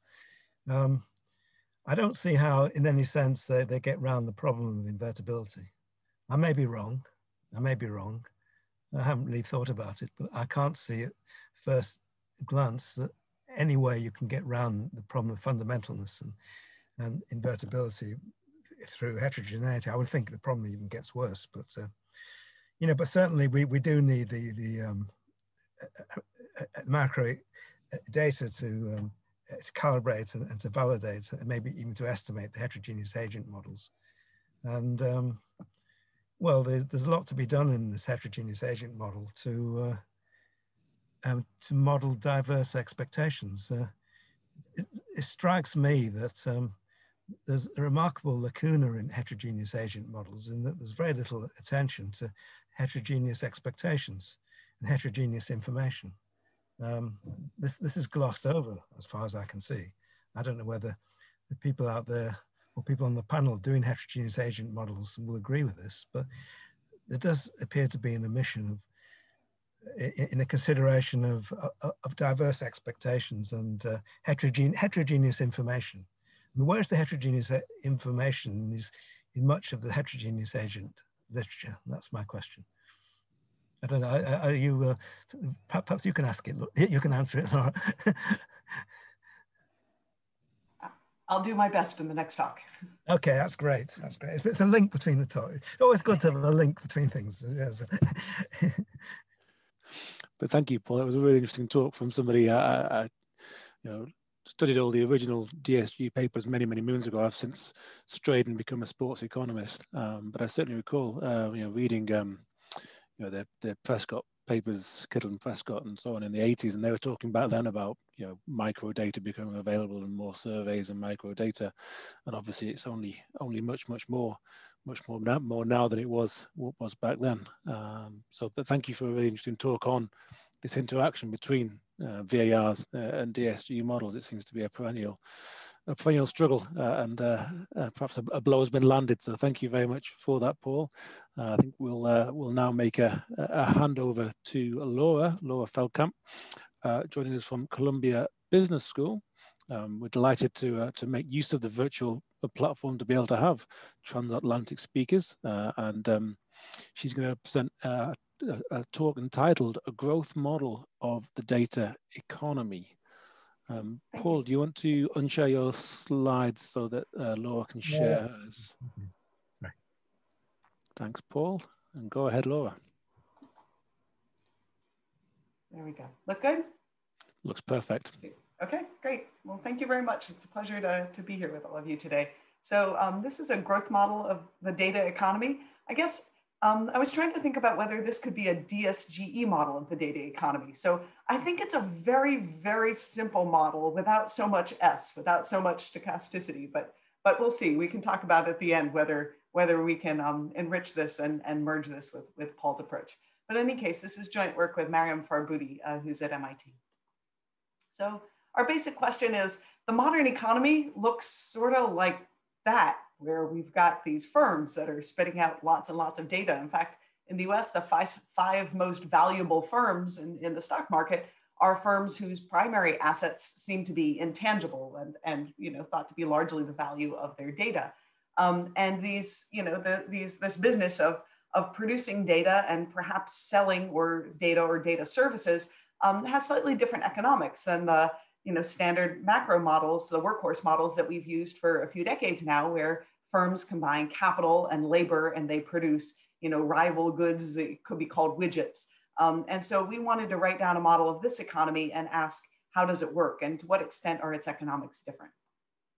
So the, the you know, most valuable companies are data intensive, you know, is this really a new economy or is this sort of old, you know, a, a new version of old economics? Um, and we took a pretty agnostic approach to that. But one thing we think that's important is that this, you know, the reason that this is coming to the forefront right now, that this discussion is emerging, is because we're developing really much better data technologies than ever before. So machine learning and artificial intelligence couldn't tell whether a picture was a cat or a dog or a tree, you know, a, a decade ago. And you know, now they've they've sort of cracked that problem to the point where these technologies are much more useful. Um, and so, you know, but the thing to realize about these technologies is there are fundamentally prediction technologies. So we're going to think about improvements in data that's being used for prediction. Now, that's not all data. Um, you know, we're focusing on a certain subset of data. Data can be, you know, patents can be digitized, you know, music can be digitized, but that's not really what the big data revolution is about. And that's not what this paper is about. So we're talking about statistics and records of transactions that are being used to solve a prediction problem. That's what we mean by, by data or big data in this paper. So a starting point is, could data accumulation alone sustain ag aggregate growth? So we're basically gonna ask the Solow 1956 question that he asked about capital. He asked, could capital alone sustain growth? But we're gonna ask it about data. So we're going to be holding technology fixed here, not because we don't think that, you know, TFP shocks are an important source of fluctuations. I'm sure they are, but because we wanted to focus on this one simple question, uh, whether data alone can sustain growth. And then we can put other ingredients back in the model once we understand its basic forces. So those basic forces are, we'll see a form of decreasing returns that look very much like capital's decreasing returns, but we'll also see a force of increasing returns that's unique to data. And then we'll apply these tools to analyze things like data platforms and data barter, and we'll see how far we get with, with those applications at the end. So what I wanna do is I wanna construct a recursive framework that features data accumulation and transactions will generate new data and a changing world will make old data depreciate. And we'll explore three key ideas. One is data cannot sustain growth without technological progress. So in that sense, this is gonna look very much like capital accumulation. So there'll be decreasing returns. But there's also a form of data poverty traps um, where there's some increasing returns. And that will mean that new firms face initial losses. And lastly, if I have time, I'll talk about who becomes a data seller and returns to specialization in data versus goods production. So here's the model. There's a continuum of competitive firms, which I'll index by I. Each firm produces KIT to the alpha units of goods with KIT units of capital. Okay, so I'm abstracting from labor here simply because I'm trying to make the model as simple as possible, but there's nothing wrong with including it. And these goods have quality AIT. So this is going to look sort of like TFP, but I want you to think about it a little bit differently. That's where data is going to enter. So we'll, we'll use the word quality for it. And I'm going to do something a little bit unconventional, you know, poor form for, for presentation, but I'm just going to tell you about the equilibrium of the demand side economy because there's nothing interesting going on there and I just want to put it to the side. So firms are going to take the equilibrium price PT is given. That's what it means to be a competitive market. And their quality adjusted outputs will be perfect substitutes. So what does this mean? Price will be some parameter P bar times the total output, that's what YT is, to the negative gamma. So more output, lower price, fine. You have a, it's just a, a supply curve relationship. But um, total output is the integral over all firms of their quality times their quantity, K to the alpha was the number of units they produce, that times A is the quality units. So total quality units are our aggregate supply. So that's the, you know, that tells us how uh, demand maps into prices. The action in this model is that the interesting piece is how data features in goods quality. So quality is going to depend on a chosen production technique. So you could think of a firm trying to decide, you know, should we produce uh, uh, gray sweaters like James is wearing or blue sweaters like what I'm wearing? And we're trying to forecast what will be a high demand good today. We could dye the, the wool in either way. Um, and the firm has an optimal technique, but they don't know it. So the optimal technique is theta plus epsilon. And this is a combination of two random pieces because this is going to be learnable, theta, and the epsilon will be unlearnable. So theta is an AR1 process. So we want this to be a, a dynamic process. The, the firm is basically doing a dynamic tracking problem. Um, and because that's what's going to make data have a value over time, the fact that theta is persistent, but it's going to depreciate over time as well because data might be about what theta was many periods ago and that's not as relevant as what data was you know about today's data is. So it's an AR1 process. It's going to have persistence rho and innovation eta which is normally distributed with mean mu and variance sigma theta squared. The unlearnable com component is mean zero. If it had a mean we would just throw it in learnable piece um, and it's iid normal zero sigma a squared. So then quality of a good of firm i at time t is a hat, that's a parameter, minus, this is a squared tracking error. So what the firm wants to do is set a equal to theta plus epsilon to the extent that if it could do that perfectly, if it knew exactly what theta plus epsilon was, it would, it would equate these two to maximize its good, its good quality and maximize the price that they get for their good. But it can't do that because it doesn't know what theta plus epsilon is. And so it's going to set A as close as it can, as it can to this target. And we're going to penalize them by a squared forecast or a squared deviation. Okay, so this is basically the, the tracking error squared. So what does data do? Well, let's first talk about where data comes from. Data is a byproduct of production. So the N is a number of data points and it depends on how many units I produce, that's k to the alpha, and it depends on a parameter that's firm specific, that's data mining ability. This isn't essential, but it's gonna allow us to talk later about you know, how data productive or data efficient firms or data savvy firms behave differently from, from firms that are not very effective at using or producing data. Okay, so the more I produce today, the more units of data I get. Now, what does each data point do? Well, I'm going to index a particular data point by m. So m runs from 1 to n, because n is the number of data points I get to see. And each one of those data points is, is effectively a signal about that learnable component of my optimal technique. So it's, a, it's equal to tomorrow's technique, uh, optimal technique target, theta t plus 1, plus some signal noise. And that signal noise is just normal zero sigma epsilon squared. So more data points give me more information about what the optimal technique will be tomorrow, which allow me then to choose my, my chosen technique closer to the optimum and allow me to get higher quality, produce higher quality goods. Basically, I, you know, the more data I get, I can forecast tomorrow, hey, people are going to really like purplish blue sweaters and I'm going to be able to produce this really hot commodity that's going to earn a lot more, you know, higher price than if I chose green or something that's that's not uh, not optimal in the market today. So I just want to point out that this model embodies something that the people who've been writing about data, mostly in the operations literature, uh, call the data feedback loop. So they point out that a firm that does more transactions or has more customers or operates at a bigger scale generally gets more data. More data allows them to operate at you know higher quality or maybe more efficiency. We could interpret this this optimal technique as something that's cost minimizing right? Inventory control or uh, something like that um, and that that you know then being able to operate more efficiently allows you to uh, attract more customers and do more transactions which in turn gets more data and that's going on in this model where is that happening well here's the more transactions or more production generates more data more data will map into a higher level of average goods quality. So that's your more efficiency. And a more efficient firm will turn out to will choose a higher K. They'll choose to invest more because they're more efficient. And so that's going to be profit maximizing. And so that data feedback loop is going on inside this model. So then the last piece of the model is we wanted to think about a market for data.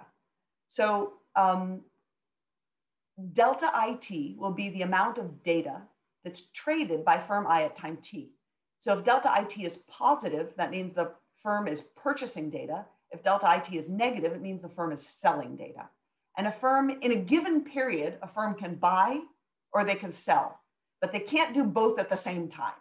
They can buy one period and sell the next, that's fine, but you can't buy and sell essentially to yourself. So there'll be a data price pi t that clears the market. Now, the last piece of this that, that makes it quite different from physical goods is that data is typically thought to be non-rival. You can use it and you can sell it, right? I can copy it pretty much freely. So that we wanted to capture the, the spirit of that, but it poses pure non-rivalry poses a problem, which is if we've got a competitive market, and we wanted to start with a competitive market because it's much simpler and we want a simple framework, but it poses the quandary. If you've got a competitive market, why wouldn't you sell all of your data and sell it over and over and over and over again? Because you wouldn't move the prices against you, because what competition means is you don't impact market prices. So there'd be effectively no cost if data were purely non-rival. So we're going to think of data that's partially non-rival. IOTA will be the fraction of sold data that's lost. And I really think of this as a stand in for the fact that we don't have perfectly competitive markets. That if I give all my data away to my competitors, it does harm me, right? So maybe it doesn't mean I actually can't use that data, but it probably means that the data that, that I gave away is now less valuable. It offers me less profit opportunity. So we're going to model that as a fraction of lost data. It could also be privacy restrictions, right? So we have laws now saying that you can't just collect all your consumers' data and give it away to everybody. Um, there's some of it that you have to hold on to, or maybe you can transfer it if you give up rights over it. So the final piece is that we'll put in a data adjustment cost. And this is there for exactly the same reason that you have adjustment cost to capital in capital accumulation models, which is it avoids one period convergence. And the way we think about this is if you've got a mom and pop shop that's never really done anything with their data. You know, they've got the old fashioned cash register and basically toss it all away. It's not free for them. They can't just go buy some big data set and immediately know what to do with it, how to profit from it. They've got to accumulate some expertise. They might have to hire uh, some additional workers that, that would allow them to, to use that data profitably. Okay, so this gives rise to a simple recursive solution. And the key to the recursive solution is to define the right state variable. So the state variable here is something we're going to call the stock of knowledge and we'll denote by omega. So let's talk through this. I want to start on the inside of this, this expression. So the expectation of theta, conditional on this is the information set of firm i at time t, this is a forecast, right? We'd call it a, a posterior if you want to use a Bayesian term, but it's also a, a forecast of what this thing is. And the difference between that forecast and the realization of theta, that's a forecast error. So this thing is a squared forecast error. An expected squared forecast error might be what we call a conditional variance or a posterior variance. And the inverse of that conditional variance is a conditional precision. You could use the conditional variance without the inverse as a state variable. That would work as well. There's no problem with that. We kind of liked inverting it because then bigger means you have more knowledge right? And less means less knowledge. Whereas if you use the variance, larger would be more uncertainty. Okay, so this is a conditional precision. It's the inverse of the expected squared forecast error. Well, that's a handy object because now we can write expected quality, that AIT for a firm, as being A hat minus omega inverse is the expected squared error between my chosen technique, which will turn out to be the expectation of theta conditional on the information set, and this piece is the variance of the unforecastable, the unlearnable component. So let me go back to AIT. Omega inverse is the difference between these two terms squared. This piece you never get any information about. So no matter how much data you accumulate, this thing still has variance sigma a squared. So the, the expectation of quality is uh, a hat minus my invert stock of knowledge minus the variance of the unlearnable risk. Okay, so then we can write this problem as a simple one state variable Bellman equation. This will be the last bit of math I show you, and then we'll get on to, to pretty pictures of the results. So the optimal sequence of capital investment choices solves this recursive problem. So this is the value of this amount of knowledge. So think of this as like a, a present discounted sum of a stream of data investments. And so we're going to maximize over our choice of capital and our choice of data purchases or sales. And what are we maximizing? Well, this is the gross revenue of good sales. It's the price times that's the expected quality. That's this expression we worked out up here, times the units that I produce, K to the alpha. Minus, this is my data adjustment cost, minus the amount that I pay for data. Keep in mind that delta may be negative. If delta is negative, that means I sold data. So minus minus, I'd be getting some positive revenue from that and then minus the rental rate on capital and the number of units of capital that I rent, and then plus the discount time discount rate and the value of the data that I have tomorrow. And the key thing is how do we link today's state to tomorrow's state? So we need a state evolution equation, and that's basically coming from a Kalman filter, right? This is a this is a Kalman filtering problem where we're tracking theta. Theta is an AR1 process. It's got a linear state equation, and we have an observation equation, which is these data points that are revealing something about theta. And so we need to use a modified form of a Kalman filter because there are actually two sources of information here. One is the data, and the other is you get to see at the end of the period what your goods quality was, and you know what technique you chose. And that also reveals something about what the state was as well. Okay, so this is the number of data points you produce. And then tomorrow's stock of knowledge is, let me start with the second term. This is the inflow of new data that you got in time t about theta t plus one. So this is the number of data points that you produced. I'm going to add to that if you purchased data. I'm going to subtract from that if you sold off some of your data. But I've got to use these indicator functions because remember, if you sell some of your data, you lose a fraction of what you sold. If you buy data, you buy, you get everything you bought, right? So that's this piece. We're one if delta is positive. But if delta is negative, if you sold data, you lose a fraction of it. So these things adjust for that. And this is sort of like, this takes the form in the model of actually something like a negative bid ask spread. Okay, I'll just leave that there. If you know how to do DSGE models with, with bid ask spreads, this is like the inverse of that.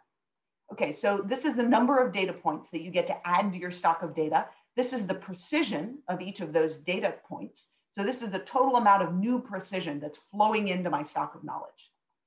This is yesterday's stock of knowledge, and this is how I discount that previous information. So I have yesterday's stock of knowledge. This is what I learned from seeing the outcome of my own goods quality. Okay, so I'm going to add those two together. And then I discount for two reasons. I discount because this information is about theta t, and theta t and theta t plus one, that's an AR1 process. I want to discount it by the persistence. That's what rho is, the persistence of that AR1 process. So if theta is not very persistent, like in the limit, if theta were IID, then yesterday's information would be totally irrelevant because today we're just taking a new draw. If the, the theta process has a very high persistence, then yesterday's data about yesterday's state is very relevant for today. And so I'm hardly going to discount it at all. Okay? This is the variance of the innovation of the AR1 process. So similarly, if that process has a really variable innovations, then information about yesterday's state is not very relevant because today's state is likely to be quite different. So then I'm adding the variance to it. But if it has very small innovations, I don't add much. So I'm essentially discounting yesterday's data according to the persistence and the variance of the AR1 process. And the formula for how we do this is given by the Kalman filter. Okay, so we can think about what's going on in this problem. Um, oh, let me first just define a few terms. So let me just point out that this Bellman equation reveals the value of data. So if we're going to do something like Paul's exercise, where we go and get some, you know, data and we estimate this model structurally and we quantify that Bellman equation, it would reveal the value of data for a firm. And that's a big deal because a lot of people would like tools to help better value firms that have large data stocks. V prime omega is the price that a firm's willing to pay for a unit of data. That should be the, the, the marginal value, and we should see that be equal to the price. And then omega t is kind of like a discounted sum of data investments. We discount old data according to the persistence and the variance of the AR1 process that, that represents the state, right? So in industries where the state is moving very rapidly, you know, maybe in the finance industry, we're going to discount data a lot. If data is about like customer characteristics, well, those probably aren't changing very much. We don't move all that often. Then that's going to be a, a setting where your theta process is quite stable and you're not going to discount your data very heavily. Okay, so those are the objects in the model. So now I want to talk about first diminishing returns, increasing returns, and if I have time, I'll, I'll say something briefly about specialization. So most of you have probably taught macro and look at this and say, ah, that's the Solow growth model. Right? Many of us have, have drawn this on the board or put it up on a slide many times. And what it represents is the inflows and outflows, usually of capital. But here it's the inflows and outflows of data. So given this stock of knowledge, the red line tells you how many new units of data would I be adding to my stock of knowledge? What is that? Well, that's my data savviness parameter or my data efficiency parameter. The number of units that I produce, that thing is what we called NIT, the number of new data points, times the precision. Okay, so that's the new amount of data or data precision that I add in a given period to my stock of knowledge. The black line is outflows. What are outflows? Well, that's the data that I effectively lose because data depreciates. Okay, and so that's the difference between uh, omega IT and this discounted omega IT. Notice that this is not a linear function, but in many of the uh, numerical examples we do, it, it, turns out to look very linear. And we have a, a proof in the paper that it's approximately linear uh, for certain sets of parameter values. So what this tells us is that when the stock of knowledge is quite low, that the inflows exceed outflows, and that as the stock of knowledge grows, there's concavity in this inflow um, curve, and that causes the uh, growth of the economy to slow and eventually come to a stop. Just like in the Solow model, as we approach steady state, growth grinds to a halt. Now, you could look back at this model and say, aha, but you manufactured this. Where did I manufacture this result? Right here. The reason that it's manufactured, I'd say manufactured here, is because there's an upper bound on the quality of a good, right? So I, I, can get as much data as I want, but the best I can ever do is drive this term to zero. And that effectively means that quality is a hat. And so I've put an upper bound on this process. So I want to step away from this particular model for, for a moment and ask how general is the, is the idea that there's diminishing returns to data? And how much is it a relic of that particular assumption that there's an upper bound on goods quality? So for a minute, I want you to consider an arbitrary model where data is used for forecasting. I want to hold on to that, that assumption. But that forecast affects output in some way. So there's some mapping between forecasts or forecast precision to output and then argue that data accumulation can only sustain growth if both of these two assumptions are satisfied. The first is a perfect forecast would need to generate infinite real output. Think about that for a second. We've got lots of models that have perfect foresight. I've yet to see any that argue that that produces infinite real value. Now, if you had perfect foresight, you could you should leave right now and go bet on the stock market and become exceedingly rich by tomorrow morning.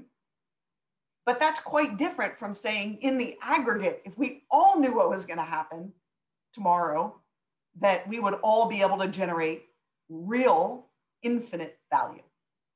Okay?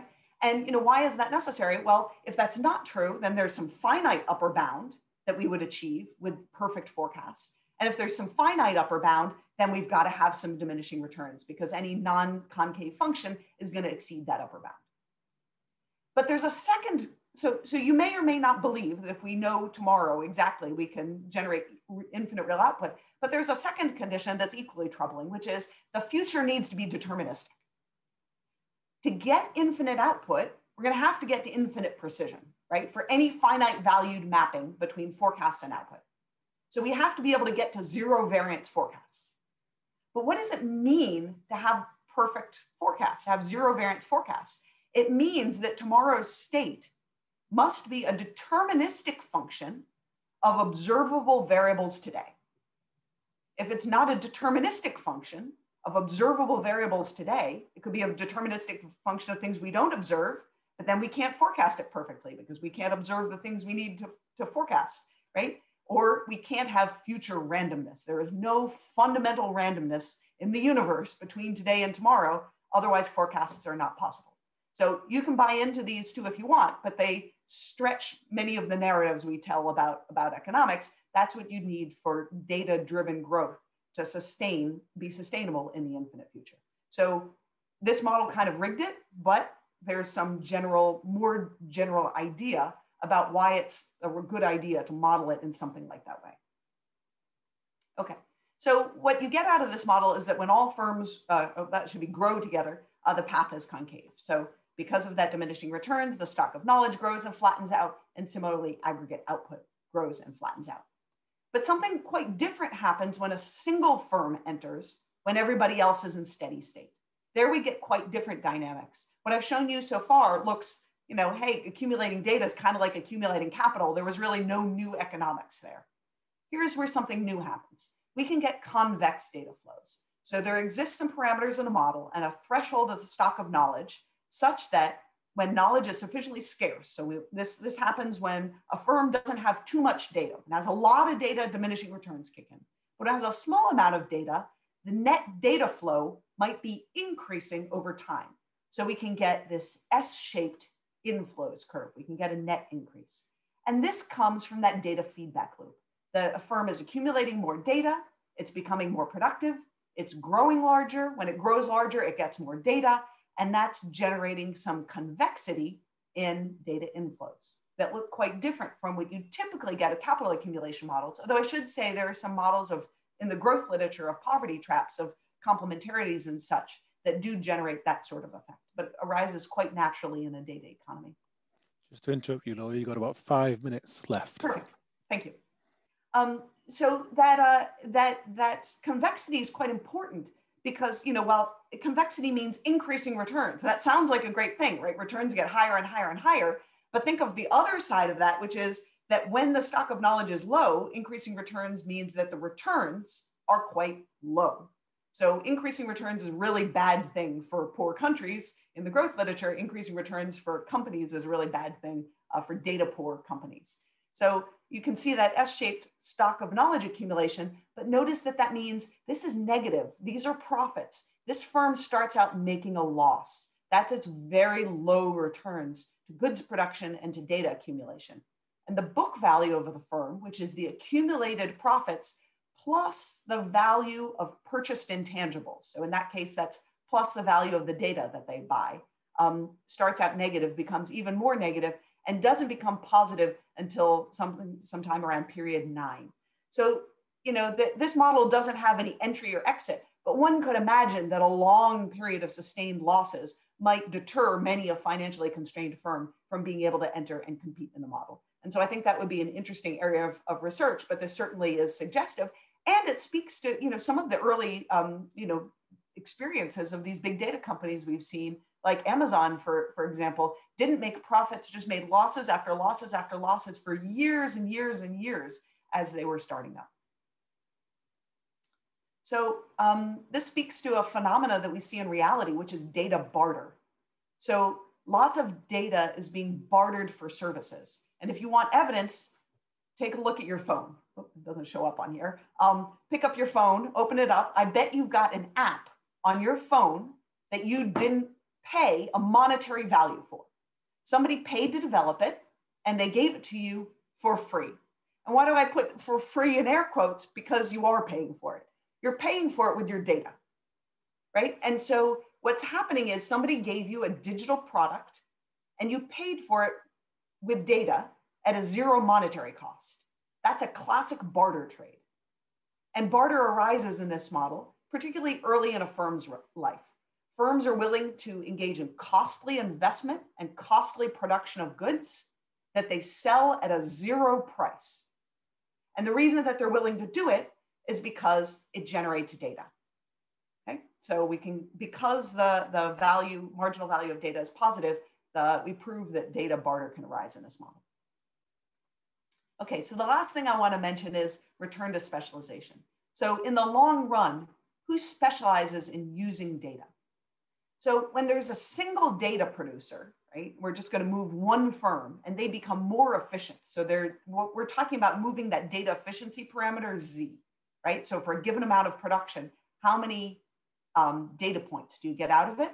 So when a given a single firm becomes more efficient, it keeps that knowledge and uses it to sell higher quality goods. So their omega H, their stock of knowledge goes up relative to the less productive firms. That means that they can have a higher average quality and they'll profit more from selling these higher quality goods, command a higher price. But something very different happens if we consider a steady state where a measure of firms uh, have low data mining ability and others have high data mining ability. And that when you've got these equilibrium effects going on, because a measure of firms affect equilibrium prices, you can find that the high data productivity firms, this is the stock of knowledge of those, those firms that generate a lot more data, minus the low data productivity firm stock of knowledge, that can be negative. In other words, the guys who are producing the data end up less well informed. How can that possibly happen? Well, because they're selling all that data. So there exists a set of parameters such that, or there's a region of parameters such that the efficient data producers don't keep their data. They specialize in selling that data as much as they can. And you can think of this like in trade, everybody does what's in their comparative advantage. So these high data efficiency firms have a comparative advantage in data production. And the other firms have a comparative advantage in high quality goods production, not an absolute advantage. They're no better at doing goods, but they have a comparative advantage in high quality goods production. And so you can get the endogenous emergence of what kind of looks like data platforms, where they're doing a lot of transactions, they're producing high volumes of junk goods, you know, the cheap apps on your cell phone that crash all the time, that you took because they were free but don't really generate much value, but they scrape all the data off your phone, if that's even legal anymore, you might have agreed to it. That's what these data platforms are doing. They're selling junk, a lot of it, generating tons of data out of it. They're very effective at mining data per unit of transaction, um, and they're profiting primarily from the data. Okay, so uh, probably close on time. I want to point out that we assumed here that data was socially productive, but that that's not essential. And then the paper, we showed different ways to extend the model. Uh, one of them is to allow data to be purely for business stealing and to generate no, no welfare advantages. And we get the same dynamics um, as we do in the main model, but I'll refer you to the paper and other extensions. So this is a really new area of research. Um, I'm hoping that this is a really simple framework that other people could build on. So, you know, there are lots of things that are not in here, right? We should put back some technological progress. You might think about using data in order to help um, technology progress. We can think of data as being, a, you know, I basically presented to you like a data version of a Solow model, but maybe the next step is to do a data version of a Romer model, right? Where we have inputs into idea production. You could think of doing, um, you know, firm entry and exit. Uh, I alluded to the fact there's probably something interesting there, but there's a bunch of work being, you know, that needs to get done to actually model that and see whether that's true. So Big data is information that's generally used for forecasting. At least that's what the big data technologies are doing. And that generated diminishing returns to forecast precision. We basically can't grow forever by just, you know, forecasting tomorrow better and better.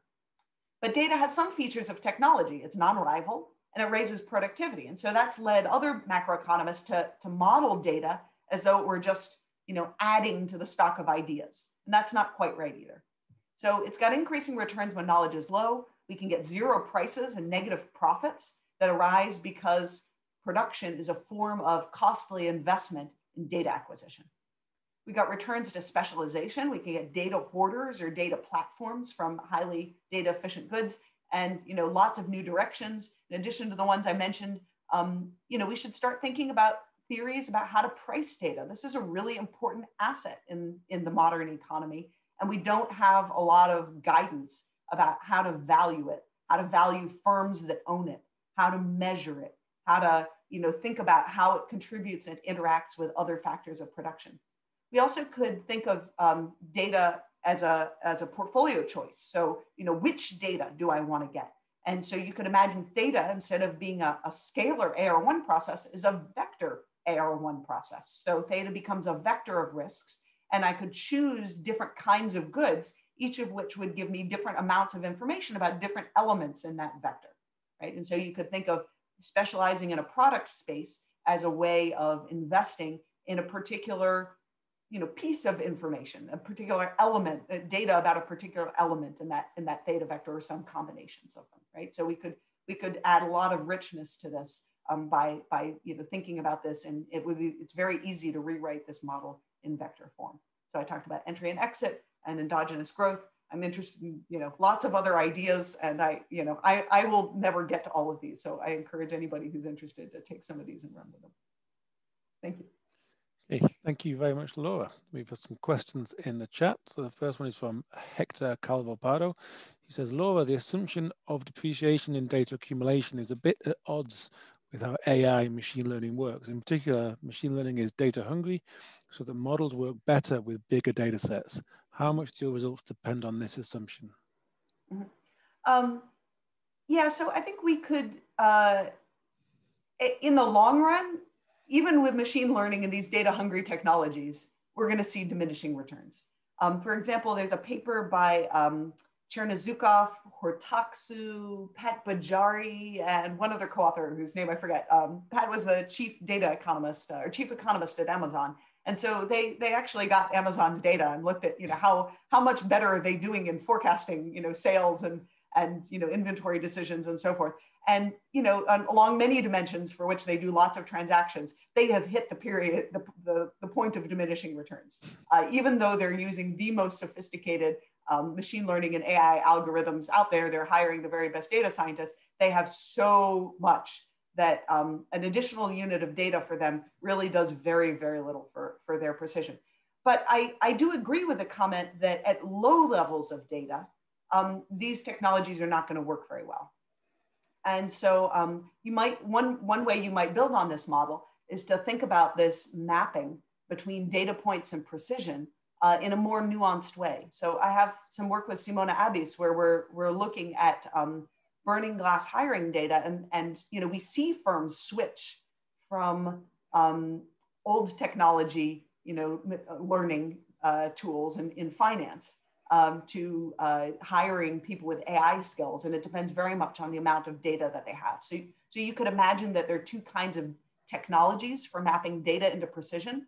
And depending on how much you have, how much data you have, you might choose a different technology. And that's going to look a lot like models of switching from, um, from a artisanal economy, where if you've got low capital, you know, you just own a few hammers and a bench. You're, you're probably not going to try, you know, industrialization style production. You're not going to try to use a factory, but a factory industrialization production uses a different technology with a different factor mix, but you'd only choose it if you had enough capital. So you could imagine writing a data model that had that, you know, a similar sort of uh, choice in technologies, depending on the amount of data that you had, you'd choose one or the other. I like the idea. Thanks, Laura. Just before I read the next question, you provoked me to just jump in, which is the assumption that um, you know that Amazon can't learn anything more from any more data must rely on you know to use time series jargon stationarity. The world stationary isn't changing, um, but presumably if the world is changing, then you are going to get to points you know pre post pandemic where things change sufficiently dramatically that once again data becomes valuable again. So it's it's about um, how quickly the world changes relative to the rate of data flow, yeah. right? So they're yes, the world's changing, but they're also getting an enormous amount of data each and every day from us to, to keep us up to date on those changes. Um, I, I should say I don't want to misrepresent the work. It didn't say that there was very little value to any data.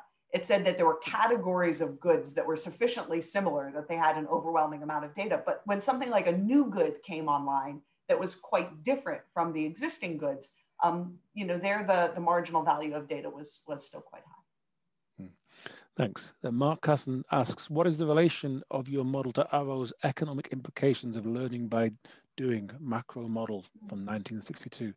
It looks like your data is what is learned and it depreciates over time. Yeah, so um, if, if I'd had more time, I would have done connections to the literature and learning by doing is, is right at the top of the list. So um, the idea that activity generates knowledge in some form is, is similar to models of learning by doing. What's, what's quite different here is that um, learning by doing creates knowledge that's embodied in the human capital of a worker. So I can't freely copy it. I can transfer my human capital to you. That's called teaching, right? And we do that, and that's a lot of work, and we get we get paid for that, right? But it's not it's not free. I can't just remove my hard drive, say, let's make a copy and, and plug it into yours. Um, you know, there, there are sci-fi movies written about that, but uh, uh, not a reality today.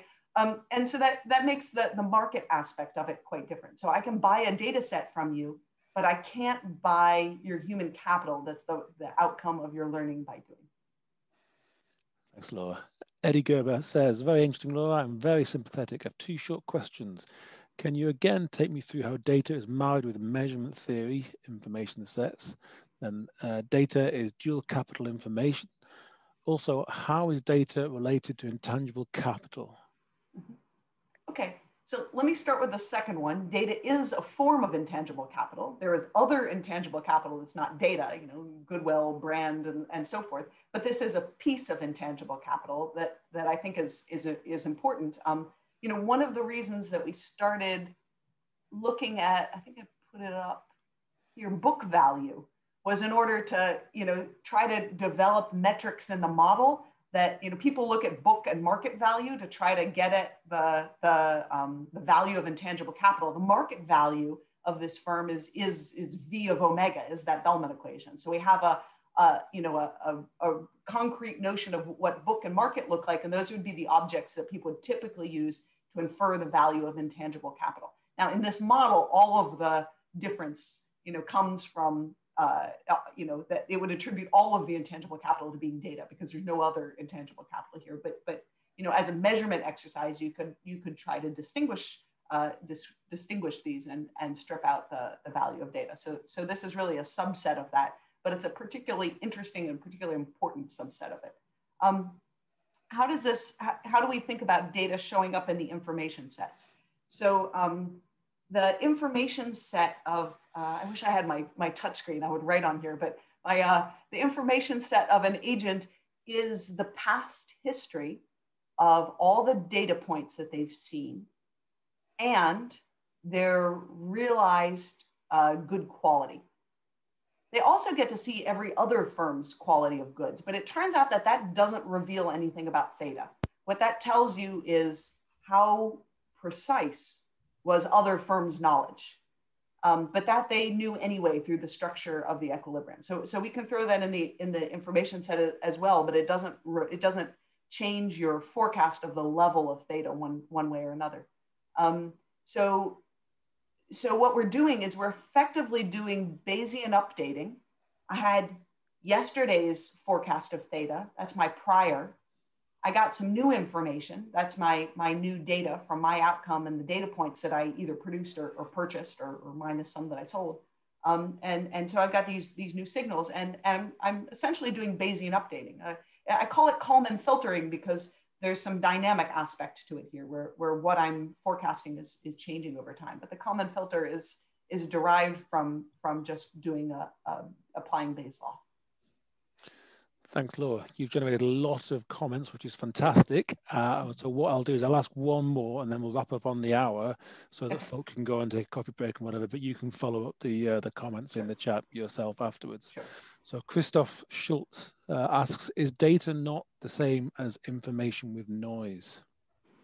Yeah, so it is a it is a form of information. Um, and you know, I think part of what we wanted to do was bring information back to the discussion about data because people who are writing about data were mostly equating data with um, you know either a form of capital right in the in the sort of more financy literature or in in macro they're equating it with TFP saying, well, you know, information, a, a noisy signal about something is, is different from an idea, from an innovation, from, from a new technology.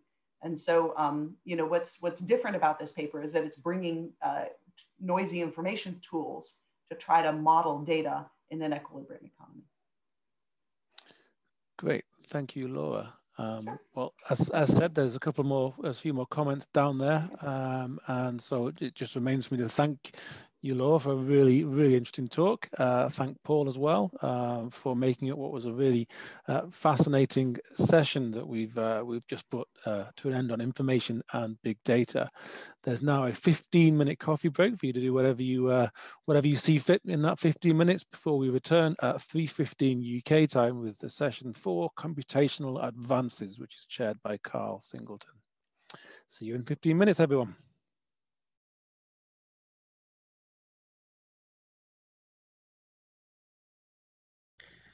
Okay, hello everybody, welcome back. It's my great pleasure to be chairing the fourth ses session today on computational advances. Uh, we're going to follow the same format as the previous sessions, that is two talks. Uh, each talk will be around 30 minutes each and then around 15 minutes for questions, which I will collect from the chat window. Uh, our first speaker is uh, Jesús uh, Fernández Villaverde, who is currently Professor of Economics at the University of Pennsylvania. Uh, I'll hand over to you, Jesús. Okay, thank you. So today I wanted to talk about solving heterogeneous agent models by deep learning. And this is going to be a joint presentation with Galo Nuño at the Bank of Spain, since he has been helping me uh, as a co-author in a lot of the research related to this project. And the presentation today will be loosely based on joint work with different co-authors.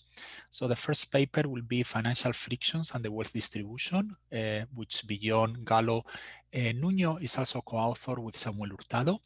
And the other paper will be Solving High-Dimensional Dynamic Programming Problems Using Deep Learning, uh, which beyond Galo is also co-authored by George Sorg and Maximilian Vogler, both of which are PhD students at at Princeton this year. And the examples and code uh, for everything that I'm going to tell you today can be found in this GitHub repository. And we actually have considerably more material than the one I'm going to uh, be able to discuss today. So I think that during the presentations earlier today, you have already seen many situations that justify why researchers in microeconomics are interested in models with heterogeneous agents. Economic agents, think about individuals, firms, in the context of international economics, maybe even countries, are heterogeneous along important dimensions. think about age in models with overlapping generations, think about their locations in terms of a spatial or economical position within, for instance, different industries, think about differences in productivity, differences in wealth, difference in information sets, different in beliefs and expectations. And the reason why we care so much about this type of heterogeneous agent models is because even with within narrowly defined subgroups, we observe large individual heterogeneity in behavior, and it is hard to explain those type of behavior within the context of a representative agent model. I'm not going to spend a lot of time giving you examples of the type of models I have in mind to solve, but think about all the class of questions in macroeconomics that are inherently related with heterogeneity. What accounts for changes in income and wealth inequality? what are the consequences of changes in tax progressivity, what are the consequences in social security and welfare program reforms, consequences of changes in educational policies, etc. Every year I have two or three students on the market, and every year they have questions related to this type of issues. But also we care a lot about questions related with aggregation bias. So for instance, we may, wonder, we may wonder whether or not um, uh, having heterogeneity matters for the business cycle or matters for the welfare cost of the business cycle or matters for asset prices or matters for the effects of temporary changes to tax cuts or the effects of monetary policy. And again, I think that this morning you have already seen uh, some papers that have dealt with this type of issues. And also all the political economy of all the previous questions. People vote to a large extent based on the consequences for themselves of different policies and hence, if we want to understand the political economic dynamics of a country, we want to have a better understanding of models with heterogeneity. But let me not spend much more time on this type of big picture motivation. And let's point out that to compute and to take to the data that is to do econometrics of this type of models with heterogeneous agents, we need to deal with the distribution of agents, capital G of t. And I'm indexing this distribution by t to the node that is affected both by shocks and by possibly initial conditions. And at the core of every model, what we are going to have is an operator h that is going to characterize how this distribution g of t is going to evolve over time. In the case that we are dealing with models in discrete time, g of t plus 1 will just be g sorry, H of GT, ST, where ST are all the other aggregates state of the economy as a productivity level or a demand level or some uh, stand of fiscal and monetary policy. In the case that we are dealing with a, a continuous time model, what we will have is that the partial derivative of g with respect to t is going to be given by h of g t st. Of course, in these cases, h will be different, but I want to keep a, a homogeneous notation. And why do we need to uh, keep track with how this distribution of agents uh, evolves over time? Because at the end of the day, agents care about prices. Agents do not care about the distribution per se, but agents care that if there is a lot of agents with a lot of assets, for instance, the price of assets may be different than if there are fewer agents with assets. And I want to know when I make my decisions, the distribution today, which will imply some prices today, and the uh, distribution tomorrow, which will imply prices tomorrow. And if you notice a little bit, what we are having over here is basically that this is nothing more than a Chapman-Kolmogorov equation. And this, when we are doing in this in continuous time, is nothing more than a Kolmogorov forward equation. So later on, I will come back and try to provide you some intuition of how we can rely on what mathematicians and numerical analysts have learned about solving this class of equations. Now, imagine that the type of uh, heterogeneity that you have is discrete. You have n discrete types. For instance, in some of my own research with Robert Barro, what we have is agents with high risk aversion and agents with low risk aversion. In that case, GT is just a vector. And what H of uh, GT and ST is nothing more than uh, equation that is, is actually going to be a linear operator induced by the equilibrium dynamics of the economy. And the only thing you need to do is you need to keep track of n minus 1 weights. When n is small, so for instance, n is equal to 2 or equal to 3, we have a few types. This is not particularly different. Why only n minus 1 weights? Because of course the weights need to sum up to 1, so we only need to keep track of n minus 1 of them.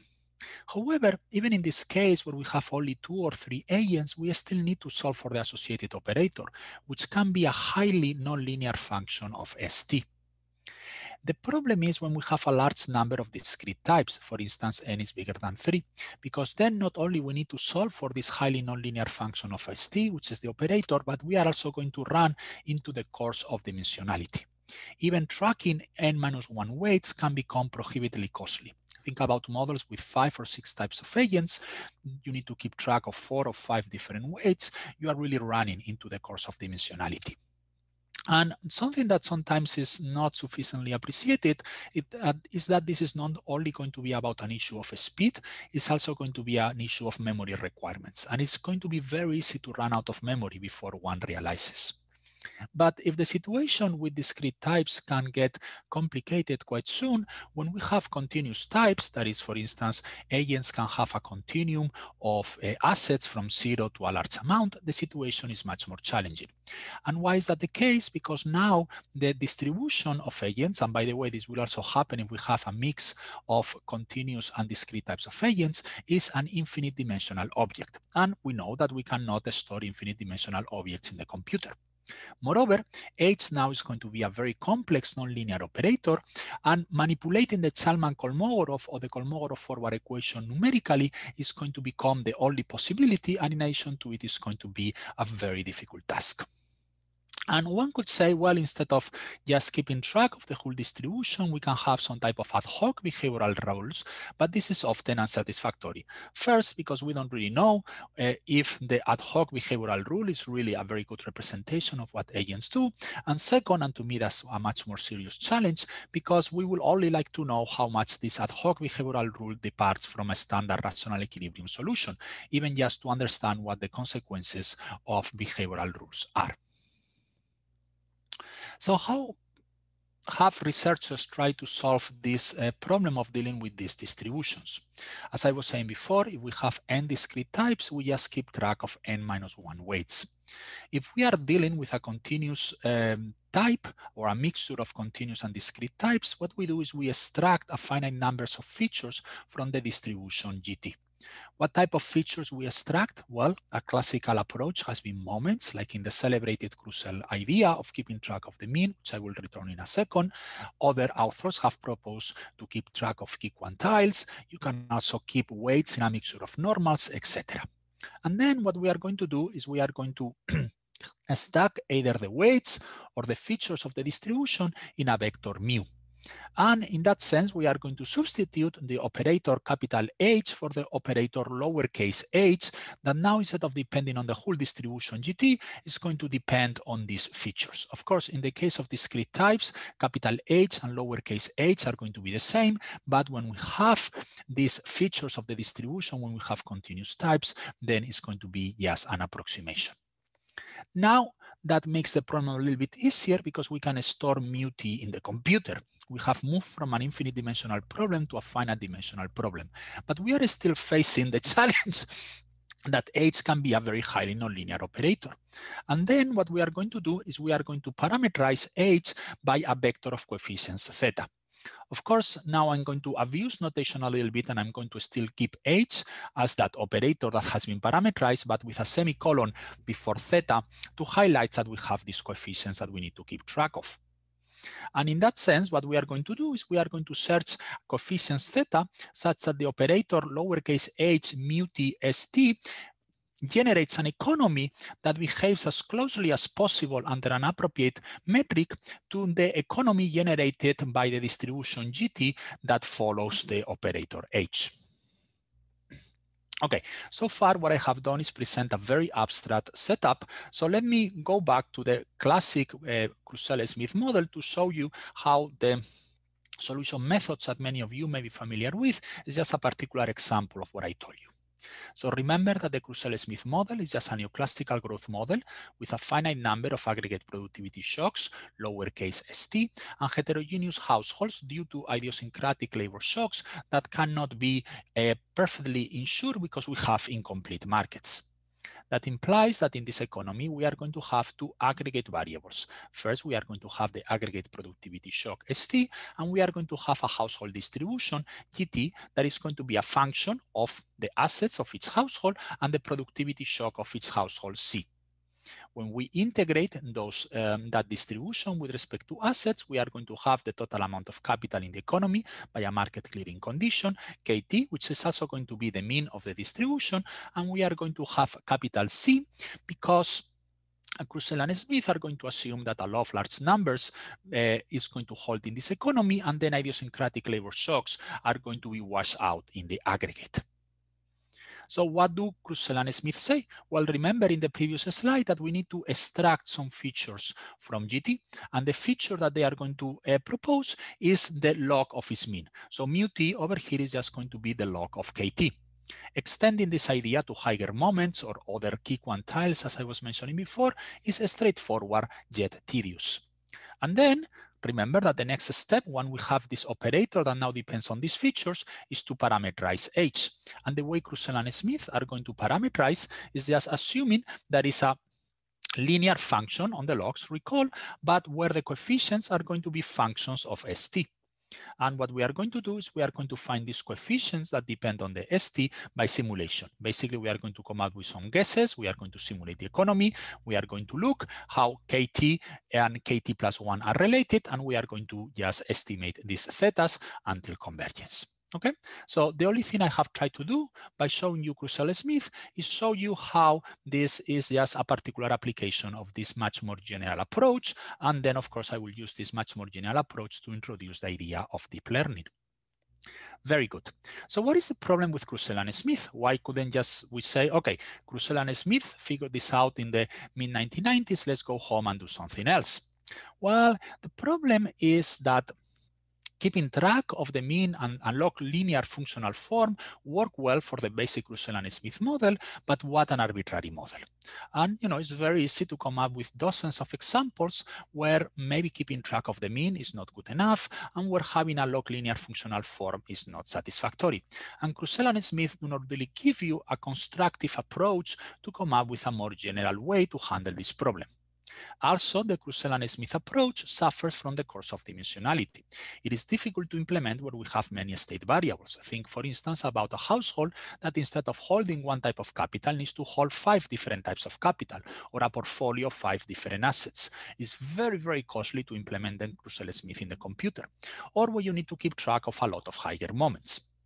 And finally, a little bit more at theoretical level, we don't have very good theoretical foundations of why the, the, the, method converges, and we don't really know much about the metric under which it converges. And in fact, there is a little bit of a literature that discusses how to evaluate the Krusell-Smith method precisely because this absence of clear theoretical results.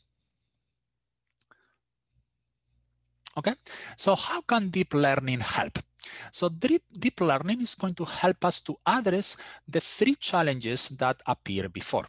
First, it's going to tell us theory, um, impossible, how, uh, sorry, possibly how to extract features from an infinite dimensional object efficiently. Remember that over here, I told you we have the distribution GT, and then the thing is, how do we summarize this distribution GT in a vector of, in a finite dimensional vector of features mu t?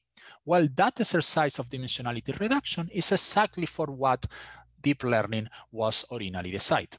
Second, how to parameterize the nonlinear operator mapping how distributions evolve. So if we go over here, how we go from this structure H into this structure that now depends on a, on a set of coefficients theta okay? And again, we uh, deep learning is going to help us to do that parameterization in a general way. And finally, how to tackle the curse of dimensionality, how to be able to move into problems that have a lot of state variables. Given the time limitations and that I only have 30 minutes, today I will only discuss the last two points, and I will leave how to extract features from infinite dimensional objects efficiently for another day. Okay, so let me give you the general idea of what deep learning is. Suppose that we want to approximate an unknown function y of hx, where x, and now I'm going to use a vector like in uh, this slightly different form in the math notation to denote a vector that has this n dimension. In our notation before, of course, y is just mu of t plus 1, which are the features of the distribution tomorrow. And to save on notation, I'm going to assume that mu t is a scalar, like in Krusell-Smith, just the mean of the of capital, but this is just to save you a lot of extra notation. And x is just going to be mu t and st. Remember the x is what we have over here. Okay, so the problem at, at a very mathematical level is how we approximate this unknown function. And by the way, we are doing this in the context of heterogeneous agent models, but this is exactly the same problem that if you are trying to approximate a value function, a policy function, a pricing kernel, a conditional expectation, a classifier, which is a generalized form of a TOBIT and a PROBIT, etc. At the end of the day, most of what computational economics is about is approximating unknown functions about which we know relatively little. Okay. So a neural network or an artificial neural network is an approximation to h of x built as a linear combination of m generalized linear models of x, the whole vector of state variables that has the following form. We are going to take now h is going to be nn to denote that this is the neural network approximation. We are going to have a leading term, and then we are going to do this combination of 1 to m linear models. And what are these linear models going to be? They are going to determine by some coefficient, which is just a weight, and then we are going to have an arbitrary activation function. And what the arbitrary activation function does is takes each of the components of the state vector x, moves them or activates them more slowly or more uh, intensely using theta of nm, and then moves them with a coefficient. Okay, what type of arbitrary activation functions you can have in mind? So for instance, you can have the most popular these days is ReLU for rectified linear unit, which is the simplest one I can imagine. It's basically zero from minus infinity to zero, and then it's just the uh, 45 degree line. And soft plus is just an approximation to it that is differentiable. It's log of one plus e to the power of x. So how are we going to be able to approximate any function we want with this very, very simple red ReLUs? Well, very simply, because by playing with the thetas, I'm going to be able to make this ReLU go up or go down or be more uh, steep or less steep as I want. And through the theta zeros, I'm going to be able to move it to the left or to the right. And just by combining them with theta m, I'm going to actually be able to approximate any function that I want. The only thing I need to do is select the right thetas here, here, here, and here. And this is what is sometimes known as training the, the network. There is a lot of details exactly ah, about how you train the network, but let's say for the interest of the presentation today that you just select these thetas to make this h of nn as close as possible to h under some relevant metric. so how does this compare? How does this neural network uh, approximation compare with other approximations you may be familiar with? Well, something you may be familiar with is a Chebyshev polynomial approximation. And in the Chebyshev polynomial approximation, what we do is we pick a basis, a phi of m, also on the vectors of the state on the on the state vector x, and we find linear combinations. Basically, look at this and this. What we are doing in the neural network is we are trading off having a lot of basis functions for just having one activation function. But in exchange, we need to have a lot of other extra coefficients. So basically what we are exchanging is a rich parametrization of coefficients for the parsimony of basis functions. Mathematically speaking, we are going to move from a problem that is about the addition of functions into composition of functions. And it turns out to be the case that there is a very deep mathematical reason why this is a very good idea.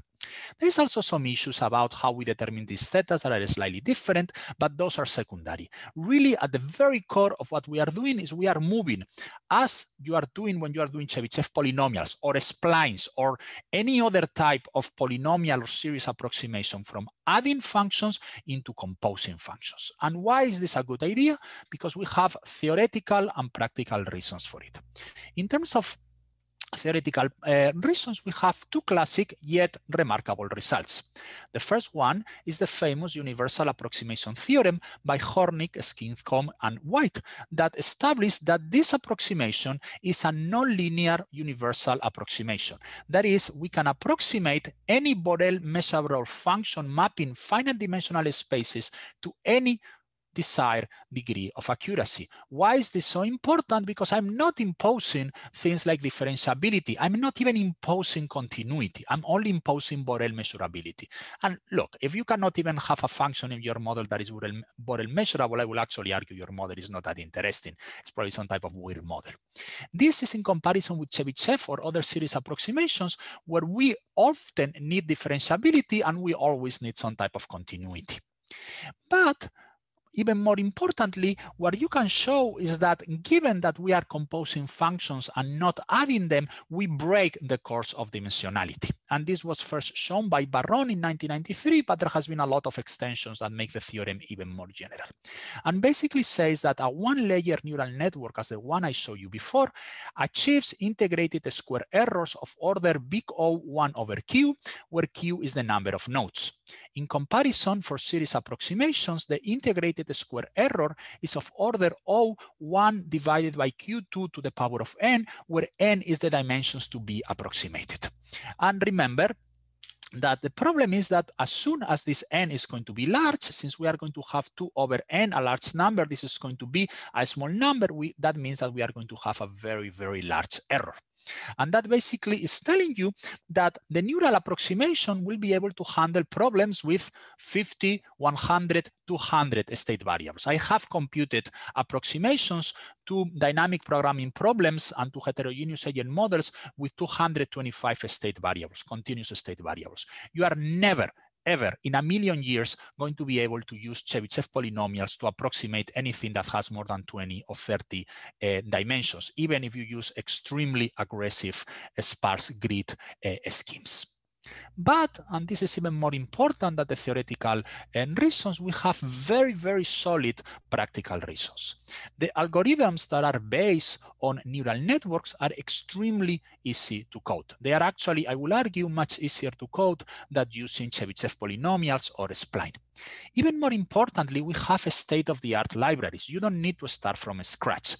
Uh, we have things like TensorFlow that has been uh, designed by uh, software engineers at Google, which is an absolutely wonderful library, absolutely state of the art, much better than anything you are going to ever be able to uh, code yourself using Chebyshev, splines, or other type of similar approximations.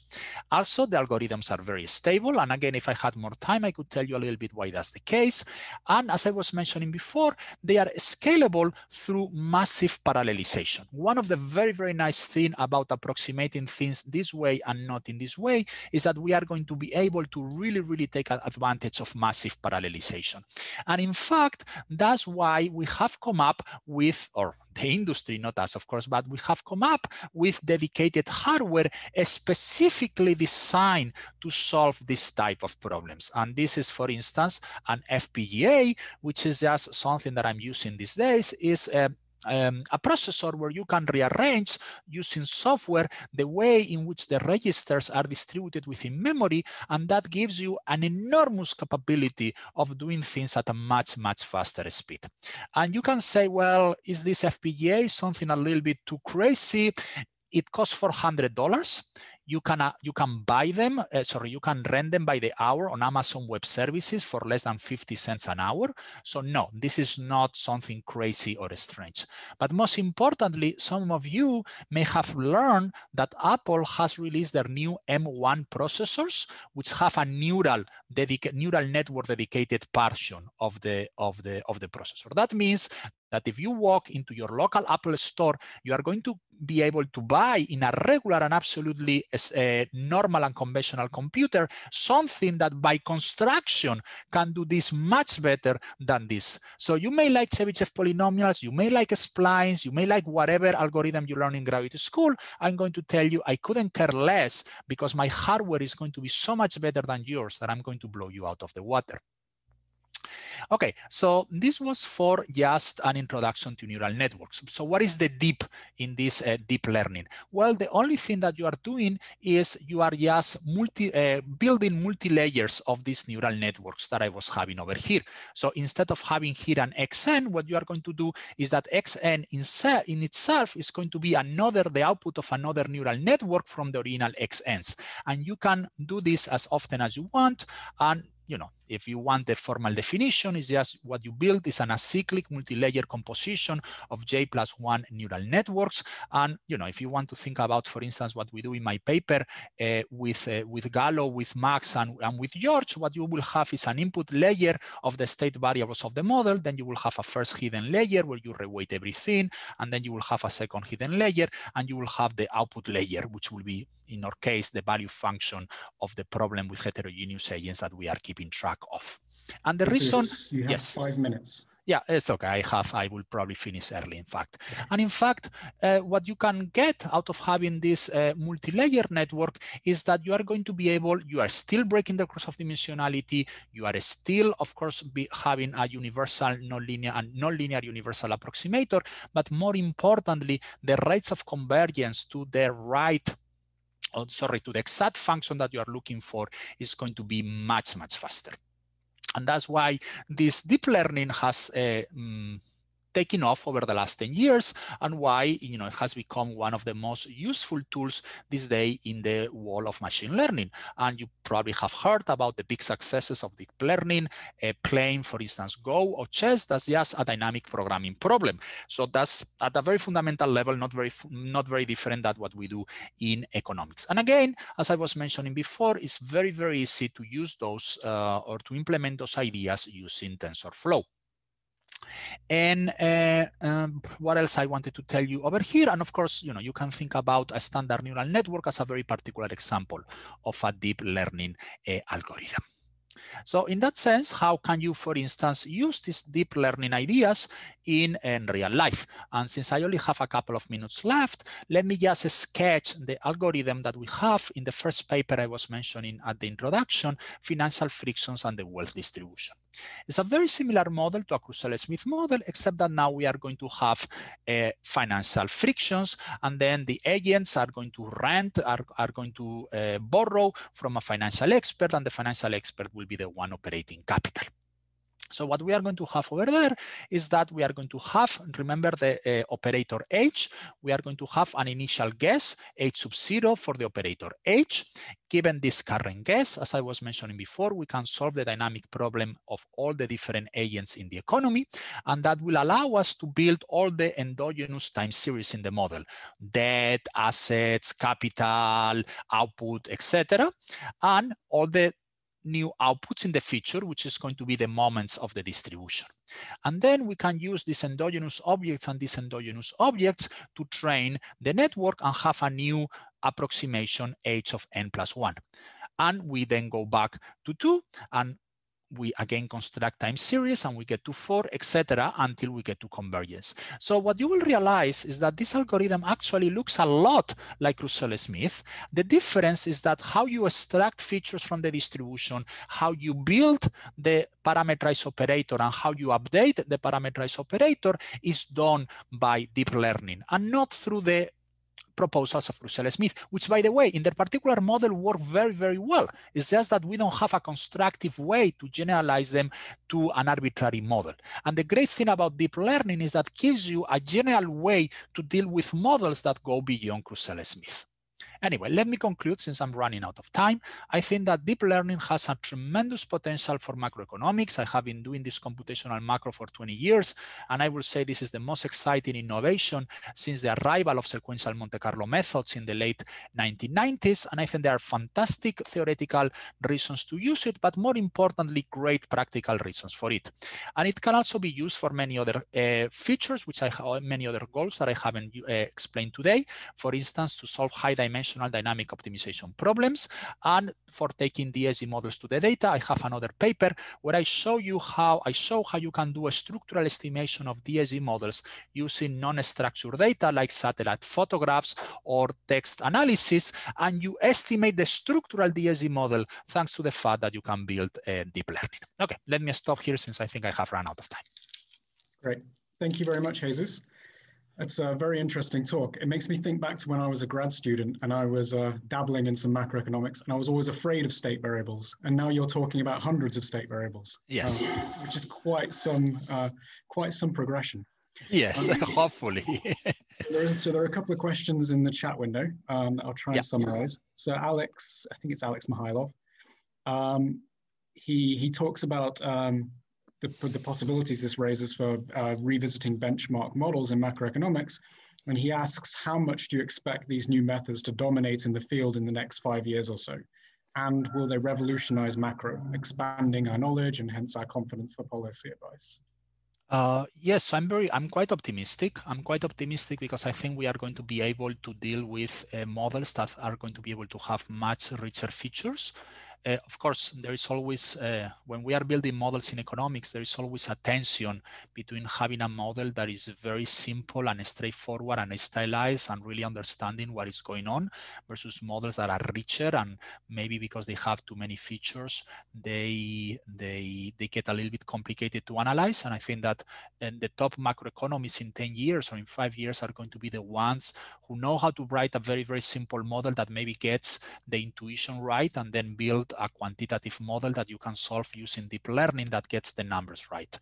Uh, but you know, at, at the end of the day, right now i will say that the most important policy discussion everywhere in the advanced world in the in the western economies is inequality the different aspects of inequality mm-hmm. how inequality is evolving what we can do about it and if you want to take inequality seriously you need to have models with heterogeneous agents and if you want to have models where inequality is sufficiently rich it's just not something very stylized you need to deal with many state variables so for instance uh, right now something i'm also doing with gallo is what are the consequences of monetary policy for inequality. Um, this is something that central bankers, and I know from talking with many presidents of Federal Reserve systems or, or governors of European of, of banks in Europe, I know this is at the absolute very top of their agenda. And as, as a profession, we need to be able to, to tell them something about it. And I think that deep learning will help us to provide policymakers with better instruments in their in their for their decision. Then of course they will make whatever they want and, and, and we need to be also be careful about those models. And uh, just as a, and, and, I'll try to, to keep the, the second part of the answer uh, short, I think that we have learned that uh, this machine learning works so incredibly well in so many different fields that it will be really remarkable if economics is an exception.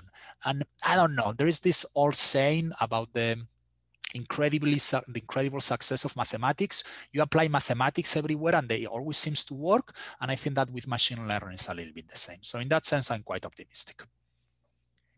Thank you. So, um, so Nicola Rubino asks, uh, Nicola Rubino asks, yeah. how many neuronal layers would be optimal for a neural network application? Okay, so you this. Sorry, I'll just carry yeah. on. So you mentioned Barron 1993, but how much more deep should an ANN be to be give us the best modeling solutions and the best empirical forecasts. Okay, very good. So um, all this is what sometimes is known as determine the hyperparameters. So this M, for instance, or then if we are doing the, the, the, the deep learning, how many layers. I think that this is um, you know, it's a, it's a little bit the same like when we do simulations, you or, or any other type of numerical method. Uh, we need, as an as a profession, we need to accumulate some experience about uh, how many of those we need. I can tell you what has worked well for my models. Uh, I cannot claim they are going to work well for every model.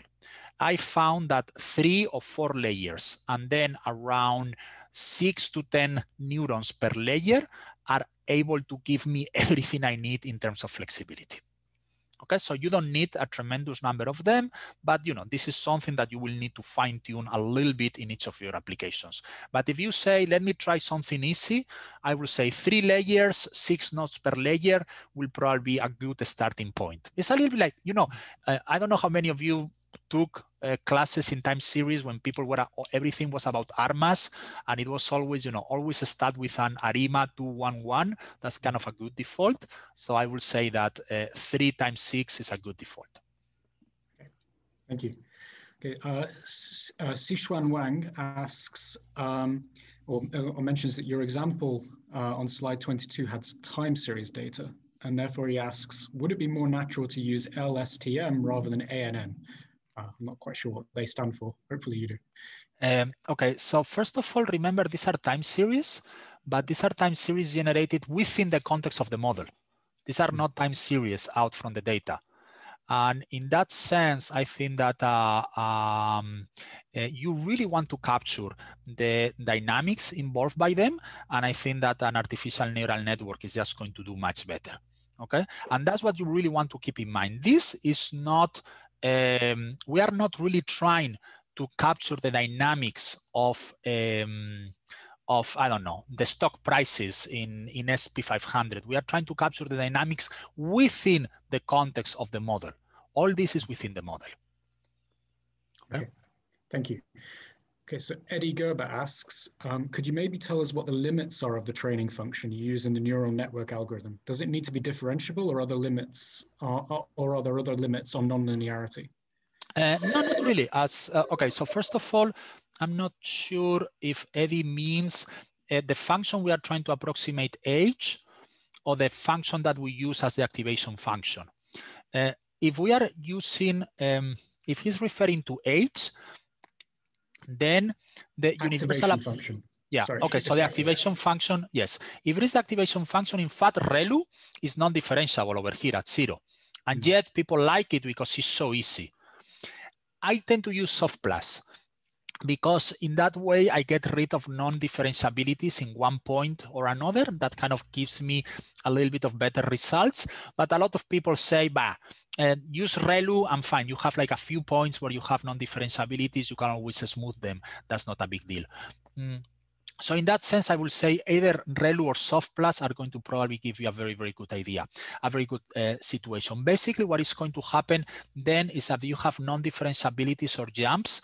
What you will have is that one, as you get over here, one of the coefficients, you are basically composing these different functions. What will happen is that they will jump and uh, you will need to play a little bit with the coefficients, but in general, you are going to be able to, to deal very, very efficiently, or let me say it more carefully, more efficiently than with alternative methods for non-differentiabilities and, and for jumps. And again, I'm sorry I don't have a lot of time to have examples about it, but non-differentiabilities in particular are very, very easy to handle. Okay, thank you. Are there any more questions? So we've got a couple more minutes. If anybody's got wants to ask uh, Jesús a question, or if you want you want any more, want to share any more thoughts, Jesús? Uh, no, nothing. I, I will just say that I will encourage people. I have some of this material online on my webpage.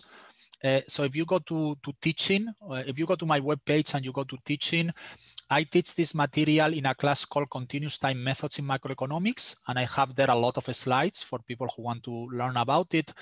And I will also uh, happy to provide people with more references. The very good thing uh, about this is that being a method, uh, so let me let me quote Adam Smith, since we are economists. And you know, one of the great insights of Adam Smith is division of labor. And one thing I like deep learning a lot is there is a lot of really, really brilliant people. Um, you know, in the UK, for instance, there is a fantastic group of researchers at Oxford and Cambridge doing this. In the US, you have great people at Columbia and Stanford. These are some of the top minds of their generation, and they have thought about this deep learning. Uh, and they have come up with great set of resources, great set of textbooks. And as economists, we can really borrow from them. We don't need to reinvent the wheel. And for instance, if anyone wants uh, the standard textbook to learn about some of this stuff is by uh, is uh, let me open it Goodfellow, and I'm going to put the the reference in the in the in the chat. Give me one second. And those are really, really fantastic source uh, uh, sources. So it's not that you need to do, uh, you need to reinvent anything. Um, let me just do this. This will probably, and I can do panelists and attendees, I think. So that will be the Amazon uh, link. And that's the standard textbook. If you want to learn about some of this stuff, that will be a fantastic textbook that you should buy. I tell my, when I teach this class, I teach a class on deep learning to graduate students on machine learning. And I told, I, and I tell them to get this book, put it under the pillow when they sleep. So maybe the, the wisdom will penetrate in their brains. Thank you. So um, his, just just because we've got a, a, couple more minutes, one last question came in from JP. Um, how are you applying verification and validation to your modeling process through the hidden layers, particularly if prone to spoofing with generative adversarial networks? Not quite sure what he means by the verification of validation of your modeling process. So Okay. can he elaborate a little bit? Um, perhaps you can chat in uh, during the next Yeah, talk, perhaps, and follow okay. up with with, J, with JP. Okay, right. Well, thank you very much, Jesús. Uh, I'd like to applaud, but uh, it's very difficult. Um, so thank you. Okay, so uh, we're a little bit ahead of time, but I think we might as well uh, move on and uh, uh, and therefore give more time perhaps to discussion following the next talk. So Leigh, are you are you ready? I am here and I'm ready to share. Okay, thank you. Yeah, please share your screen. Is that right? Yep, that's perfect. Okay, good. Okay, thank you. Okay, so our second talk uh, in the computational advances session is uh, uh, by Leigh Tesfatsion, uh, who is currently uh, a research professor and professor emerita of economics at Iowa State University. I'll hand over to you, Leigh. Okay, thank you very much. Uh, can you hear me okay? Just let me check that first. Yeah, it's very clear. Okay, very good. Okay, I'd first like to thank the organizers, uh, Alex and Angus, for inviting me to present. Um, two themes are stressed for this conference. What new methods will help us to understand better our complex and evolving macro reality? And what new methods will help us to address better our new policy challenges? In keeping with these two themes, uh, what I'd like to talk about today, again briefly, we'll be, be describe an approach to economic modeling that I call agent-based computational economics, or ACE for short. And after a concise presentation of the seven specific modeling principles that define the ACE approach, I will briefly explain why I, I believe ACE modeling facilitates macroeconomic modeling in three critical regards. First, facilitation of comprehensive empirical validation. Second, facilitation of policy development arcs all the way from initial conceptualization to ultimate implementation. And third, facilitation of the presentation of findings to stakeholders in a clear and intuitively compelling manner. So as noted on slide three, all macroeconomists share two concerns. How, how do real macroeconomies work? How could they work better? And what I'm going to argue in the talk today is that uh, there are five essential features of real world macroeconomies uh, that we should really pay attention to. First, real world macroeconomies have heterogeneous interacting participants. Second, they are open ended dynamic systems. Third, the human participants are strategic decision makers. Fourth, all participants are locally constructive. And what I mean by that, at any given time, they are constrained to act in accordance with their own local states, consisting of data, attributes, and methods. And fifth, real world macroeconomies are reflexive. That is, the actions taken by their participants at any given time affect future local states. And these five essential features imply that real world macroeconomies are locally constructive sequential games. So as will next be carefully explained, I believe ACE modeling embodies all five of these essential features characterizing real world macroeconomies. And thus it permits the study of macroeconomies as locally constructive sequential games. So what is ACE? Okay, so as indicated on slide six, a summary definition is that ACE is the computational modeling of economic processes, including whole economies, as open-ended dynamic systems of interacting agents. And thus an ACE model is a computationally constructed world. ACE shares three basic goals with other variants of agent-based modeling. First, to enable modeling of real-world economic systems for which coordination is a possibility, but not a modeler-imposed restriction. Second, to enable agents to act as freely within their computationally constructed world as their empirical counterparts act within the real world. And third, permits events to be fully driven by agent interactions starting from modeler specified initial conditions. However, in contrast to other agent-based modeling approaches, An ACE model is required to satisfy spe seven specific modeling principles. I've written these out with care in order to enhance the ability to compare and contrast ACE with other modeling approaches because there's been a lot of confusion about what agent-based modeling is or isn't, okay? So this is a variant of agent-based modeling with very specifically written out modeling principles. First, as explained on slide seven, modeling principle, principle MP1 defines an agent to be a software entity within a computationally constructed world that is capable of acting within that world based on its own state, that is, based on its own internal data, attributes, and methods. Modeling principle MP2 asserts that agents in an ACE world can include a wide scope of entities, individuals, social groupings, institutions, biological entities, or physical entities. Modeling principle MP3 requires agents to be locally constructive. That is, the action of any agent at any given instant must be determined as a function of that own agent's state at that instant. Continuing on, MP4 stresses agent autonomy. This is a critical one, agent autonomy. The external coordination of agent interactions is not permitted. Rather, the coordination of inter agent interactions must arise endogenously, if at all, as a result of agent interaction. Modeling principle MP5 asserts that the state of the computationally constructed world at any given instant is determined by the ensemble of agent states at that instant. Modeling principle MP6 asserts all events in the computationally constructed world must be determined solely by agent interactions starting from initial agent states. And finally, and importantly, modeling principle MP7 asserts that the role of the modeler is limited to the setting of initial agent states and to the ex post observation, analysis, and reporting of out outcomes in a non-perturbational manner. So turning to slide nine, if you put these seven principles together, which I know I've gone through very quickly, but what they do is define ACE models as computational laboratories. And, and even more specifically than that, ACE is a computationally constructed world that evolves over time like a culture in a Petri dish. A researcher sets initial conditions in a Petri dish in accordance with some specific research purpose. However, once the Petri dish cover is closed, no further interference with the growth of the Petri dish culture is permitted.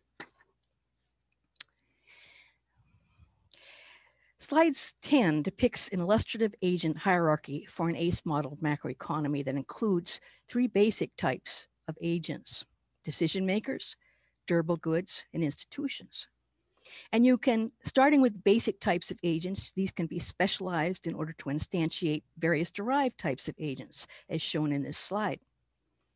Object-oriented programmers here in our audience today will recognize the analogy between agents in ACE models and classes in Java and other oriented object-oriented programming languages. And indeed, agent-based modelers, including ACE modelers, typically implement their models using object-oriented programming languages.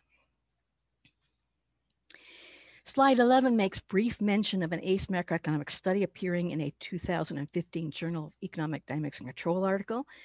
The goal of this study was to counteract a false perception among some ACE commentators still making these comments today that computationally constructed decision-making agents could not exhibit the same level of rationality as human decision makers, that they had to be necessarily stupid in some sense. And to the contrary, what this study showed is that ACE consumers and firms can be endowed with learning capabilities, ranging all the way from simple reactive or reinforcement learning to the sophisticated use of adaptive dynamic programming methods for the approximate achievement of intertemporal utility and profit objectives. A key point that I stressed in this study is that the GE in DSGE modeling can be split into two conceptually distinct parts, G and E. And the equilibrium requirement, E, can then be replaced by an L, indicating that model decision makers have learning capabilities. As seen on slide 12, continuing the study uh, synopsis here, two basic types of locally constructive learning methods are explored in this study for consumers and firms with intertemporal objectives. The first basic type, referred to as reactive learning, asks, if this has happened, what should I do? But the second basic type, referred to anticipatory learning, asks, if I do this, what will happen? And what I'm arguing here today very strongly is that both types of learning are fully possible within computationally constructed worlds with strategic agents. In this study, the Pareto optimal Nash equilibrium for consumer and firm learning methods turned out to be when all consumers and firms implemented rolling fixed horizon learning with a certain look ahead horizon, which is denoted on slide 12 as the EOFH method. Interestingly enough, this method then dominated the more quote unquote sophisticated learning of the uh, explicit adaptive optimizer who used adaptive dynamic programming. There, there are interesting reasons for that, which I could go into in this maybe in the QA session. But anyway, this point of this, this article is to stress again that computational decision-making agents can be just as rational or irrational, for that matter, as human decision makers. On slide 13, I note that a key advantage of ACE modeling is that researchers can test for the existence or absence of equilibrium at multiple conceptual levels. An illustrative the equilibrium conceptualizations at different levels of analysis are listed on slide 13. These levels range from microeconomic analysis of agent attributes and methods, to the meta-analysis of trading networks, to the macroeconomic analysis of growth patterns. So ACE does is, is a multi-layered approach to modeling that allows looking at equilibrium in a very general, uh, sophisticated manner. On slide 14, I note another key advantage of ACE modeling is that it permits a comprehensive approach to empirical validation. As I indicate on EV1 on slide 14, an ACE modeler can check to ensure that the exogenous inputs to a model are empirically meaningful and appropriate for a purpose at hand. The inputs can be, as indicated here, initial state conditions, functional forms, shock realizations, database parameter estimates, and parameter values imported from other studies. EV2 on slide 14 stresses that ACE modeling permits a modeler to check to ensure that modeled processes are empirically meaningful and appropriate for a purpose at hand. This is particularly important, in my opinion, uh, because process validation is not something we see often uh, in current macroeconomic mainstream models. And what I mean process is how do people trade? How do they form their settlements? How do they uh, form long-term contractual relationships? What is the process by which they do this? The dynamic processes. And the processes should be consistent with real world essential scaffolding constraints, such as physical laws, stock flow relationships, and of course, accounting identities. On slide 15, I go on to say, of course, ACE modeling also permits the more traditional types of validation, output validation, and, uh, and in uh, output validation for descriptive purposes with using in-sample fitting and predictive output validation out of sample forecasting uh, of new data that was not available at the time the model was constructed. On slide 16, I, I, note another advantage of ACE modeling is its facilitation of policy analysis. Ensuring, of course, that a policy is ready for implementation typically requires a series of modeling efforts at different scales, and I would, would argue with different degrees of empirical validation. And if you move too soon to policy implementation, you're going to entail a major risk of unintended consequences. Therefore, on slide 17, I've been developing uh, for my work in electric power markets, I've developed a standardized policy readiness level uh, classification that's turned out to be immensely useful to understand and and, and appreciate the modeling efforts of a wide range of people using different levels of empirical validation. One of the most important advantages of ACE modeling I then argue is it supports a full arc of policy design all the way from concept to implementation. And as slow as I show on slide 17, policy research can be divided into nine distinct policy readiness levels or PRLs. At one end of the scale, you've got PRLs one through three. They describe initial policy research efforts from basic conceptualization to low fidelity modeling. Policy research at these PRLs one through three, typically carried out at universities and research institutes where we don't have large budgets to do a lot of different large scale modeling with, with detailed empirical verification. At the other end of the scale, you've got PRL 7 to 9, describing policy research efforts involving prototype large scale modeling, field studies, and real world implementations. And typically these are what you see carried out by industry, government, and regulatory agencies. And between these two extremes lie PRLs four to six, which I characterize here as the valley of death. And I say PRLs four through six span the range between moderate fidelity, small scale modeling and prototype, but still small scale modeling. The problem is that you see relatively few policy research studies conducted in PRLs four to six, which of course is the bridge between the conceptual type of modeling one through three and the more uh, field study oriented and deployment oriented uh, modeling occurring at uh, seven through nine. And this is why I refer to this as the valley of death. And I'm, I say we need to encourage more studies that bridge between the two worlds, between the academic and the industry. And, and uh, basically, I'm arguing that ACE provides is well suited for bridging this valley. ACE computational platforms permit policy performance testing at these valley of death PRLs four to six.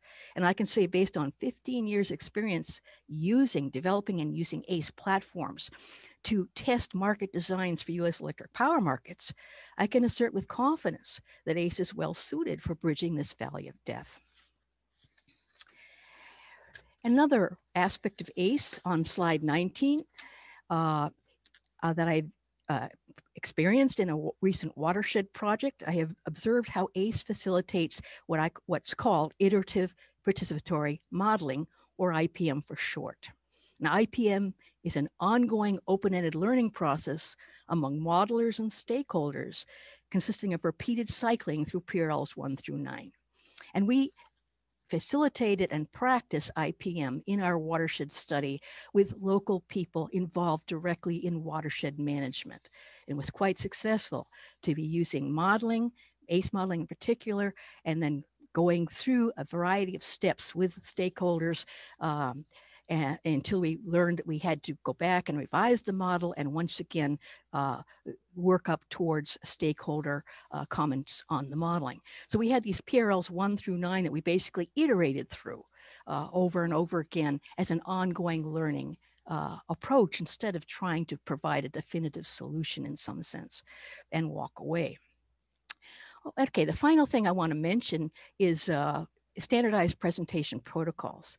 Um, this is an important issue for all ACE modelers. How can ACE policy models and findings be presented to stakeholders, regulators, and other interested parties in a clear, intuitively compelling manner? And my proposal here is to develop a nested sequence of standardized protocols, presentation protocols, tailored to the policy readiness level of the modeling effort. Okay, and so then I we've actually put this into some bit of practice, and it really facilitates instruct um, communication with stakeholders to be able to point. I mean, actually, in our watershed model, we were modeling the people we were talking to. So we would come at them with a model in which we could say, This is you. you are modeled here, and we are modeling your role here. What do you think about the way we've actually expressed your, uh, your participation in this watershed management project? Okay, so in conclusion, um, I just want to uh, mention uh, a couple of things. First, I do believe, uh, as fiercely as the previous speaker, that in my case, ACE modeling is a useful addition to the toolkits of researchers studying real world macroeconomies. And I'm also thinking it's useful for not just the modeling of macroeconomies, but specifically for policy research. But I do recognize that much remains to be done. And I've touched on today briefly four important issues uh, that I think need to be looked at more carefully. First, comprehensive empirical validation. And second, perhaps refinements of these policy readiness levels, specifically for different types of policy application within macro standardized presentation protocols, again, tailored to the policy readiness level of the model being presented, And finally, demonstrated value in real world economic application. So in case people are interested, I have prepared a slide uh, that gives you basic references, online references, where the ideas that I've briefly, briefly presented in my talk today can be explored at greater length. And the uh, links are annotated um, and they provide uh, pointers to four ACE resource sites plus a background paper. So the first link here is to the ACE website or the homepage that I've been managing, uh, maintaining since 1996, uh, uh, when the first browsers actually appeared. And then the second one is a very active, also very active site that specifically addresses ACE research within the area of macroeconomics. The third site mentioned uh, explains in much more care and detail the empirical validation of ACE models, has a lot of different resources uh, linked with annotated uh, explanation. And the fourth stresses presentation protocols for ACE modeling, and again, provides an extensive uh, array of pointers with annotation to work that's been done in that area. And everything I've talked about today, really briefly, is available in a much greater uh, length and more careful explanation in the background paper, the final mentioned link here, which is a fairly recent article I've had, Modeling Economic Systems as Locally Constructive Sequential Games in the Journal of Economic Methodology that appeared in 2017. So I thank you very much for your time. And uh, questions, of course, are most welcome. Okay, thank you very much, Leigh. So there are a couple of questions already in the chat window, and I'm sure a few more will come in. But before that, because we've actually got quite a bit of time, I wanted to um, invite you maybe for somebody who's ignorant about these models, like uh, uh, uh, as ignorant as, about these models as myself, um, to elaborate maybe on um, a couple of the examples you were mentioning that sounded really interesting, where where you and yourself have used ACE models to actually advise and uh, affect policy. Uh, you mean elaborate on what kind of assumptions we made? No, no, just the oh. examples. Oh. Uh, you, you, mentioned you were actually modeling the people that you were advising. I'm yes, curious yes. about where you mean the you mean the watershed project. Yeah, yeah. Oh, yes. Okay. Well, actually, I, okay, I, I did a one watershed project and I've done maybe 12 electric power market projects. Which right. would you rather hear about? because the same thing arises in electric power markets. I'm a little more comfortable there uh, because we're actively engaged. Uh, there, uh, because I am a courtesy research, research professor of electrical and computer engineering, uh, mm-hmm. I have been actively involved with interdisciplinary research with power engineers since 2000. And what what the the the the, the main approach that's taken within engineering, some of you may know, is to involve industry in the research. And so the very moment a grad student, a PhD student, or a master student arrives on campus, they're arriving there because they've been invited to join a uh, not only the program uh, of classes and courses, but also a particular research project by a professor. And these pro projects are typically funded by Department of Energy or a national lab. All of mine have been, well, many, most of them. I have a couple of NSF, but ma mainly though we look for the DOE and the the uh, Pacific National Lab, Pacific Northwest National Lab or Los Alamos National Lab. National Lab support has been very, very important. And we bring in industry members. So every project has a whole set of industry members who are actively involved in power market uh, design and policy implementation. And so to get to your point, when mm. in we when we're modeling the electric power market, we are modeling, I model integrated transmission and distribution systems at two different levels. And so I have to, I'm modeling the people who are running the wholesale power market, and I'm running people at the distribution level who are buying the power and involved in retail transaction. And so when I talk to industry members, I say, well, I'm modeling how you manage the daily the day ahead market and how you model, uh, how you handle real time market operations and how you handle reserve procurement. And this is how I've modeled it. And uh, so the industry members and the uh, and the uh, academic members of the project get to interact like that to check whether what we're doing makes sense uh, to the actual people who are doing the the actions the policy actions that we are trying to model. And so it's a very it's a, been a very challenging absolutely astounding and interesting uh, uh, 20 years uh, working in this market area for a particular uh, electric power market in this in my case. Same thing happened on watersheds, but I was only involved there for three years. Here I've been involved for 20 with electric power markets. So I, don't know if that answers your question, but uh, yeah, it does. It, it, it sounds fascinating that you get so close to policy uh, yeah. as that to actually but, interact with the person who's going to who's, who's yeah. doing it. But like I say, if you you know you're pointing to the person in your model who you're modeling and you're talking yeah. to that person and having dinner with them, and so you know you have a chance to really have them spout off, if you will, on whether we've got it right. And I should I should mention that all these models are implemented by Java Python, and they are available at, uh, we have just released uh, three new software packages at GitHub sites. I noticed the previous author did the same. So GitHub is a very nice way of releasing software. So these are open source software packages. Uh, I must say that's a little different. Most engineers don't like to share their mm. software, but I do. I've always been open source. So all of these things I'm talking about, even actually the code for this model on slide 11, uh, for this is a dynamic uh, DSGE model uh, with all of the equilibrium stuff torn out and replaced with learning. And so, you, but all of the code for this model and all the code for anything I've ever done basically has been released open source, uh, available to others to use. All right, thanks. Uh, from the chat window, JP asks, um, have you considered how your PRL and IPM uh, could, uh, could have or could be used for addressing COVID test and trace uh, or policies um, like that? I've thought a lot about that because, uh, but of course, we are in the emergency right now.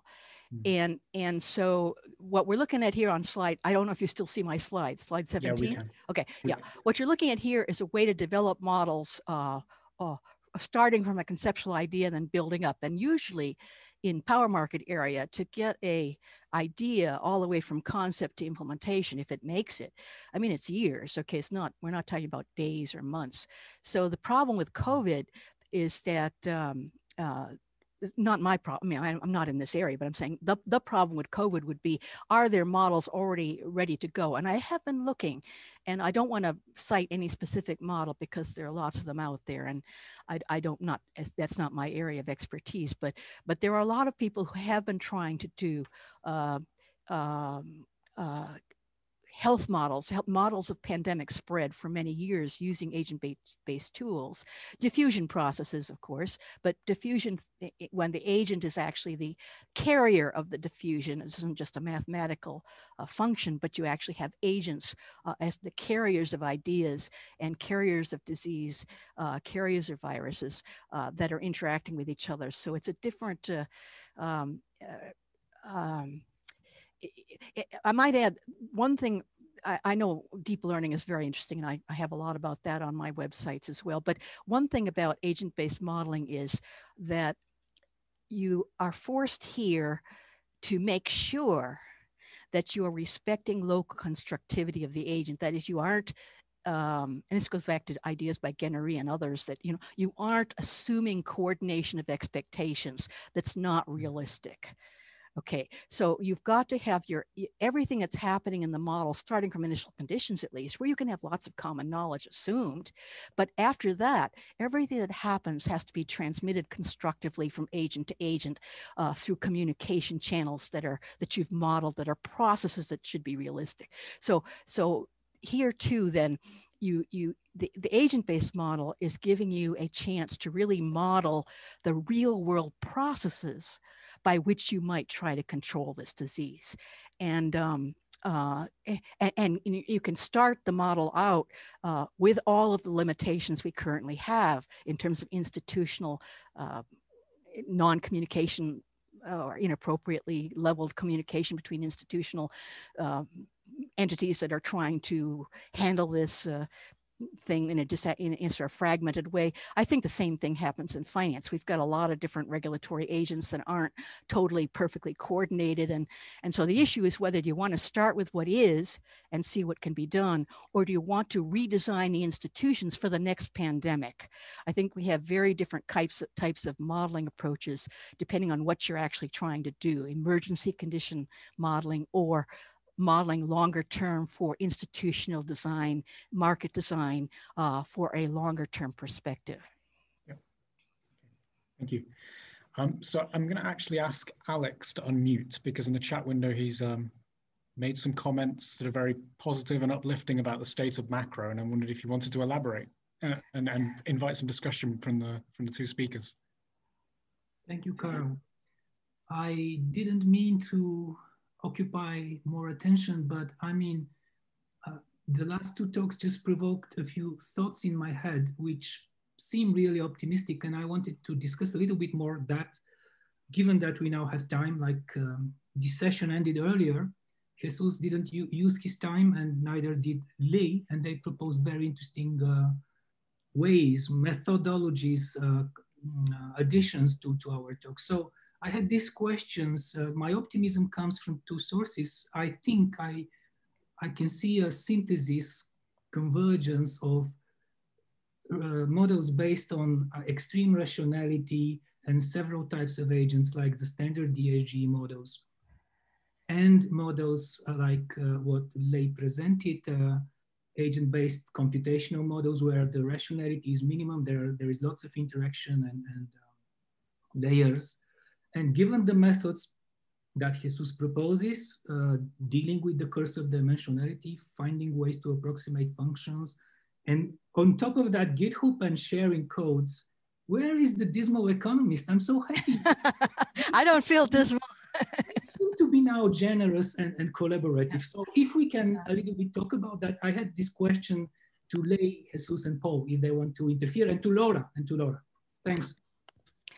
Yeah, if I could just comment on that, there is an um, an educational aspect to this. I used to teach agent-based economics uh, when I, I have retired from teaching, but uh, basically students love this stuff because when you're running a, a, a, culture dish experiment where you set the initial conditions, close the cover, and then you have to watch, you don't know what's going to happen. You are surprised maybe by what happens.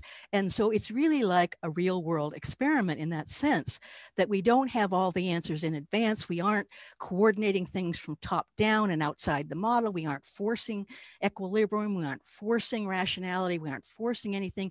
We're just asking if agents have these kind of attributes, data, data and methods, and they're, you know, the agents include institutional structures and all the rest of it. Um, and you try to do something new within the model or you try to make a change of some kind of policy change or whatever close the cover and watch what your experiment results in and that and and and, and students really there's a different excitement in the classroom when you're teaching that way I might add, chemists, for example, use agent-based modeling to, to allow students to run new kind of experiments and blow up the classroom, you know, virtually. so, so, so th this, this kind of experimentation uh, it is similar to human agent experimentation. Of course, there's many, many connections there that we have uh, been exploring. We have uh, been exploring over the years. Uh, and I didn't show you that slide. Perhaps I should have because I had time, but there's actually a whole spectrum of approaches starting from pure human subject experimentation, ending up, ending up with pure computational agent experimentation. And in between, you can have huge, uh, human agents uh, interacting in uh, with computational agents um, in model settings. It's, it's very quite exciting. It's, it's, it's like gaming, of course, but done with a scientific purpose in mind.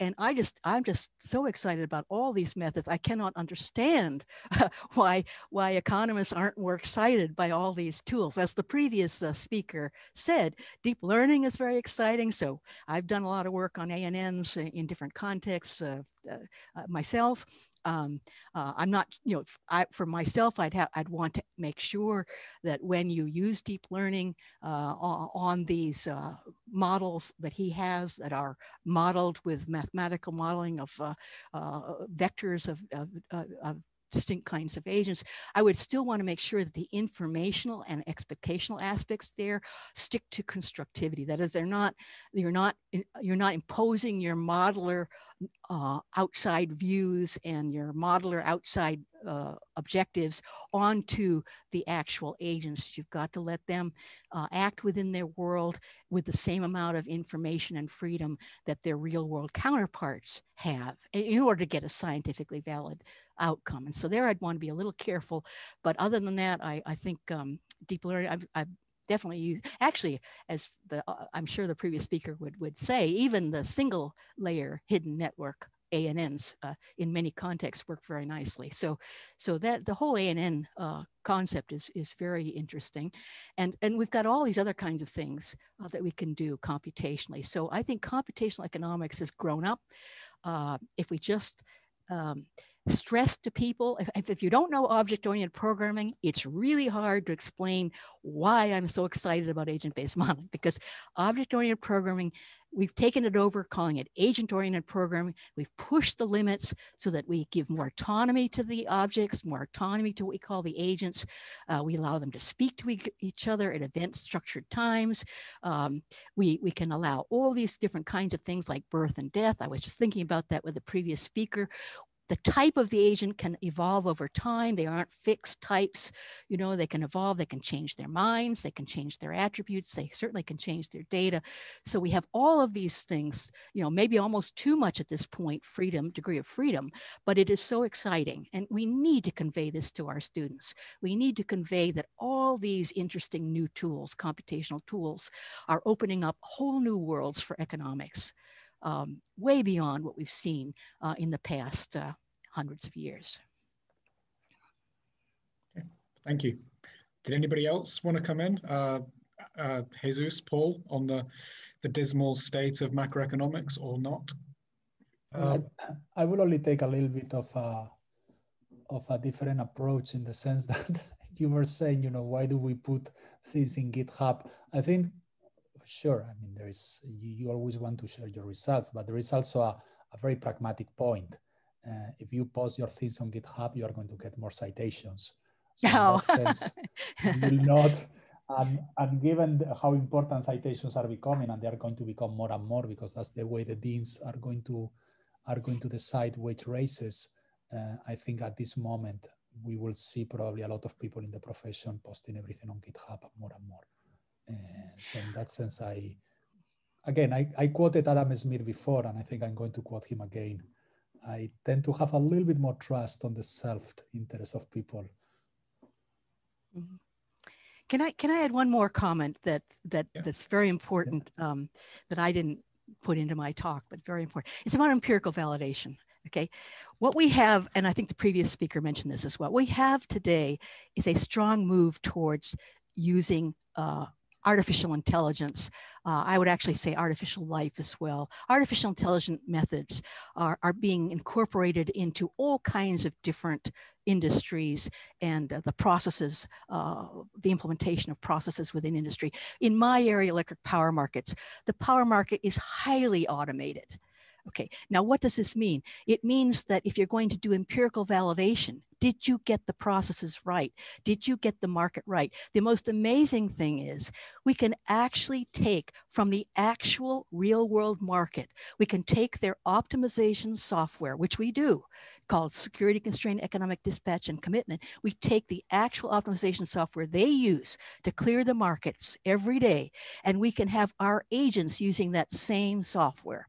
And also they use automated methods for determining forecasts. Okay, we can adopt those same methods into our model. So the point is that as the world becomes more automated, computational methods the empirical validation permitted by computational methods grows by leaps and bounds because we can actually adopt the actual methods in the real world into the model and have the agents in our model using those very same methods. And this is this is just this is just beyond anything uh, I, have seen any uh, uh, empirical validation in economics do so far. But it's there. It's there for the taking. Uh, Laura, Paul, did you want to carry on um, discussion? Yeah, just on, on the theme of um, integrating and, the, and synthesis of different approaches. I'm uh, uh, uh I'm particularly interested in the uh, the DSGL model, where, as I understand it, you take a DSG model and you you strip out the market equilibrium and replace it with something learning yeah learning agents right yeah. um, well there is another literature which is, is, is a bit closer to the the, the dsg model um, which which which which takes a dsg model and and strips out the the model of of, of um, expectations um, uh, um, so um, so this is the um, so behavioral literature so it replaces yes. expectations with, with a number of different uh, models of expectations. There's, there's, there's so-called statistical learning, there's Euler oh, yeah. learning, anticipated utility learning. So Gabaix has got myopia. And this is actually much closer to what we've been doing up to now. Um, so I, I, really wonder, um, I mean, what, what, what your views on this is? Yes. Um, again, um, I cameras. I mean, I, I, know that literature quite well, the behavioral literature, and have actually tried using some of the methods that have been proposed in that literature for learning. But uh, what, interestingly enough, uh, what we have, the, the issue we have here is that we have um, a, a, specific um, a specific organizational structure, a market, uh, a markets, multiple markets actually, labor and final good markets. And we have a variety of different types of agents. We start them fairly similar, but very soon endogenous uh, endo endogenous heterogeneity sticks in, uh, kicks in because people earn different amounts of money. And when they earn different amounts of money through their various attempts to buy and sell, um, they update their expectation. And as again stressed in the adaptive learning literature, these expectations are very sensitive to changes in wealth and changes in experience and changes in who you interact with. And so my, my only problem with behavioral economics as I have read it to date is that it still uh, sort of assumes a rather static environment within which the learning is occurring. But, but here in the uh, I call it the stripped DSG model, where, where you, you start the agents with these, inter, you, you start them with the same structure, the same physical structure as in the DSG model. You know, they have attributes, they have production functions, they have utility functions, they have initial endowments and all that kind of stuff. But, but difference is that they're living their life in a world with these multiple agents who, about whom they don't know very much. And so you've got this a coordination problem I mean, the market itself can fail. By the way, in our world here that you're looking at on slide 11, mm-hmm. um, in some cases, the market fails. I mean, people people go insolvent, consumers die. I mean, they don't get enough money to meet their subsistence needs. They're going to die, and the the firms go insolvent. They have to leave the economy. So, in some cases, with some combinations of learning, the entire economy breaks down okay and the, and there's no circular flow and and people are just living off their at their their their means and and if they don't have uh, you know these uh, artificially uh, given endowments in every period, which we don't have. They have initial endowments, and then they have to everything has to come from the markets after that. Uh, then they die, and so this this is what I this is a difference in setting from the typical behavioral economic study, is that this is an extremely dynamic non-stationary open-ended world in which lots of things can go wrong. And what you're trying to which i'm trying to do which is in my my whole study of markets uh, in electric power what we're trying to do is not reach the optimum market design. What we're trying to do is find market designs that work well enough that they don't break down. That is we get rid of the worst possible things that could happen by uh, altering the structure of the market and the market rules of operation.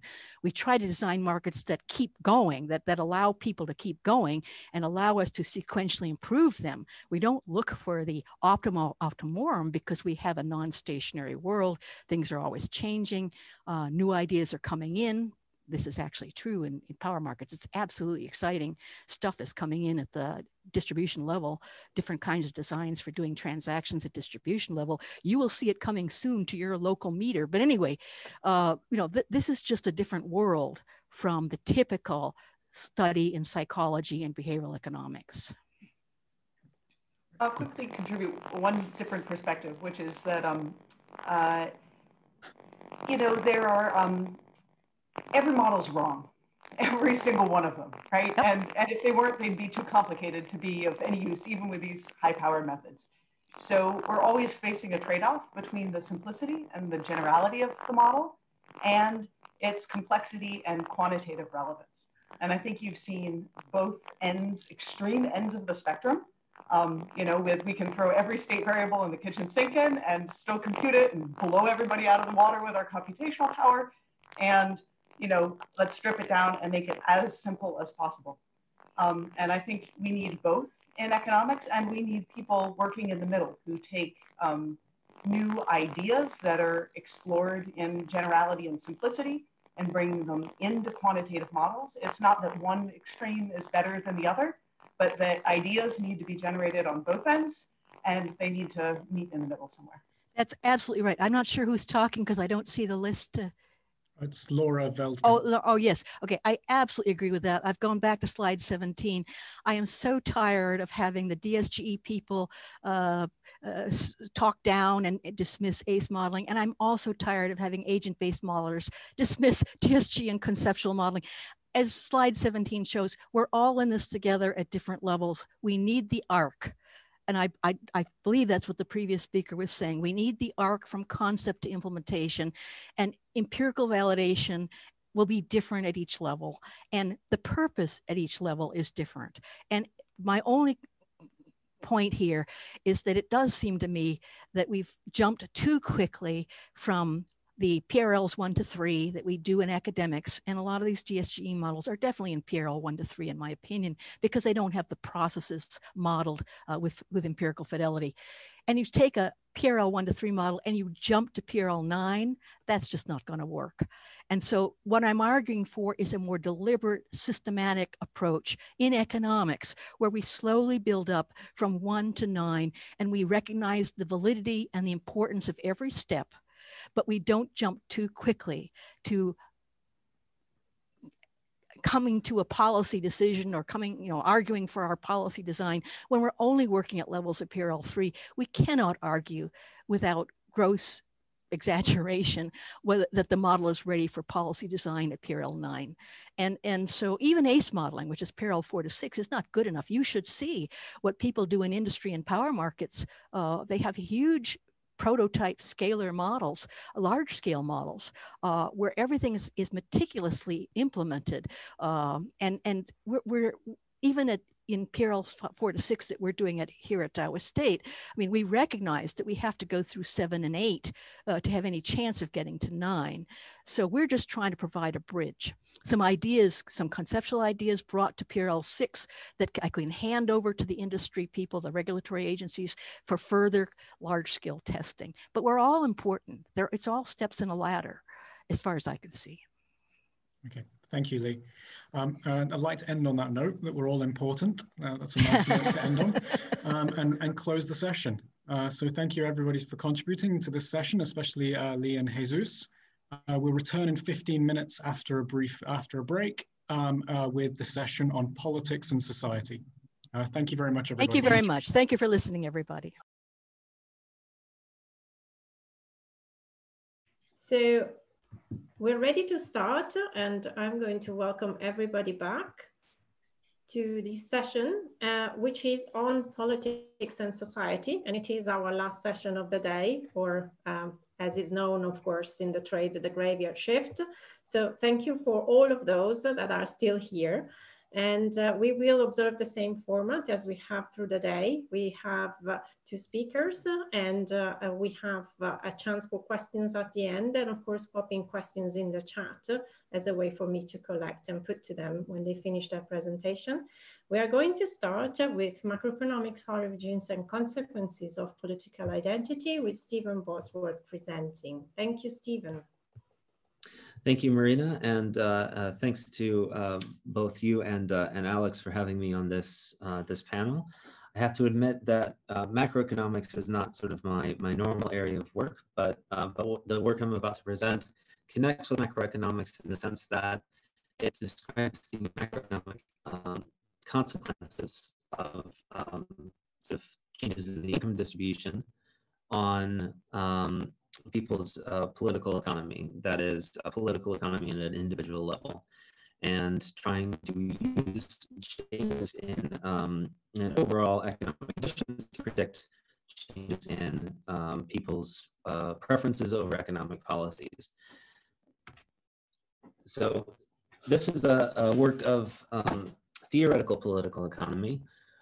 What we are um, trying to get at with this work is to try and tie together a number of very, um, we think are integrated phenomena that we've seen in... your microphone is not very good. Can you maybe uh, move away slightly? Yeah, yeah. Sorry, uh, is it uh, is it better now? It is. Thank you so much. Yep. So we, um, this is a work of uh, theoretical political economy, and what we wanted to do with this is some phenomena which we think are um, some related and, and, very consequential uh, shifts in uh, what happened in, uh, in industrialized um, rich democracies, and that is that there's um, there's been a lot of income disparities across um, sort of multiple generations now in um, both the United Kingdom and the United States. And we observed this along with a, a sort of more recent trend of, uh, of voters shifting their political identities, uh, moving away from uh, traditional political parties, uh, gravitating towards um, what you might consider more, uh, more populist, uh, more nationalistic, stances than we would have observed in the um, in the past. And let me. Ah, uh, okay. I think I think that was uh, your comment about my mic. Um, right. So we um, we think that these are related. That um, that these uh, shifts in in political economy are a consequence of the the shifts in uh, in macroeconomic outcomes, uh, the um, the income distribution shifts that we observe, and our theory behind why these two are connected is that uh, we suppose that people form their political identity based on um, a sort of um, util utility maintenance model. So um, this is very much in the um, in the vein of identity economics, where identities are, are formed or reinforced based on the um, the value based on on uh, a particular measure of self-worth, having to do um, with sort of how that um, that need to stack up relative to uh, to the value that you choose. Um, we propose uh, three particular, um, albeit um, sort of oversimplified uh, political identities, um, which we classify in terms of more or less. Uh, Sorry, Steve, you're breaking up again. Is there any chance you can maybe um, switch to a different mic or, or move a bit back? It seemed a lot better when you moved back, but then it's a bit funny again. Sorry to interrupt. Okay, sorry, sorry about that. I'll I'll try and sit back a little bit. I, I don't have my uh, my headset in the in the room with me. Um, so we, uh, we classify these entities in terms of how much emphasis is based on materialistic outcomes. So we can say that an identity which is very individualistic uh, places a high weight on one's material to uh, some benchmark, which is the uh, rest of the population. Whereas um, on the other end of the spectrum, we have people who do not place that much emphasis on um, materialistic concern, but rather um, supplant the uh, the individual performance with uh, with something that is more common. So um, our model uh, comprises the national identity. And we assume that people select into these identities on uh, on the basis of uh, how well that suits them. So people who stack up relatively well in terms of material success will enjoy uh, relatively high life satisfaction if they uh, develop values which uh, emphasize their uh, their material success. Whereas if you do not stack up that well in, uh, in uh, material terms to the rest of the reference group population, then you will not be happy if you develop a very materialistic outlook on life. Whereas you might be happy if you place more emphasis on um, uh, communitarian concerns. So uh, sort of place a higher emphasis on uh, on the group outcomes, the group achievements in your um, uh, and um, we, uh, in endogenizing the identity formation, can show how changes in that reference group that is based on movements in the incomes of people who you're comparing yourself to uh, can change the, the calculation of which of these sort of values you gravitate towards.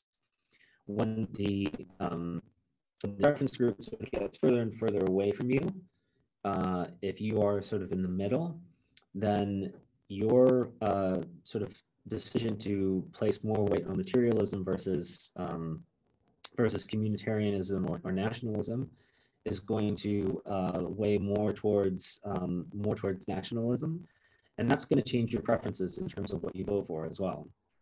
So uh, if you become more uh, more nationalistic, as you you care about the material um, outcome of yourself relative to other people, and you um, care more about um, sort of what a policy does to uh, to boost the um, the national uh, well-being uh, versus say other nations, then you might uh, become more favorable voting for things like uh, trade protection or immigration um, restrictions.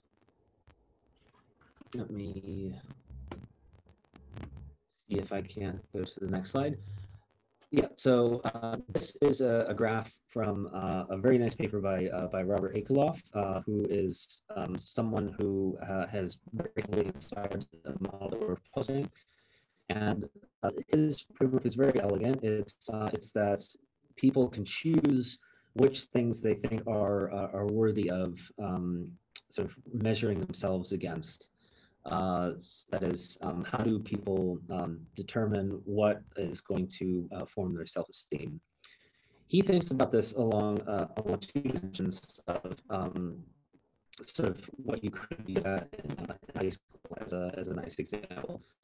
Uh, so you can have different abilities in terms of um, uh, scholastic ability, so that would be the uh, the horizontal axis, and uh, you could have, uh, on the other hand, different uh, heterogeneous abilities in terms of, uh, say, how well you are at at playing the guitar.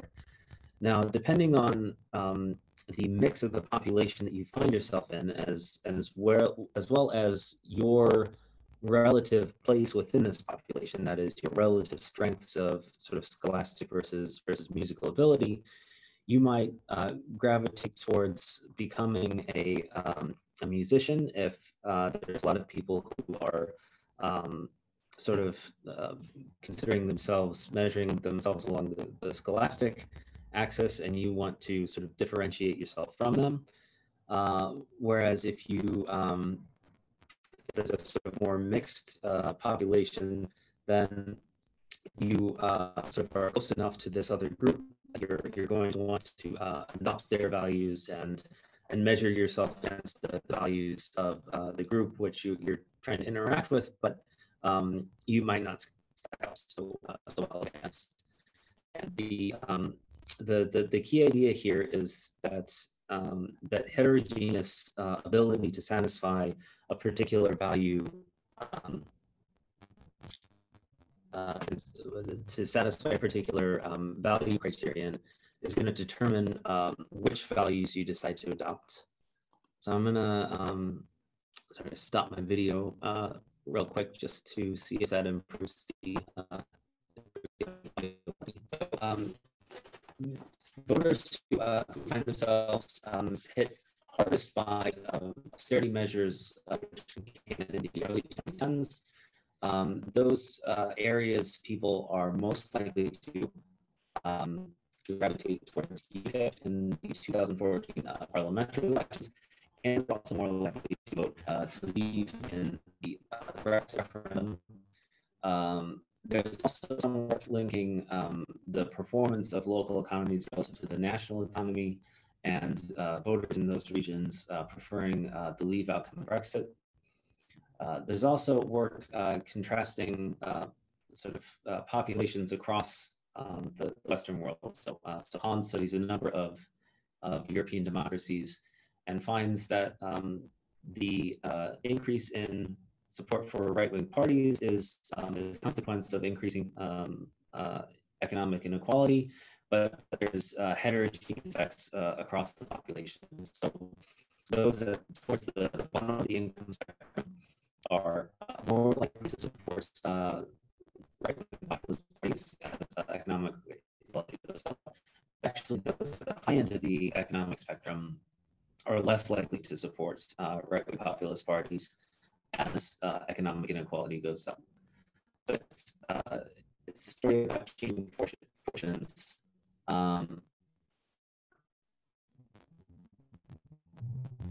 it's a story of changing fortunes uh, in, relative terms. So those who are in the, uh, the winners from uh, recent economic trends um, tend to sort of think things are good, that um, that measuring themselves being uh, having a materialistic or, or liberal outlook uh, tends to suit them, whereas those who are the um, the relative losers from recent economic trends um, are those who are most likely to uh, to gravitate towards alternative uh, political ideologies or um, become more more nationalist, more favoring of uh, of right populist parties.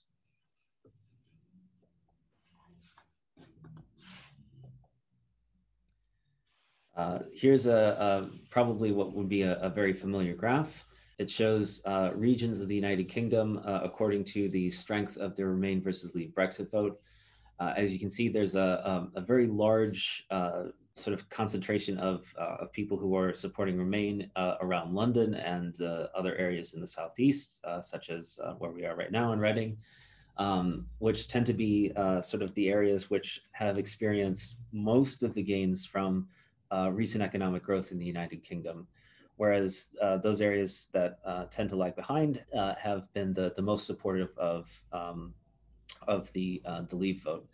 We'll notice, of course, that, uh, that Scotland, for reasons which are um, sort of very different from, from reasons that Remain has been supported in England, have very high levels of, um, of support for Remain rather than Leave, because the uh, the nationalist and the um, and the sort of cosmopolitan uh, policy cause uh, for Scottish people because they're sort of considering themselves against uh, against the English uh, tend to align in the right direction, and so that's why we don't see this uh, this pattern within Scotland.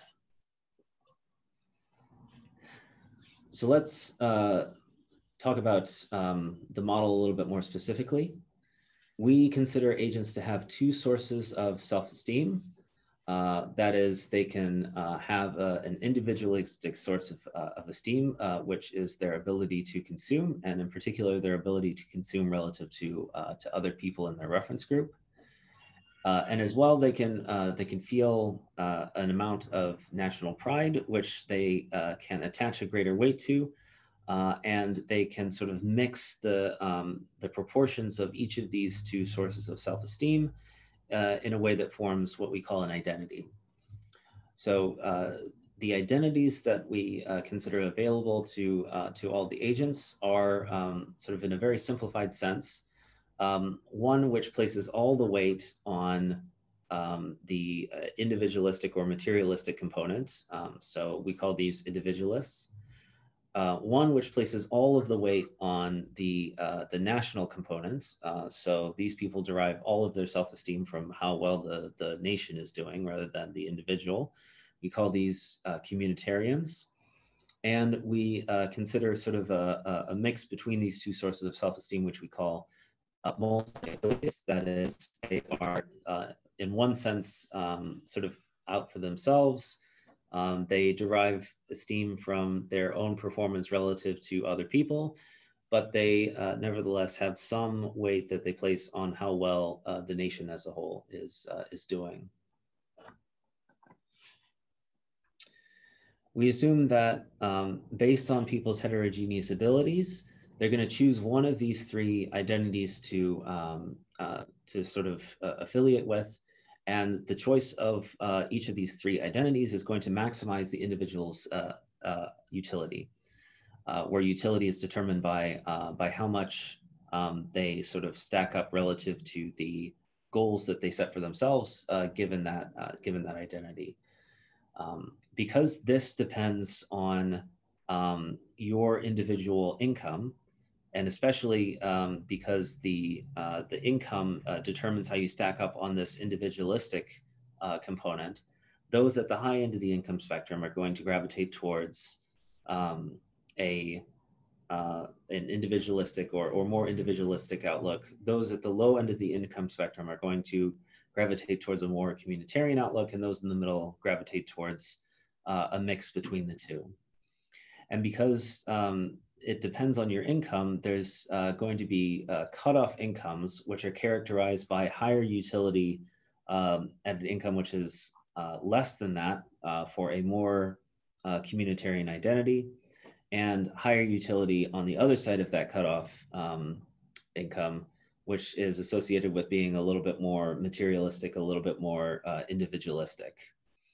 And because we can characterize these cutoff points based on uh, aspects of the income distribution, we can show how those cutoff points change when we change uh, certain moments of the, the income distribution.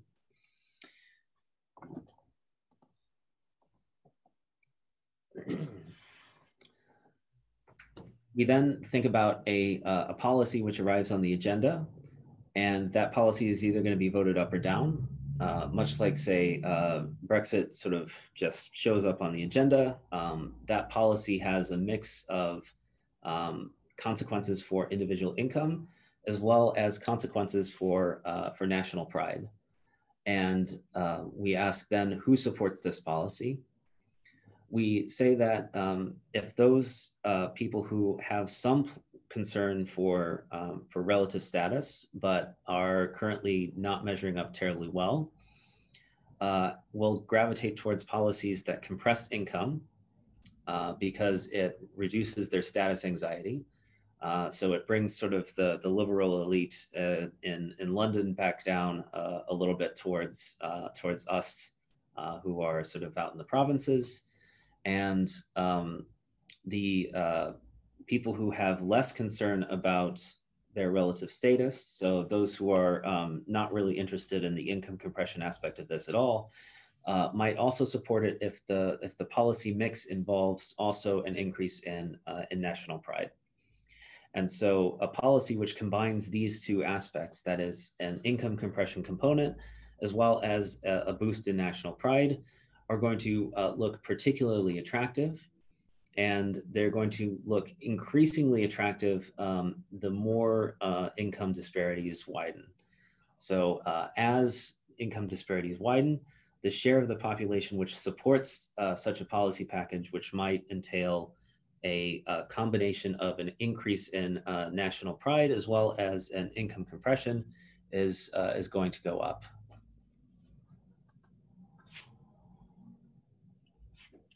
So our main findings uh, from this model are that um, skill bias growth, that is growth which uh, increases the, um, the incomes, the consumption of those who are concentrated at the, the top of the distribution, even if it leaves the incomes of uh, those further down in the distribution the same, uh, will first lead to a, uh, a polarization of uh, political identity. So it will increase both the share of people who are uh, more materialistic, and it will increase the share of people who are um, more nationalistic, and it will sort of hollow out the group of people who uh, who pursue both uh, as uh, desirable objectives to measure their self worth.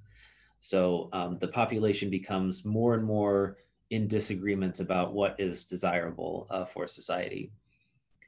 The other proposition we uh, we find and and prove is that um, social fragmentation, the process uh, that arises from this, this uh, polarization of income, uh, generating polarization of political identity, increases support for what we call closed policies, where uh, closed policies are those that, uh, that both compress income and raise the, the return from nationalism.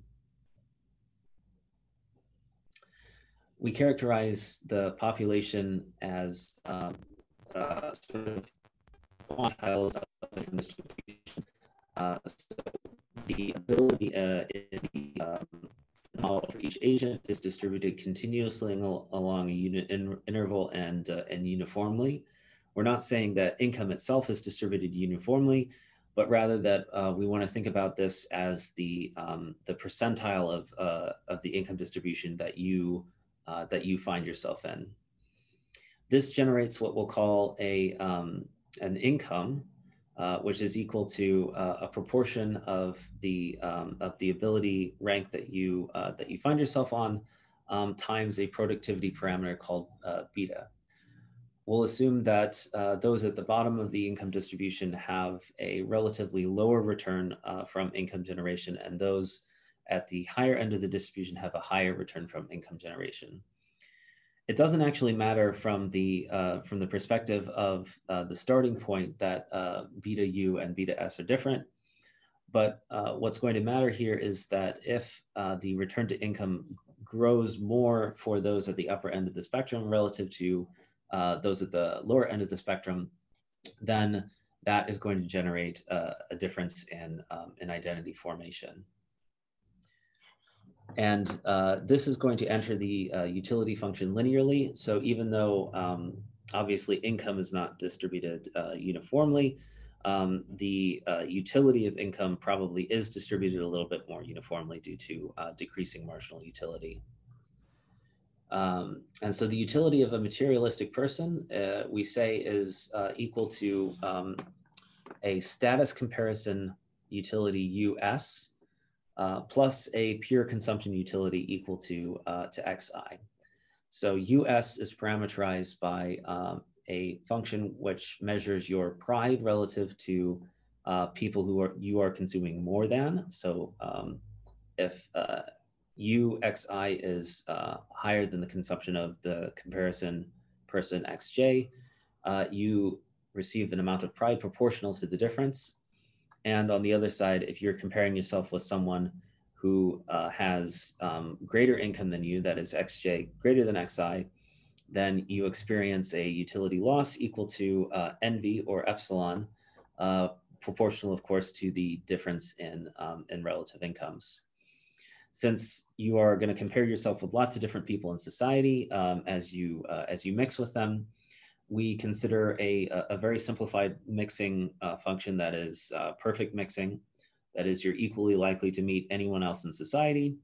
And so on average, your expected utility from, uh, from social comparison depends on uh, where you are in the income distribution, uh, the probability that you're going to meet someone who is um, of uh, lower income than yourself, probability that you're going to meet someone who is of higher income than yourself, uh, times the expected um, income comparison for each of these groups, uh, which which is easy if the um, if the distribution is uniform.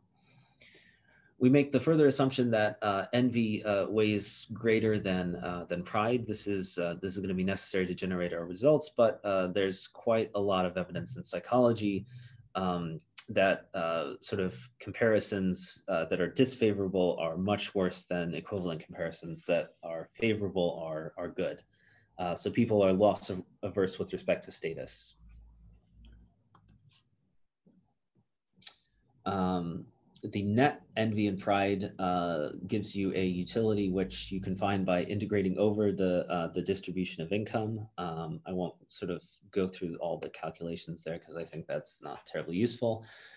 Um, in contrast, uh, if you adopt the um, purely nationalistic, purely communitarian identity, uh, then we assume uh, for purposes of simplicity that that is a, um, an exogenous uh, amount alpha. Uh, so these people also uh, sort of like to have pure consumption utility in their utility function, but they don't uh, compare themselves with others. There's no uh, there's no relative status utility if you adopt um, if you adopt a nationalistic identity. And if you have a an identity which mixes each of these sources of esteem, uh, we assume that the the proportion of that is equal to to phi and one minus phi respectively for the, um, the nationalistic and the, uh, the materialistic sources of utility. And we also suppose that, uh, that these things are imperfect substitutes, um, which is uh, why we have this uh, parameter sigma, uh, which means that if you uh, manage to sort of maintain both sources of utility, it's relatively better than um, sort of having one or or the other.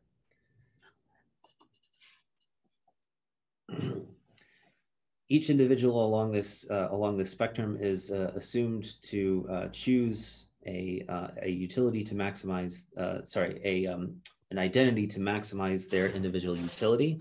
So depending on how that utility function uh, depends on your uh, place in the income distribution AI, you are going to have um, either a higher utility of uh, adopting the communitarian, the uh, mixed, or the purely individualistic um, identities, and that uh, this utility is uh, um, is monotonic. This choice is monotonic in in where you are in the the income distribution. we can show that um, the following cutoffs, uh, depending on the parameters, uh, show uh, which parts of the distribution adopt the um, individualistic, multi-affiliated, and communitarian identities respectively. And these cutoffs depend on uh, both how uh, much status comparison weighs on, uh, on your utility function how badly uh, sort of envy is worse than uh, than pride from social comparison, as well as um, how much you lose by um, by foregoing this this nationalistic identity.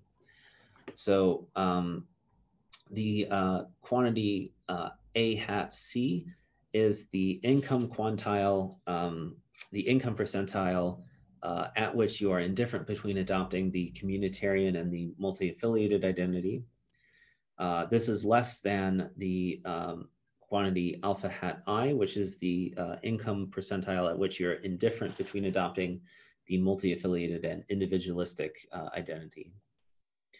So the interesting case here is that where um, the uh, shift in income happens for those who are straddling the boundaries uh, between these um, uh, these two extremes. So um, I think it's best uh, best represented in the following graph. So if you have um, AS, which we're going to call the the cutoff at which uh, a shift in income, a relative shift in income happens for those at the top relative to the bottom, and that happens for someone who uh, is uh, adopting both a nationalistic and an individualistic identity. That's going to shift the the boundaries of uh, of these identity um, identity groups. Uh, so those at the bottom, uh, again, are uh, those who derive higher utility from um, communitarianism. Those in the middle are those who uh, would rather sort of have this mix of sources of utility that is a little bit individualistic, a little bit um, nationalistic. Um, and those at the top are, are, going to choose to place the, the bulk of their, their self-esteem in terms of their individual performance. Um, so now what we consider is a shift in the income distribution, uh, which happens at uh, this cutoff uh, point AS. So let's um, go back a little bit. This dotted line uh, AS, we're going to assume that everyone to the um, to the right of AS is going to experience a relative shift in income, whereas everyone to the left of AS is uh, going to have their income stay uh, stay constant. And so what that means is it's a, uh, a change in the, um, the return to income generation for uh, those at the top, holding fixed the return to income generation for those at the bottom. We can show in a comparative static exercise what that does to the, uh, the cutoffs of, uh, of each of the identities. And in particular, it, um, it makes the um, sort of share of the population who gravitate towards each of the extremes greater. Uh, the reason being that um, those who lie on the um, on the left side of AS, um, who ordinarily would have um, sort of had both sources of utility, many of those people now face um, an uh, identity threat uh, because they are falling further behind in the uh, status comparison race. Those who are on the right side of AS are actually sort of uh, racing ahead in the um, uh, income uh, comparison uh, game. And so they are more likely to place greater weight on that. And so what that does is it uh, it shrinks the um, the proportion of the population which attaches weight to, to both of these outcomes. And we uh, we say this as uh, or we think about this as society becoming more polarized in terms of values.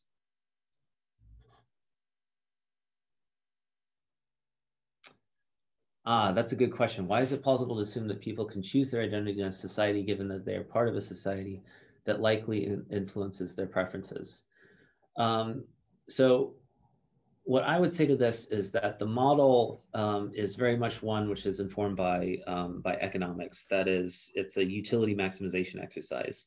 I don't actually believe that people um, consciously maximize utility, especially in the, in the domain of, um, of identity uh, adoption. What I do think uh, this is a good sort of metaphor for is um, is sort of a, a, learning process. So if you um, are constantly sort of emphasizing materialistic um, gains or um, or ways of uh, assessing yourself, and you are sort of constantly experiencing this uh, this cognitive dissonance because you're you sort of don't stack up relative to uh, to the metric that you set for yourself, then um, sort of the psychological phenomenon of minimizing cognitive dissonance says that um, uh, over time you're probably going to engage in this exercise less and less. Uh, likewise, if you are someone who um, stacks up relatively well in the materialistic metric, and that sort of brings you um, brings you satisfaction, then uh, reinforcement will say that you'll tend to do that uh, increasingly more. And so um, so I would say that the identity formation process is um, it's not it's not conscious, but if you if you think about how identities would gravitate over time uh, in a, a, learning process, it would look a lot like uh, what you would get um, sort of after a long time uh, for a, um, a utility maximization exercise. So so the utility maximization I think is um, is sort of a nice shorthand for these more um, sort of reinforcing psychological processes. Now, an even sort of nicer point, I think, which which I can't necessarily speak to, is uh, is this idea that um, the values that pervade in society are going to influence uh, the values that everyone else has, right? So the people at the top, you know, they're on TV all the time, um, emphasizing their, um, you know, their relative wealth, and so uh, if people at the bottom are you know watching these TV programs and you know and seeing lifestyles of the rich and famous, uh, they might sort of you know have a hard time uh, disengaging from uh, that as a as a value that they measure themselves against. Uh, so I think that that is that is a potential cautionary um, or sort of mediating. Um, no, not mediating. Mod- that I think is a moderating factor against this this identity change. Uh, but but I think it depends on um, on who um, who has the uh, greater power of social influence. So I would I would assume actually that those at the top have have a greater ability to influence the uh, the values of society than those at the bottom. Um,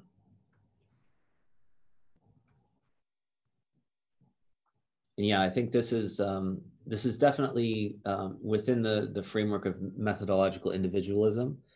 Um, but I think where it moves away from methodological individualism is it doesn't assume that uh, that people's preferences are fixed, right? So it does allow for social influences on um, on individuals' values and preferences, um, even if it sort of um, uses the mechanics of, of utility maximization. So our um, our sort of last point is about the um, uh, the political economy of these identity shifts. So we assume that uh, a policy arrives on the um, on the agenda, which is uh, sort of bad for income. Uh, so say uh, Brexit is probably going to hurt um, everyone in the UK, um, regardless of where they sit in the income distribution. Um, but it's it's going to compress that income distribution because it's probably going to lead to um, sort of proportional changes in, um, in income depending on sort of how much income you have. Uh, so we, we think about this as a, a proportional income compression equal to one minus tau of the uh, of the income you had uh, prior to the policy arriving. And we also assume that the policy uh, increases the return from national identity. And that's this um, d alpha d tau uh, term, which is assumed to be positive. And so if we ask who is voting for this policy, people could vote for this policy for two reasons. One, they could uh, vote for um, the policy because uh, it compresses income and they um, are uh, feeling like uh, income compression would help uh, their relative status concerns. And so that is a concern for those in the middle. And uh, those who are purely interested in increasing the return from national identity, uh, so those at the bottom will vote for this policy because it, um, it raises the return from national identity so long as the hit to income uh, isn't, too, uh, isn't too big. Uh, we derive an indifferent or, or marginal voter by, um, by thinking about um, the total utility of adopting the policy versus not adopting the policy. And we can characterize that voter according to um, one, uh, how much the policy compresses income, as well as uh, what the return to national identity uh, has uh, done. Uh, since this uh, sort of marginal voter is um, is one where everyone to the um, to the left of them in the income distribution would would prefer strictly prefer the policy to be adopted, and everyone to the right of them in the income distribution would strictly prefer the policy not to be adopted, then uh, depending on where that marginal voter lies, the policy is going to be more likely to be adopted if uh, the marginal voter happens to be closer to the median. So once that marginal voter uh, passes, uh, passes the median, we would assume that the policy is going to be implemented. Whereas if that marginal voter falls uh, below the median, then we would assume the policy uh, is, is not going to be implemented. And likewise, we can think about what happens, thanks, what happens to that marginal voter in the, what happens to their location in the income distribution when in economic inequality goes up. Uh, and we can show that uh, when economic inequality goes up, there's more people who are concerned about um, the income compression uh, aspect of the, the policy and the marginal voter moves uh, sort of further to the right uh, as inequality goes up. Uh, and so there are two reasons why these sort of policies become particularly attractive as economic inequality goes up. One is that there's a whole bunch of people who are now sort of more interested in uh, in return to national identity than they are in um, uh, economic terms, and so the policy is attractive to the um, to these uh, people on that count. And there's an increasing constituency of people who feel um, an identity threat from not measuring up in terms of income and might be attracted to the income compression aspect of the, of the policy.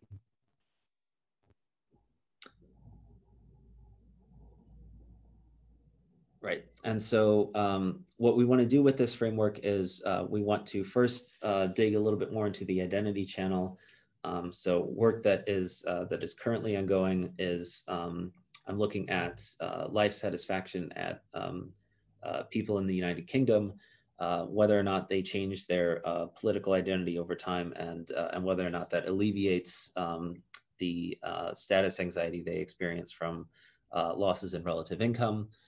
I think also the um, the model could accommodate al alternative political co coalitions. So um, there's sort of a, a at a different uh, point in time, we could have talked about, uh, say, the um, the coalition that elected George W. Bush president in, in 2004, which was very much sort of both about increasing returns to national identity, but not compressing income. That is sort of exacerbating the uh, the income spread.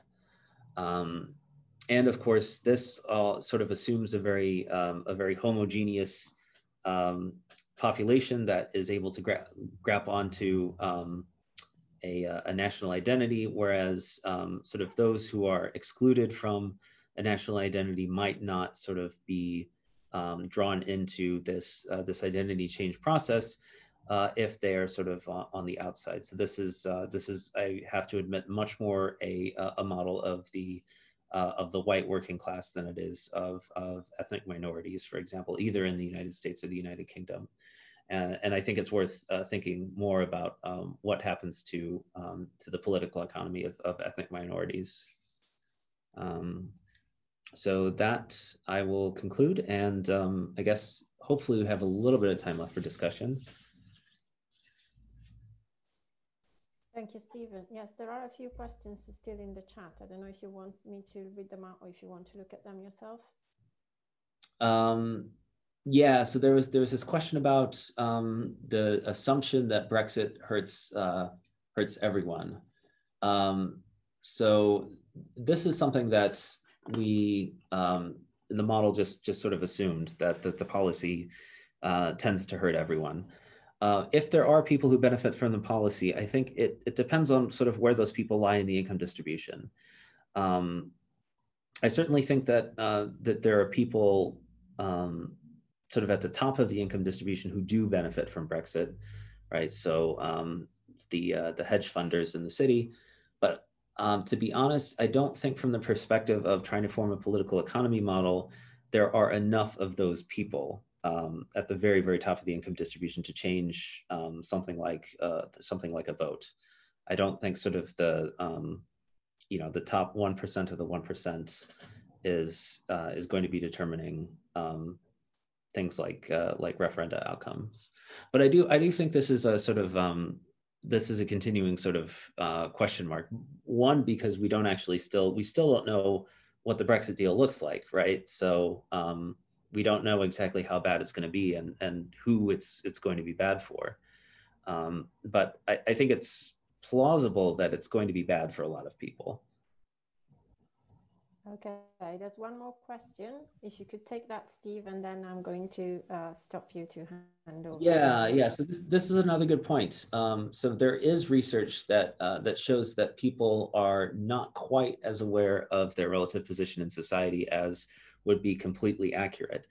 What I would say about this is that um, even though people do not accurately perceive their rank in the distribution or sort of the incomes of people who are higher than them, the um, the perceived rank is monotonic in the actual rank in uh, in the research that has been done on this and so i think people do have a sense of whether or not they are uh, more further behind or or further ahead and i think people also have a sense of how this thing is changing right so um okay um before we launch into a fully fledged discussion about what brought about the Brexit referendum, uh, maybe we could leave that for the end if that's okay. And uh, and uh, thank you, Steve. And if you could stop sharing your screen, please. Oh yeah, yeah. I'll just uh, hand over to Angus Armstrong talking about social macroeconomics. thank you very much.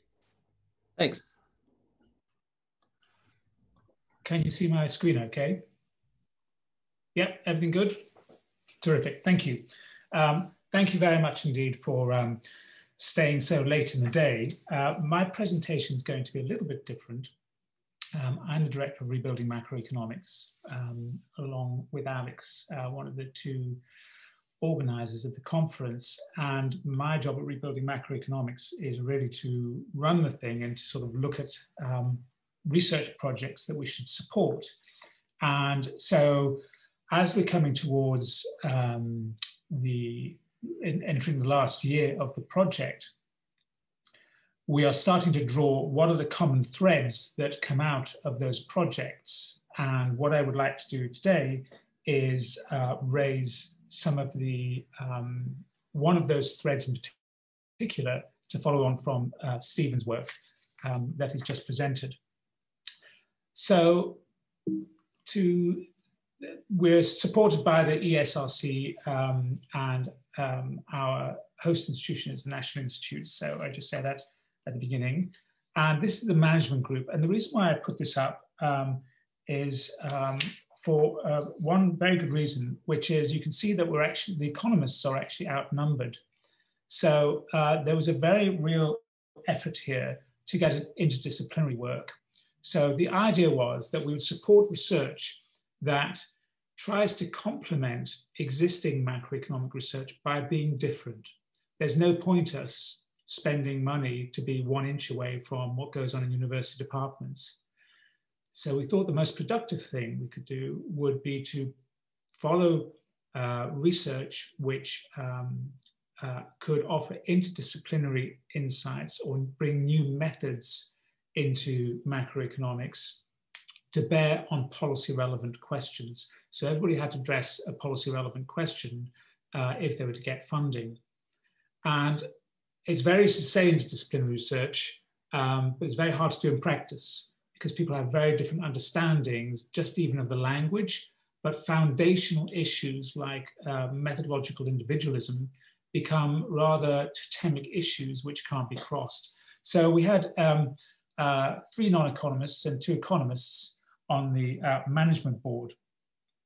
And as I say, what I would like to do today is just look at uh, one of the issues, which is a common theme in a number of the projects. In the end, we sponsored about uh, 37 projects and two research groups, which is a lot more than we expected to do um, for various negotiating reasons. Um, what are the key threads coming through? I would say there are four. One, that they're about um, uh, social preferences and some of the identity uh, issues that Steven's just been talking about, but perhaps from a slightly uh, broader take. So a number of the projects have uh, uh, uh, either indirectly or directly raised this issue of social preferences. And we're pretty open-minded about what this really means. I don't think it's a closed book at all. It's not a finished article yet. The idea was to raise new areas um, uh, of thinking. The second is about interaction. So there's one thing I would say that um, really brings together all of the projects is that in standard macroeconomic models, people basically interact through market prices, through the Walrasian auctioneer. So it's market prices, it's how they usually interact. In most of the research projects that we've funded, they interact directly.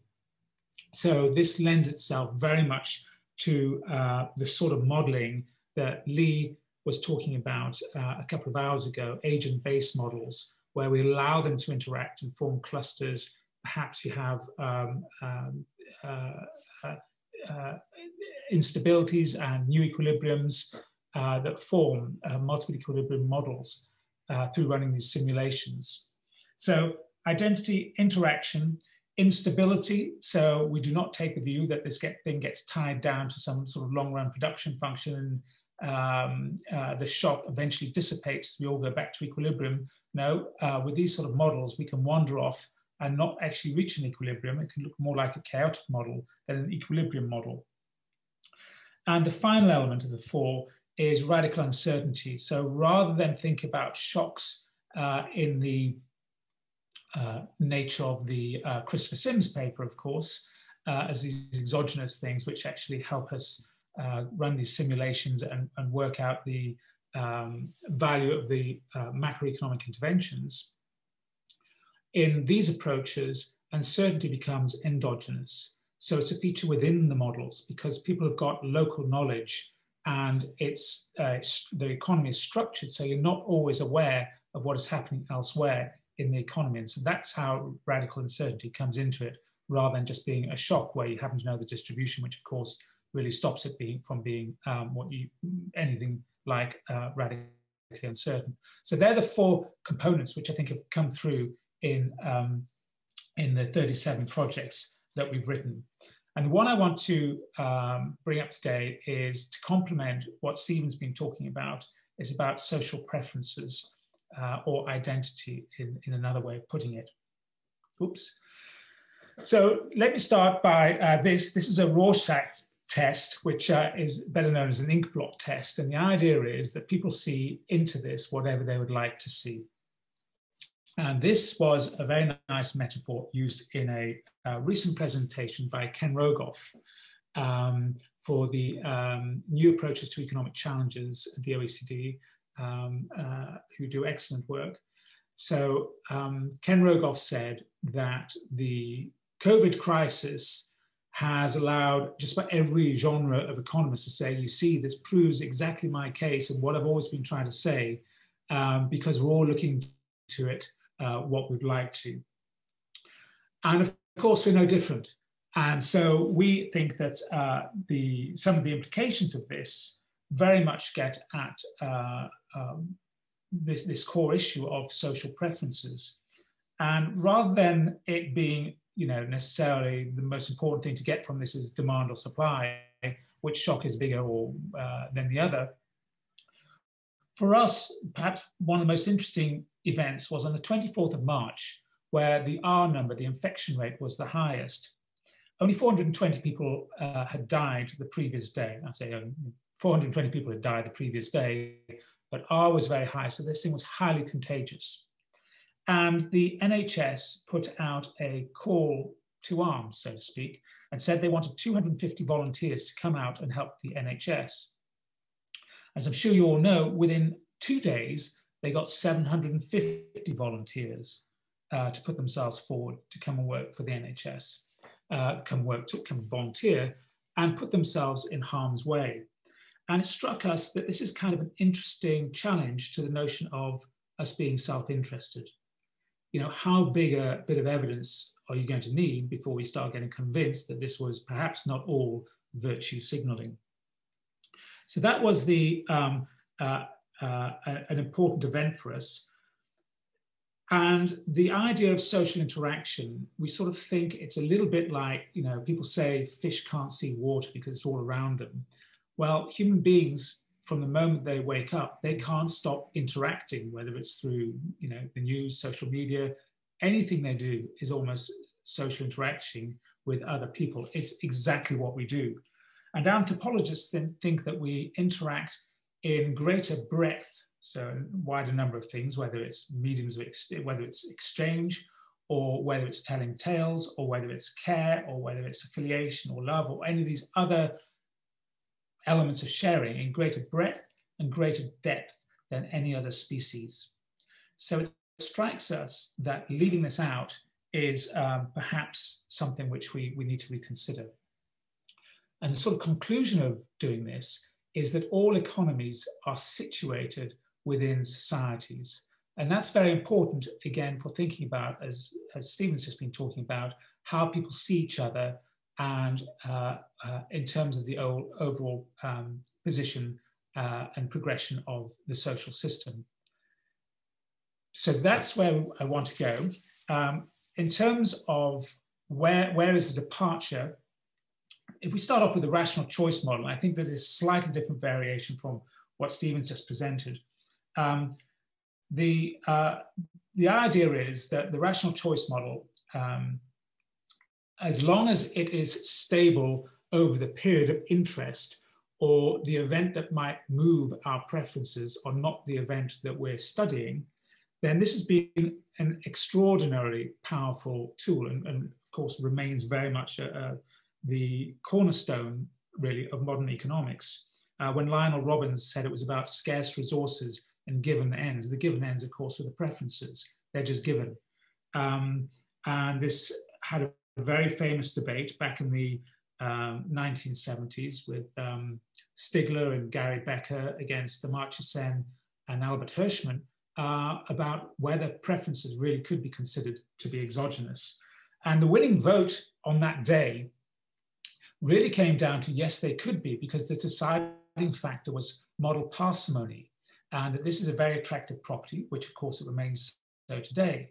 But what we've seen from a number of the presentations and the sort of data we're working with and new technologies, it's not necessarily obvious that that has to be the limiting factor to lead us to only pursue that type of model. But the big question is what then opens up if we start allowing variation from that? Now, the first thing I put in four potential challenges here. The first one is we tend to associate um, our desire expressed through the um, utility function to our preferences, where we have minimal requirements, just uh, completeness and transitivity to give us what, whatever we call rationality or, a rational uh, preferences, which doesn't actually really mean anything about rational in the common usage of the language. But then we say that this is a primitive, And by that, we tend to say it's biologically driven, that we want to have more. And then when you push people, they sometimes say, well, it's because we desire more food or more sex or something which has got something very basic as a human desire. But then you start saying, well, what do I actually really consume, you know, quite often? Well, I might have bought myself, um, uh, you know, Hermes tie. Well, why did I buy a Hermes tie? It's hardly uh, a biological need. And the answer is it's probably something to do with the status of a Hermes tie. And so we get back to asking, well, what was the status about? And so in many of our preferences, they're really reduced form preferences. They're not actually primitive at all. And so when we start getting to the question of identification, it becomes interesting once again, reflecting um, on, on the Chris Sims paper. So the first question is what is really primitive is often uh, overlooked. The second is we have kind of an abundance of data now and evidence from laboratory experiments and empirical data that the idea of self-interest or even mutuality is not the extent of uh, human motivations for our actions. So we know from uh, a lot of the work um, done in labs on games such as like the ultimatum game, uh, but even where people are willing to walk away from returns where there is no reputational gain because nobody's watching them, they still are prepared to do these acts. And the amount of evidence here, it starts becoming a point of, well, when do we actually have to start taking this seriously um, uh, uh, as, as empirical scientists? And the third, of course, uh, many of our uh, um, interactions are strategic. So this gets into the area of game theory. And we know from uh, game theory, when we have strategic interactions, that many equilibria are possible, particularly in repeated games. We have a slew of potential Nash equilibria, depending on how we want to play this. Um, do we want to cooperate and then default at some later stage? But the question is, how do we pick which equilibrium? Uh, who is the choreographer that gets us to do this? How do we get our beliefs to move to one equilibrium and not another equilibrium? And that's the bit that tends to get unanswered, where um, people like Ken Binmore have suggested we really haven't made much progress on the fundamental question of where did these beliefs come from in the first place that shift us from one equilibrium to another. And the fourth um, uh, challenge comes from um, evolutionary um, economics. And here um, uh, I uh, bring in um, Tinbergen, but not the Tinbergen that we're used to thinking, uh, who did have a lot to say about identification, of course, but his brother, uh, who was an evolutionary biologist, um, who also got the Nobel Prize. And he said that all um, biological organisms have to be able to explain their behaviors through evolutionary, how they've developed evolutionary, and also uh, how they got to be given in their, in their, um, in their current form. And as most of, you know, we all know that we tend to get taught a lot of our behaviors uh, within our families and kin. So we think that there are a number of challenges to the rational choice model. And here I have a quote from um, Charles Darwin himself in The Descent of Man. Uh, and he says, after power of language has been acquired, so after language, the wish of the community could be expressed, the common opinion how each member ought to act for the public good would naturally become a paramount degree the guide to action. And then he talks about uh, uh, pro probation and disapprobation of our fellows depends on our sympathy, which forms a central part of our social instinct and is indeed the foundation stone. So from an evolutionary point of view, or from other sciences point of view, whether this is anthropological, evolutionary, or even sociological, the idea that everything is motivated self-interest uh, uh, seems something of um, something unlikely. So um, how do we get from there to where we want to go? Well, the, the idea is that uh, we have all societies are structured. We don't just have individuals or individuals and a, a, a national economy. We have social structures. And human beings get meaning to their life through identity, which we, we, we create with respect to others. Um, we, uh, the identity exists in uh, our social networks that we're either born into or become part of. And the identity is performative in, this, in the sense that it isn't something we can just take or leave. We have to actually perform, we have to be uh, part of uh, that group uh, or, or, or, or club. Um, these groups have beliefs. Um, uh, by beliefs, um, understandings of how the world works. They have norms, which means uh, rules of behavior, and narratives, which are causal uh, arguments for why things are the way they are. Now, these are quite often distinct, and together, the beliefs, norms, and narratives forms a culture, and this culture uniquely allows us to pass the intergenerational transmission of knowledge, which is, of course, why human beings have been able to build on things uh, over time. The group culture, uh, in some ways, sets what we could call socially programmable constraints for our rational choice. So that gets into quite a scary area when we start talking about socially programmable. Um, so one argument is that, you know, in the uh, um, image of Becker, we can just put other people's utility into our utility function and therefore show that we care. Uh, now, uh, as a great fan of the ingenuity of Gary Becker and, and uh, his um, uh, alacrity of which he could use these models, this is not really altruism, it's more mutualism. It's saying, saying that I benefit from your benefit, which is not really the same as altruism, where I don't benefit, but you do benefit. That's something different.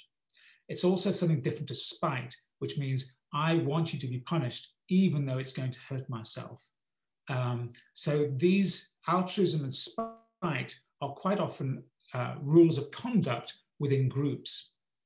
Um, uh, their way of enforcing becoming performative within these groups' rules.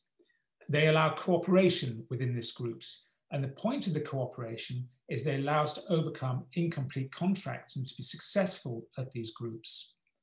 An important question, um, which I was looking at uh, with regard to Steven's presentation, is whether these network effects, whether these, um, uh, uh, as we look, our preferences become influenced by others, and as we respond by um, codes of behavior, whether the network effects are increasing returns to scale. In other words, there's feedback effects. And once we allow feedback effects, then we start violating the idea of methodological individualism. So while that's always been sacrosanct in economics, that we can reduce everything at the macro level down to the micro, once we allow these feedback effects, then it's not so obvious that that can take place. And one of the reasons is because you get so-called emergent properties once you aggregate up, which can't be fully explained from the micro. Um, this is another reason why agent-based models get used for these sort of um, programs. The unit of analysis, um, we get a very interesting tension between uh, within, within the group, which becomes the unit of analysis, either groups or regions, the so-called meso level. So we don't just go from individuals to the aggregate. When, when we um, uh, think about a, a, group, while we can cooperate within a group, there is of course incentive for individual members to free ride. And so that dual tension is always there. In other words, I know, you know, as much as I want to win my game of golf in my golf club, then uh, I also have to behave myself and, and, you know, don't jangle my change in my pocket when my partner's playing. So there's always this tension uh, um, uh, that we face within these groups. And the key is that the groups that are able, groups then compete with others on the basis of fitness, who can adapt best uh, to the environment. So when we think of households, firms, and governments, economists tend to treat them pretty much as principal agent problems. You know, we say, well, in the firm, how does the boss whack the worker in order to work harder because he's always tries trying to shirk and get paid for nothing? That's a pretty grim view of most workplaces. And if they are like that, they're unlikely to succeed. You know, people who work for Google get paid a lot of money, but they could walk into another firm very successfully, but they very often stay there for a long time. And the reason is because they've created an environment where people cooperate. uh, that the, the, these, these um, rules, they even use things like the Google family as a metaphor to try and get people to operate together. Um, and of course, in, in, economics, you used to have human resources, used to be part of economics, um, which is almost bizarre these days. So we do have meso levels in standard economics, households, firms, and governments, but in this view, they don't get at the issue of why these uh, units are created in the first place, which are really methods of cooperating to overcome incomplete contracts, because otherwise you wouldn't have to get together in the first place. And they do this from the cooperative behavior. So Occam's razor, of course, plurality, plurality must never be posited without necessity. So what are we, are we doing all of this for really just trying to be prove a point and it gets us nowhere? Or does the idea of social preferences gives, give us access to macroeconomic questions which uh, could be of importance for policymakers? That seems to be, to us, the, um, the most important question uh, uh, to look at. And we have um, a number of uh, areas where we start to look at through these projects. One is the influence of social media on preferences. So arguably, the rational choice model, you know, it seems very close to democracy. But if social media can influence our preferences, then what happens to our democracy? And rather than just saying, well, our preference is fixed, of course they can't do that.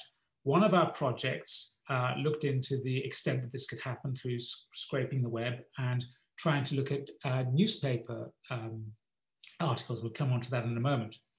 Another is on macroeconomic stability. This was actually a DSG model. So it's a DSG model where my consumption depends on my neighbor's consumption. So we had what we call looking, uh, keeping up the Joneses model, and that allowed for um, uh, several, uh, for multiple equilibrium outcomes uh, to be generated. Uh, that was another form of uh, social preferences. This idea, the economics of belonging, uh, an interesting question is whether this is all just a question of income or there's something more to it. And that's another one of our projects, which I'll, I'll describe more fully. Measurement of social, sociality.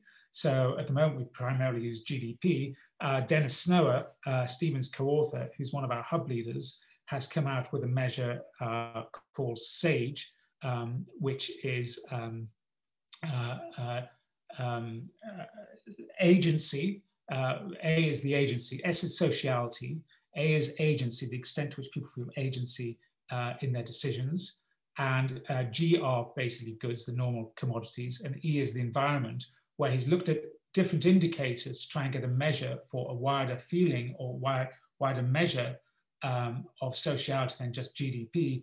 And some of the trends in these have been very interesting. So you can have your material side go up quite steadily, but some of the other measures go in a different direction. And, um, and that seems to have been the case in the UK.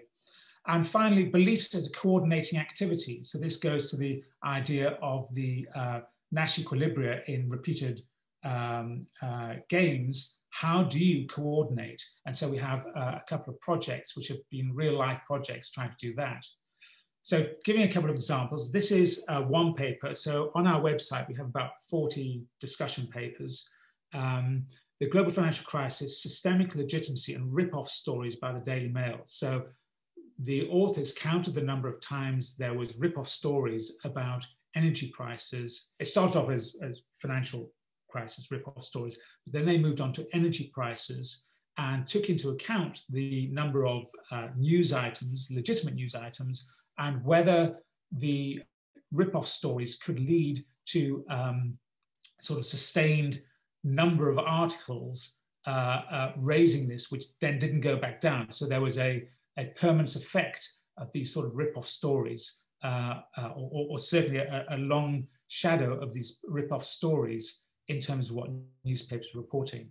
So that was trying to get at, can we find a way of identifying um, uh, uh, the, the, the, media uh, influencing what we think uh, uh, is newsworthy when really nothing is happening in, in terms of real news. So that was one example. Another example is, um, is identity um, uh, a shortcut for cooperation. So this was a laboratory experiment with um, uh, students where by telling people uh, narratives and then getting to them to play repeated games, did they change their strategy? This is very much like the some of the work that Vernon Smith's been doing. And it depends on the narrative, but overall, it seemed that at least in the laboratory, some sort of program or preferences, again, seem to be possible, which opens up uh, uh, new areas of, of thinking. Those papers are published, three that are ongoing. One is by David Sloan Wilson, uh, who um, is an evolutionary um, biologist who is really responsible for multi-level selection theory, where he's looking at actual places in the UK, mostly in the Northwest, to try and see whether the narratives can be changed by working with business leaders uh, uh, and um, unions and people in civic uh, organizations. So that's a, a, real attempt to do this. Henrietta Moore is a, uh, an anthropologist who's looking at the economics of belonging and not trying to looking at it purely from um, a materialistic, a sort of GDP drives belonging uh, point of view, but whether it's about agency and attachment uh, um, uh, as well as uh, economic resources. So, uh, so this is count, sort of counter to a lot of the work that's been very public on the economics of belonging. Um, and uh, I think it's coming up with some very interesting findings, but they're not published yet. And the third one is about brain sampling, a very simple cognitive science experiment where the idea was uh, can we sample across the distribution or do we get stuck in certain parts of the distribution, which again is about beliefs not looking right across the whole distribution, but only looking at part of the distribution. And Nick Chater has uh, been running experiments uh, based on some very simple physical activities, which suggest that people do uh, have problems um, sampling the way that we might think a Bayesian would, we just get stuck in a very small part of the distribution and stay there until something moves, and then we get stuck in another part of the distribution. So again, uh, talking the idea of uh, groups. And so just to um, bring this uh, to a close, I think that's uh, my time. Uh, what, what have we got? As, said, that is one, social preferences are one of the themes that are coming through in the uh, papers that have, have, been written. The other are the other ones uh, are about um, uh, instability, about interaction, which is agent-based models, and about radical uncertainty. And we have a number of papers um, uh, on the website. And oh, I should just say there's a paper coming out um, uh, at the end of this week, which um, by Rosa Lastra, and we'll be having a conference on it with the IMF. Um, where they're looking at central bank digital currencies and where uh, Rosa has worked with a number of um, uh, academic lawyers uh, who have come to the view that basically central bank um, currency, uh, central bank digital currencies are ultimately just social equity. And the reason why this is quite interesting, a lot of macro issues of, well, how do you know when your debt to GDP ratio is going too far? in some ways, they depend on these things that are endogenous. And so we have a workshop on the 3rd of um, December at 4 p.m. with a joint workshop with the IMF uh, about this very issue. So we have a number of publications coming through, and you can find out about all of those on our website. Um, and thank you very much indeed for listening. Thank you, Angus. Uh, what a tour de force. Uh, so many projects and so many ideas. Uh, do people want to put questions in the chat so that Angus can um, uh, answer them? Any reactions, any ideas? There was so much on the menu. And of course, it's been a long day, but it would be good to see anything at all that people would like to say or comment on. I think those, uh, I, I agree on the on the the social preferences, I think, are, are an intriguing area. As I say, um, of course, people like George Akerlof, who wrote a book on identity um, uh, Kranton. I can't remember the woman's uh, first name, Stephanie. Um, anyway, Kranton. Um, Rachel. Rachel Kranton. Thank you very much indeed. Um, uh, they have a slightly different way of looking at uh, social preferences, of putting the, or, or, norms actually into the utility function. There's some debate about whether these are really things that you, uh, quote unquote, uh, consume, or whether they're at a higher level. And I think that the way that most of our projects suggest, they're more of a constraint. They're constraints on what you then go on to choose. So there are limitations on your behavior because you have to obey by certain norms, and then you choose subject to those constraints, which is really like the, um, uh, uh, I think uh, Sen didn't call them super preferences, but these higher level preferences, which he of course referred to as values in that 1970s debate. So all of these questions are exactly replays of what was 50 years ago. Okay, there are quite a few things uh, coming up.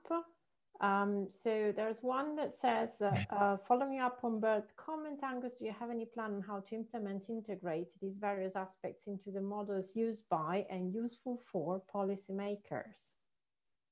So the um, in terms of um, uh, policymakers, uh, what we have been surprisingly closely involved uh, with the policymakers. So it's well trailered that tomorrow um, Sunak, or, or, later this week, is supposed to announce some changes about the Green Book, which is the um, uh, guide to um, all uh, uh, government spending, um, public investment.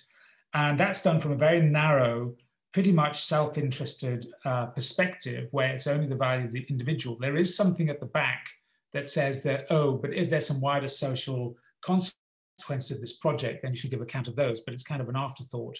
And uh, members of the rebuilding macroeconomics community have uh, raised this issue a number of times about the Green Book. And you know, in the past, we used to promote policies deliberately to have greater integra integration. So, for example, state housing was often mixed up with private housing specifically to have integration, uh, rather than thinking about them as cheaper sites to have uh, housing. So that was a very deliberate attempt to think about the wider consequences on people's preferences. And so there's a number of examples like that in those sort of areas. In terms of um, more bread and butter policy, we have um, a contribution uh, from um, uh, uh, David Tuckett on uh, how we can use narratives, particularly those taken from agents, to um, get more at what is going on in the economy. So the agents of the Bank of England use these things and how they could be better used. That's a Bank of England discussion paper. And this becomes very interesting when you get moments like they are today, so, you know, we have a vaccine, and the big question is not necessarily how many can we buy or its medical efficacy rate, which of course is very important, but it's how safe do people feel to use it? And that is qualitative data. You're not going to get that in a hard bit of economics data, but it's mission critical.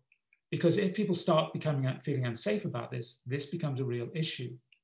And so his work very much looks at what can we, what do we really not consider to be economic data at the moment, but should realistically be considered economic data um, by collecting these sort of sources. So it's fed into some of those projects uh, on, on um, uh, monetary policy and COVID policies. There's many, many ways that, uh, that this is expressing interest. But I see that somebody's asked for what is the future of of rebuilding macro from here?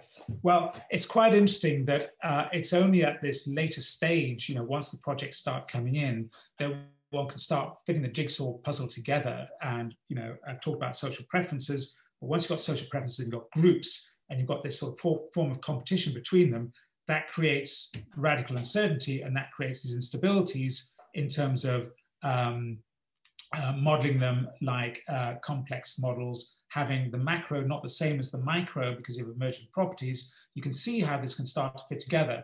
But it's pretty much uh, in the later stages. And so we will be reporting back with a so-called roadmap for just as Leigh and Jesús was talking about, where there are potential synergies, um, uh, but also complementary paths because they look at different questions. We have to think about the toolbox uh, for policymakers. They want different things for different um, different different tools to answer different policy issues.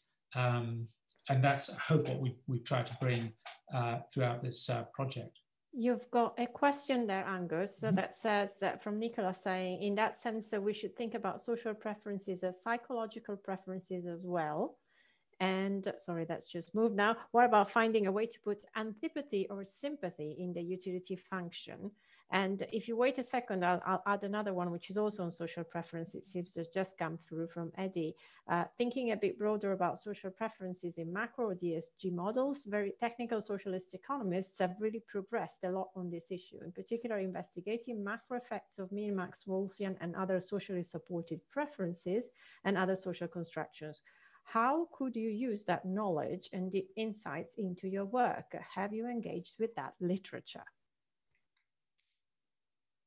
Uh, so let me just take the, the first one. In terms of the um, uh, the notion, so the notion of sympathy, of course, has a very noble history going back to um, our founder, Adam Smith, who said that this is, uh, well, circles of sympathy go from um, Greek times all the way through from Smith to Gandhi. There's a, a very common notion that um, people that we, as uh, people who we feel a degree of certainty, uh, sorry, sympathy for, uh, are people who are, I guess, in modern terms, you'd call within our social network or our group. The question is how to formulate this, and we would say, or well, we would, some of the researchers would say that um, this is not, again, not something you just put in your utility function. It sets a form of beliefs and behaviors that you then choose subject to those uh, norms and beliefs. So it's sort of um, uh, as much a constraint, even though it's self-imposed, it becomes almost your nature. Um, uh, which you value for a, a, a, a different reason than uh, um, purely consumption reason. It becomes your identity. So they can enter, but they take a slightly different form to uh, preferences over normal goods. In terms of the wider literature, so I haven't engaged uh, with the uh, uh very technical socialist economists. I'm very interested to hear about them actually. Um, so I'd be delighted to have a, a reference on them. Uh, there is a, a, very important methodological division on do you consider this to be within the gambit of methodological individualism or not? And uh, some people do and some people don't. It's, it's still an open question because we haven't explored all sides. And it's only through exploring and seeing where we can get to that one would eventually come down to a decision.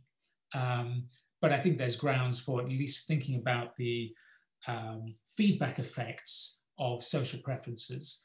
Um, you know, there's social movements like Black Lives Matter where there's clearly feedback effects and things can happen very quickly. And you can move from one place to a very different place very quickly, um, which seem almost impossible to imagine without feedback effects. If you had to do one by one by one, that would be very, very difficult.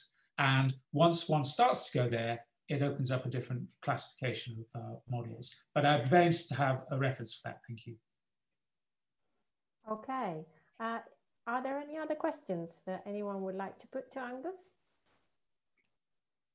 Just keeping an eye on the chat there to give people time to type. Uh, but you're, you're getting an offer of assistance in the getting access to that literature. Great. So always seems to me anyway, I mean, methodological individualism is about where we think the locus of the decision is. It's not about what we think people consider. We don't actually say this is about people just considering themselves as they make decisions. We're saying we're going to focus on modeling that place of decision making rather than say as sociologists may do at a collective level. Yeah. Well, that's very interesting. So the way I guess I would think about it is, can you reduce things down to the individual's decisions, uh, or the individual as the uh, the basic unit.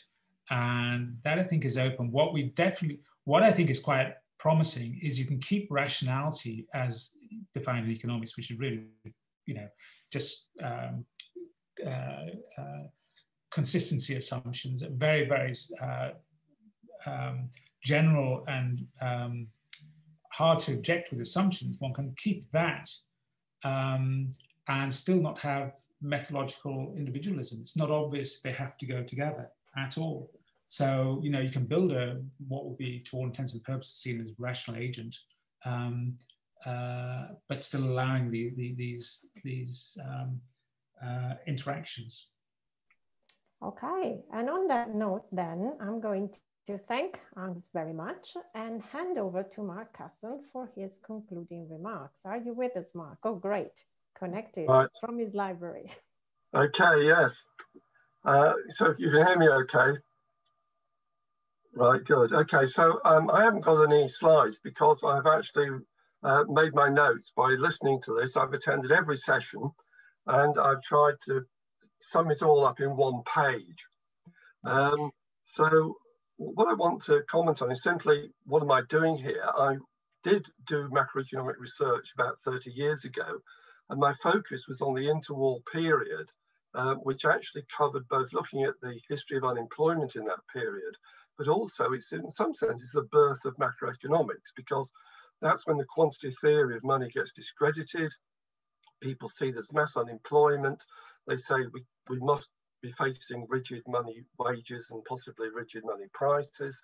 And so that then provides the opportunity for Keynes's ideas to get traction. Um, and so I thought it would be interesting if I compared what I'd heard today with what economists believed in 1939 and what kind of modeling they did then. And that would enable us just to sort of take stock about what progress or regress there has been in the intervening period. So I'll do that under four headings. One is firstly the relevance of economics to contemporary policy debate. The second is the importance of aggregation.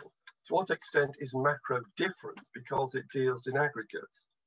Thirdly, what are the sort of typical assumptions, the professional view about what you ought to assume if you're a proper macroeconomist?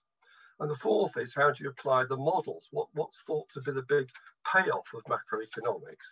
Um, and just taking these, therefore, in turn, I think it's undeniable that the macroeconomics of 1939 was hugely influential because it had a single dominant issue, unemployment. Now today, it, macro is a much more versatile subject, but you can say that it doesn't have that impact the same as it did because it doesn't really hammer home, I think, at any one specific issue with the same vigor and relevance as Keynesianism did to the unemployment debate um, in the 1930s. Some of the assumptions made at that time were accepted as descriptions of reality. So you didn't really have an argument about money wage rigidity because people could just see as a fact that things were rigid. The trade unions went on strike in Britain in 1926 to protect a downward adjustment in the money wage as a consequence of a revaluation of the pound. And the point, I think, is that some of the assumptions now made don't have a ring of truth about them. They actually sound like artificial, contrived assumptions made for the convenience of the modeler. And maybe the public wonders what these assumptions are doing if they don't appear to have much uh, practical relevance. And the third thing is that the political stance in the 1930s was fairly clear. It was a reaction against capitalism, which was seen to be almost on the verge of collapse. Socialism was coming. And so there wasn't much question about taking a, a political stance in terms of the necessity of planning and regulation. Whereas obviously when you get the fight back um, in, uh, in, in, sort of new classical economics uh, in the 1970s, then these issues get muddied again. So it's not just that economics seems to lose touch with the data, it does, doesn't have what we might call clear messaging these days. The second thing on aggregation is that I'm, the early models were wholly aggregate. Everything was an aggregate, whether it was consumption or investment or government expenditure or GDP, and prices were the general price level.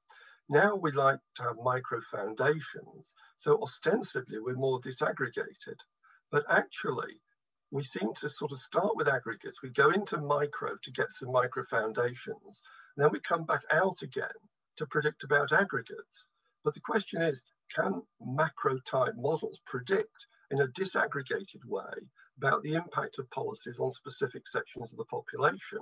And if they can, are they really macro anymore? What, what actually is the difference between macro and micro uh, today? And I think that, that, that is a, a quite important issue. Furthermore, how do you make macro more micro? Uh, the stance taken today has largely been to imagine that individuals vary according to some characteristic, and you model the distribution of this characteristic. But when you go back to um, other economists in the 1930s who weren't macro, what they did was they used categories. They had mature industries like steel and coal and shipbuilding, and they had new industries like radios and motor cars and things like that.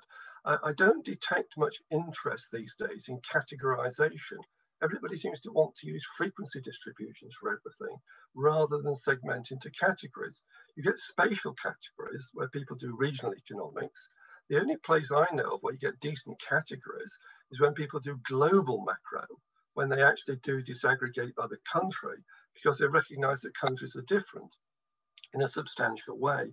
So I think aggregation needs to be rethought of. Is it a strength of macro or actually a weakness? as it seems to me to be increasingly so. Uh, thirdly, what drives the models and what kind of models do we want? I mean, my assumption always was that macro was about dynamics.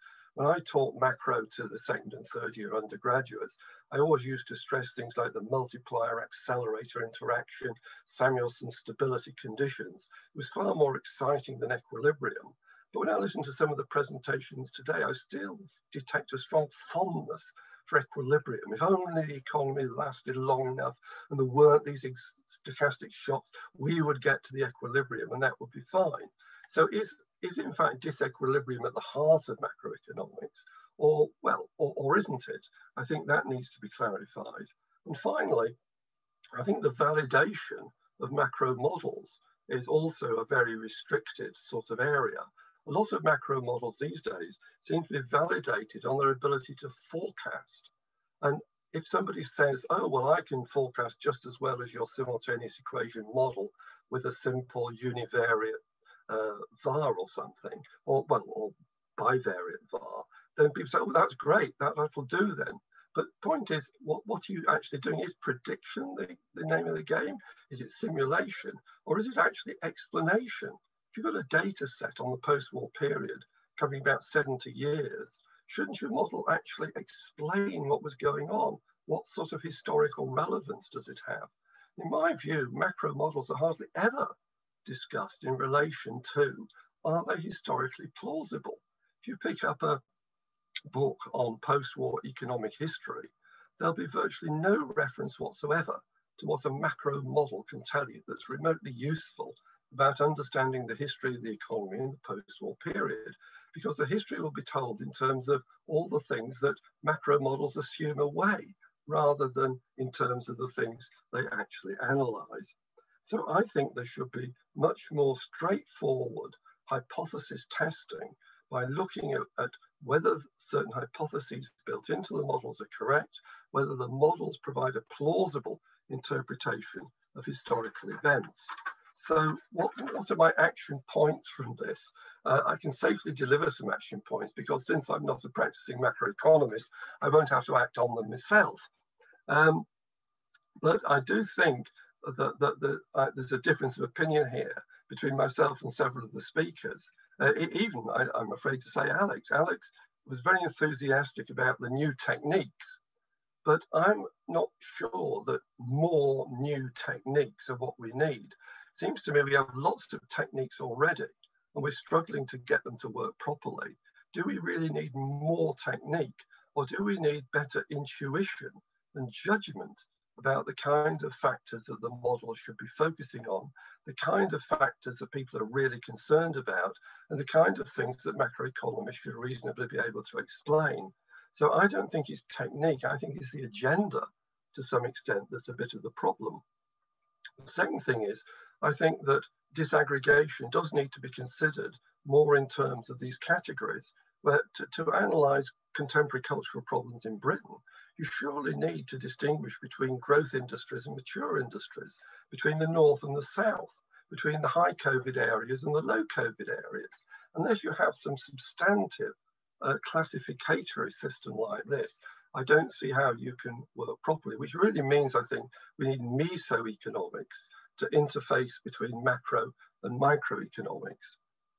And finally, I think that if we're going to maximize public impact, we need to have much less internal navel gazing dispute over the method methodological correction or, or, or methodological validity of different ways of doing things. Because if the test is, does this provide a plausible explanation, then surely that can be used to decide issues, not whether you've violated somebody's cherished methodological position about methodological individualism or whatnot. So I think economists, probably macroeconomists, could do with being a bit more pragmatic um, and actually testing their models against historical evidence might be one way of bringing them out of their world of abstract theory and a bit more down to earth.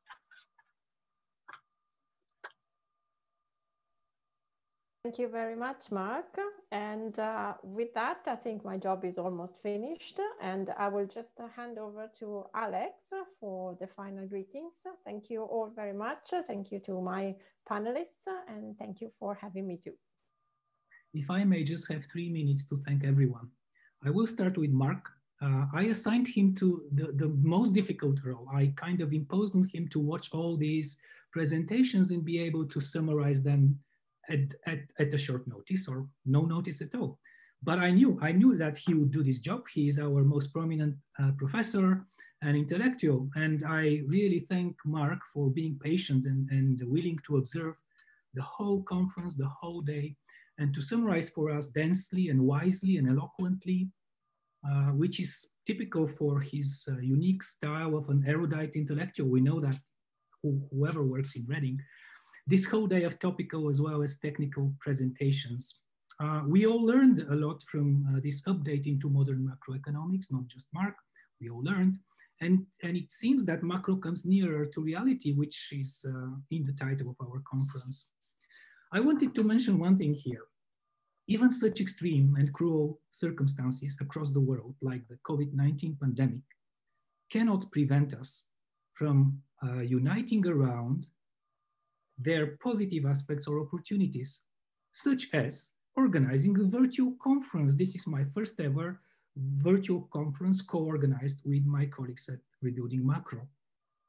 So this is an example of a public good to the benefit of society with close to zero monetary cost and made possible by the willingness of researchers to share generously their time and knowledge.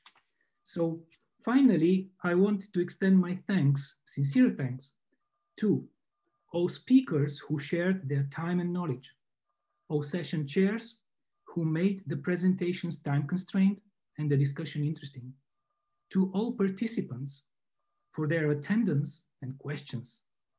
And of course, last but not least, to my colleagues, co-organizers at Rebuilding Macro, Angus, Carla, and Richard. Without all these people, our conference would not have happened at all. Now, it has been a long and busy day, a useful and memorable, and memorable one, I would say, and we now all feel a bit tired. Let me just remind you that the conference was recorded and the recordings will be posted on the websites of the conference and uh, Rebuilding Macro. This will happen in about a week, as Angus mentioned. And now I have nothing left to do but to close our conference, wishing you a relaxing evening. Thank you all once again. Keep safe. Goodbye.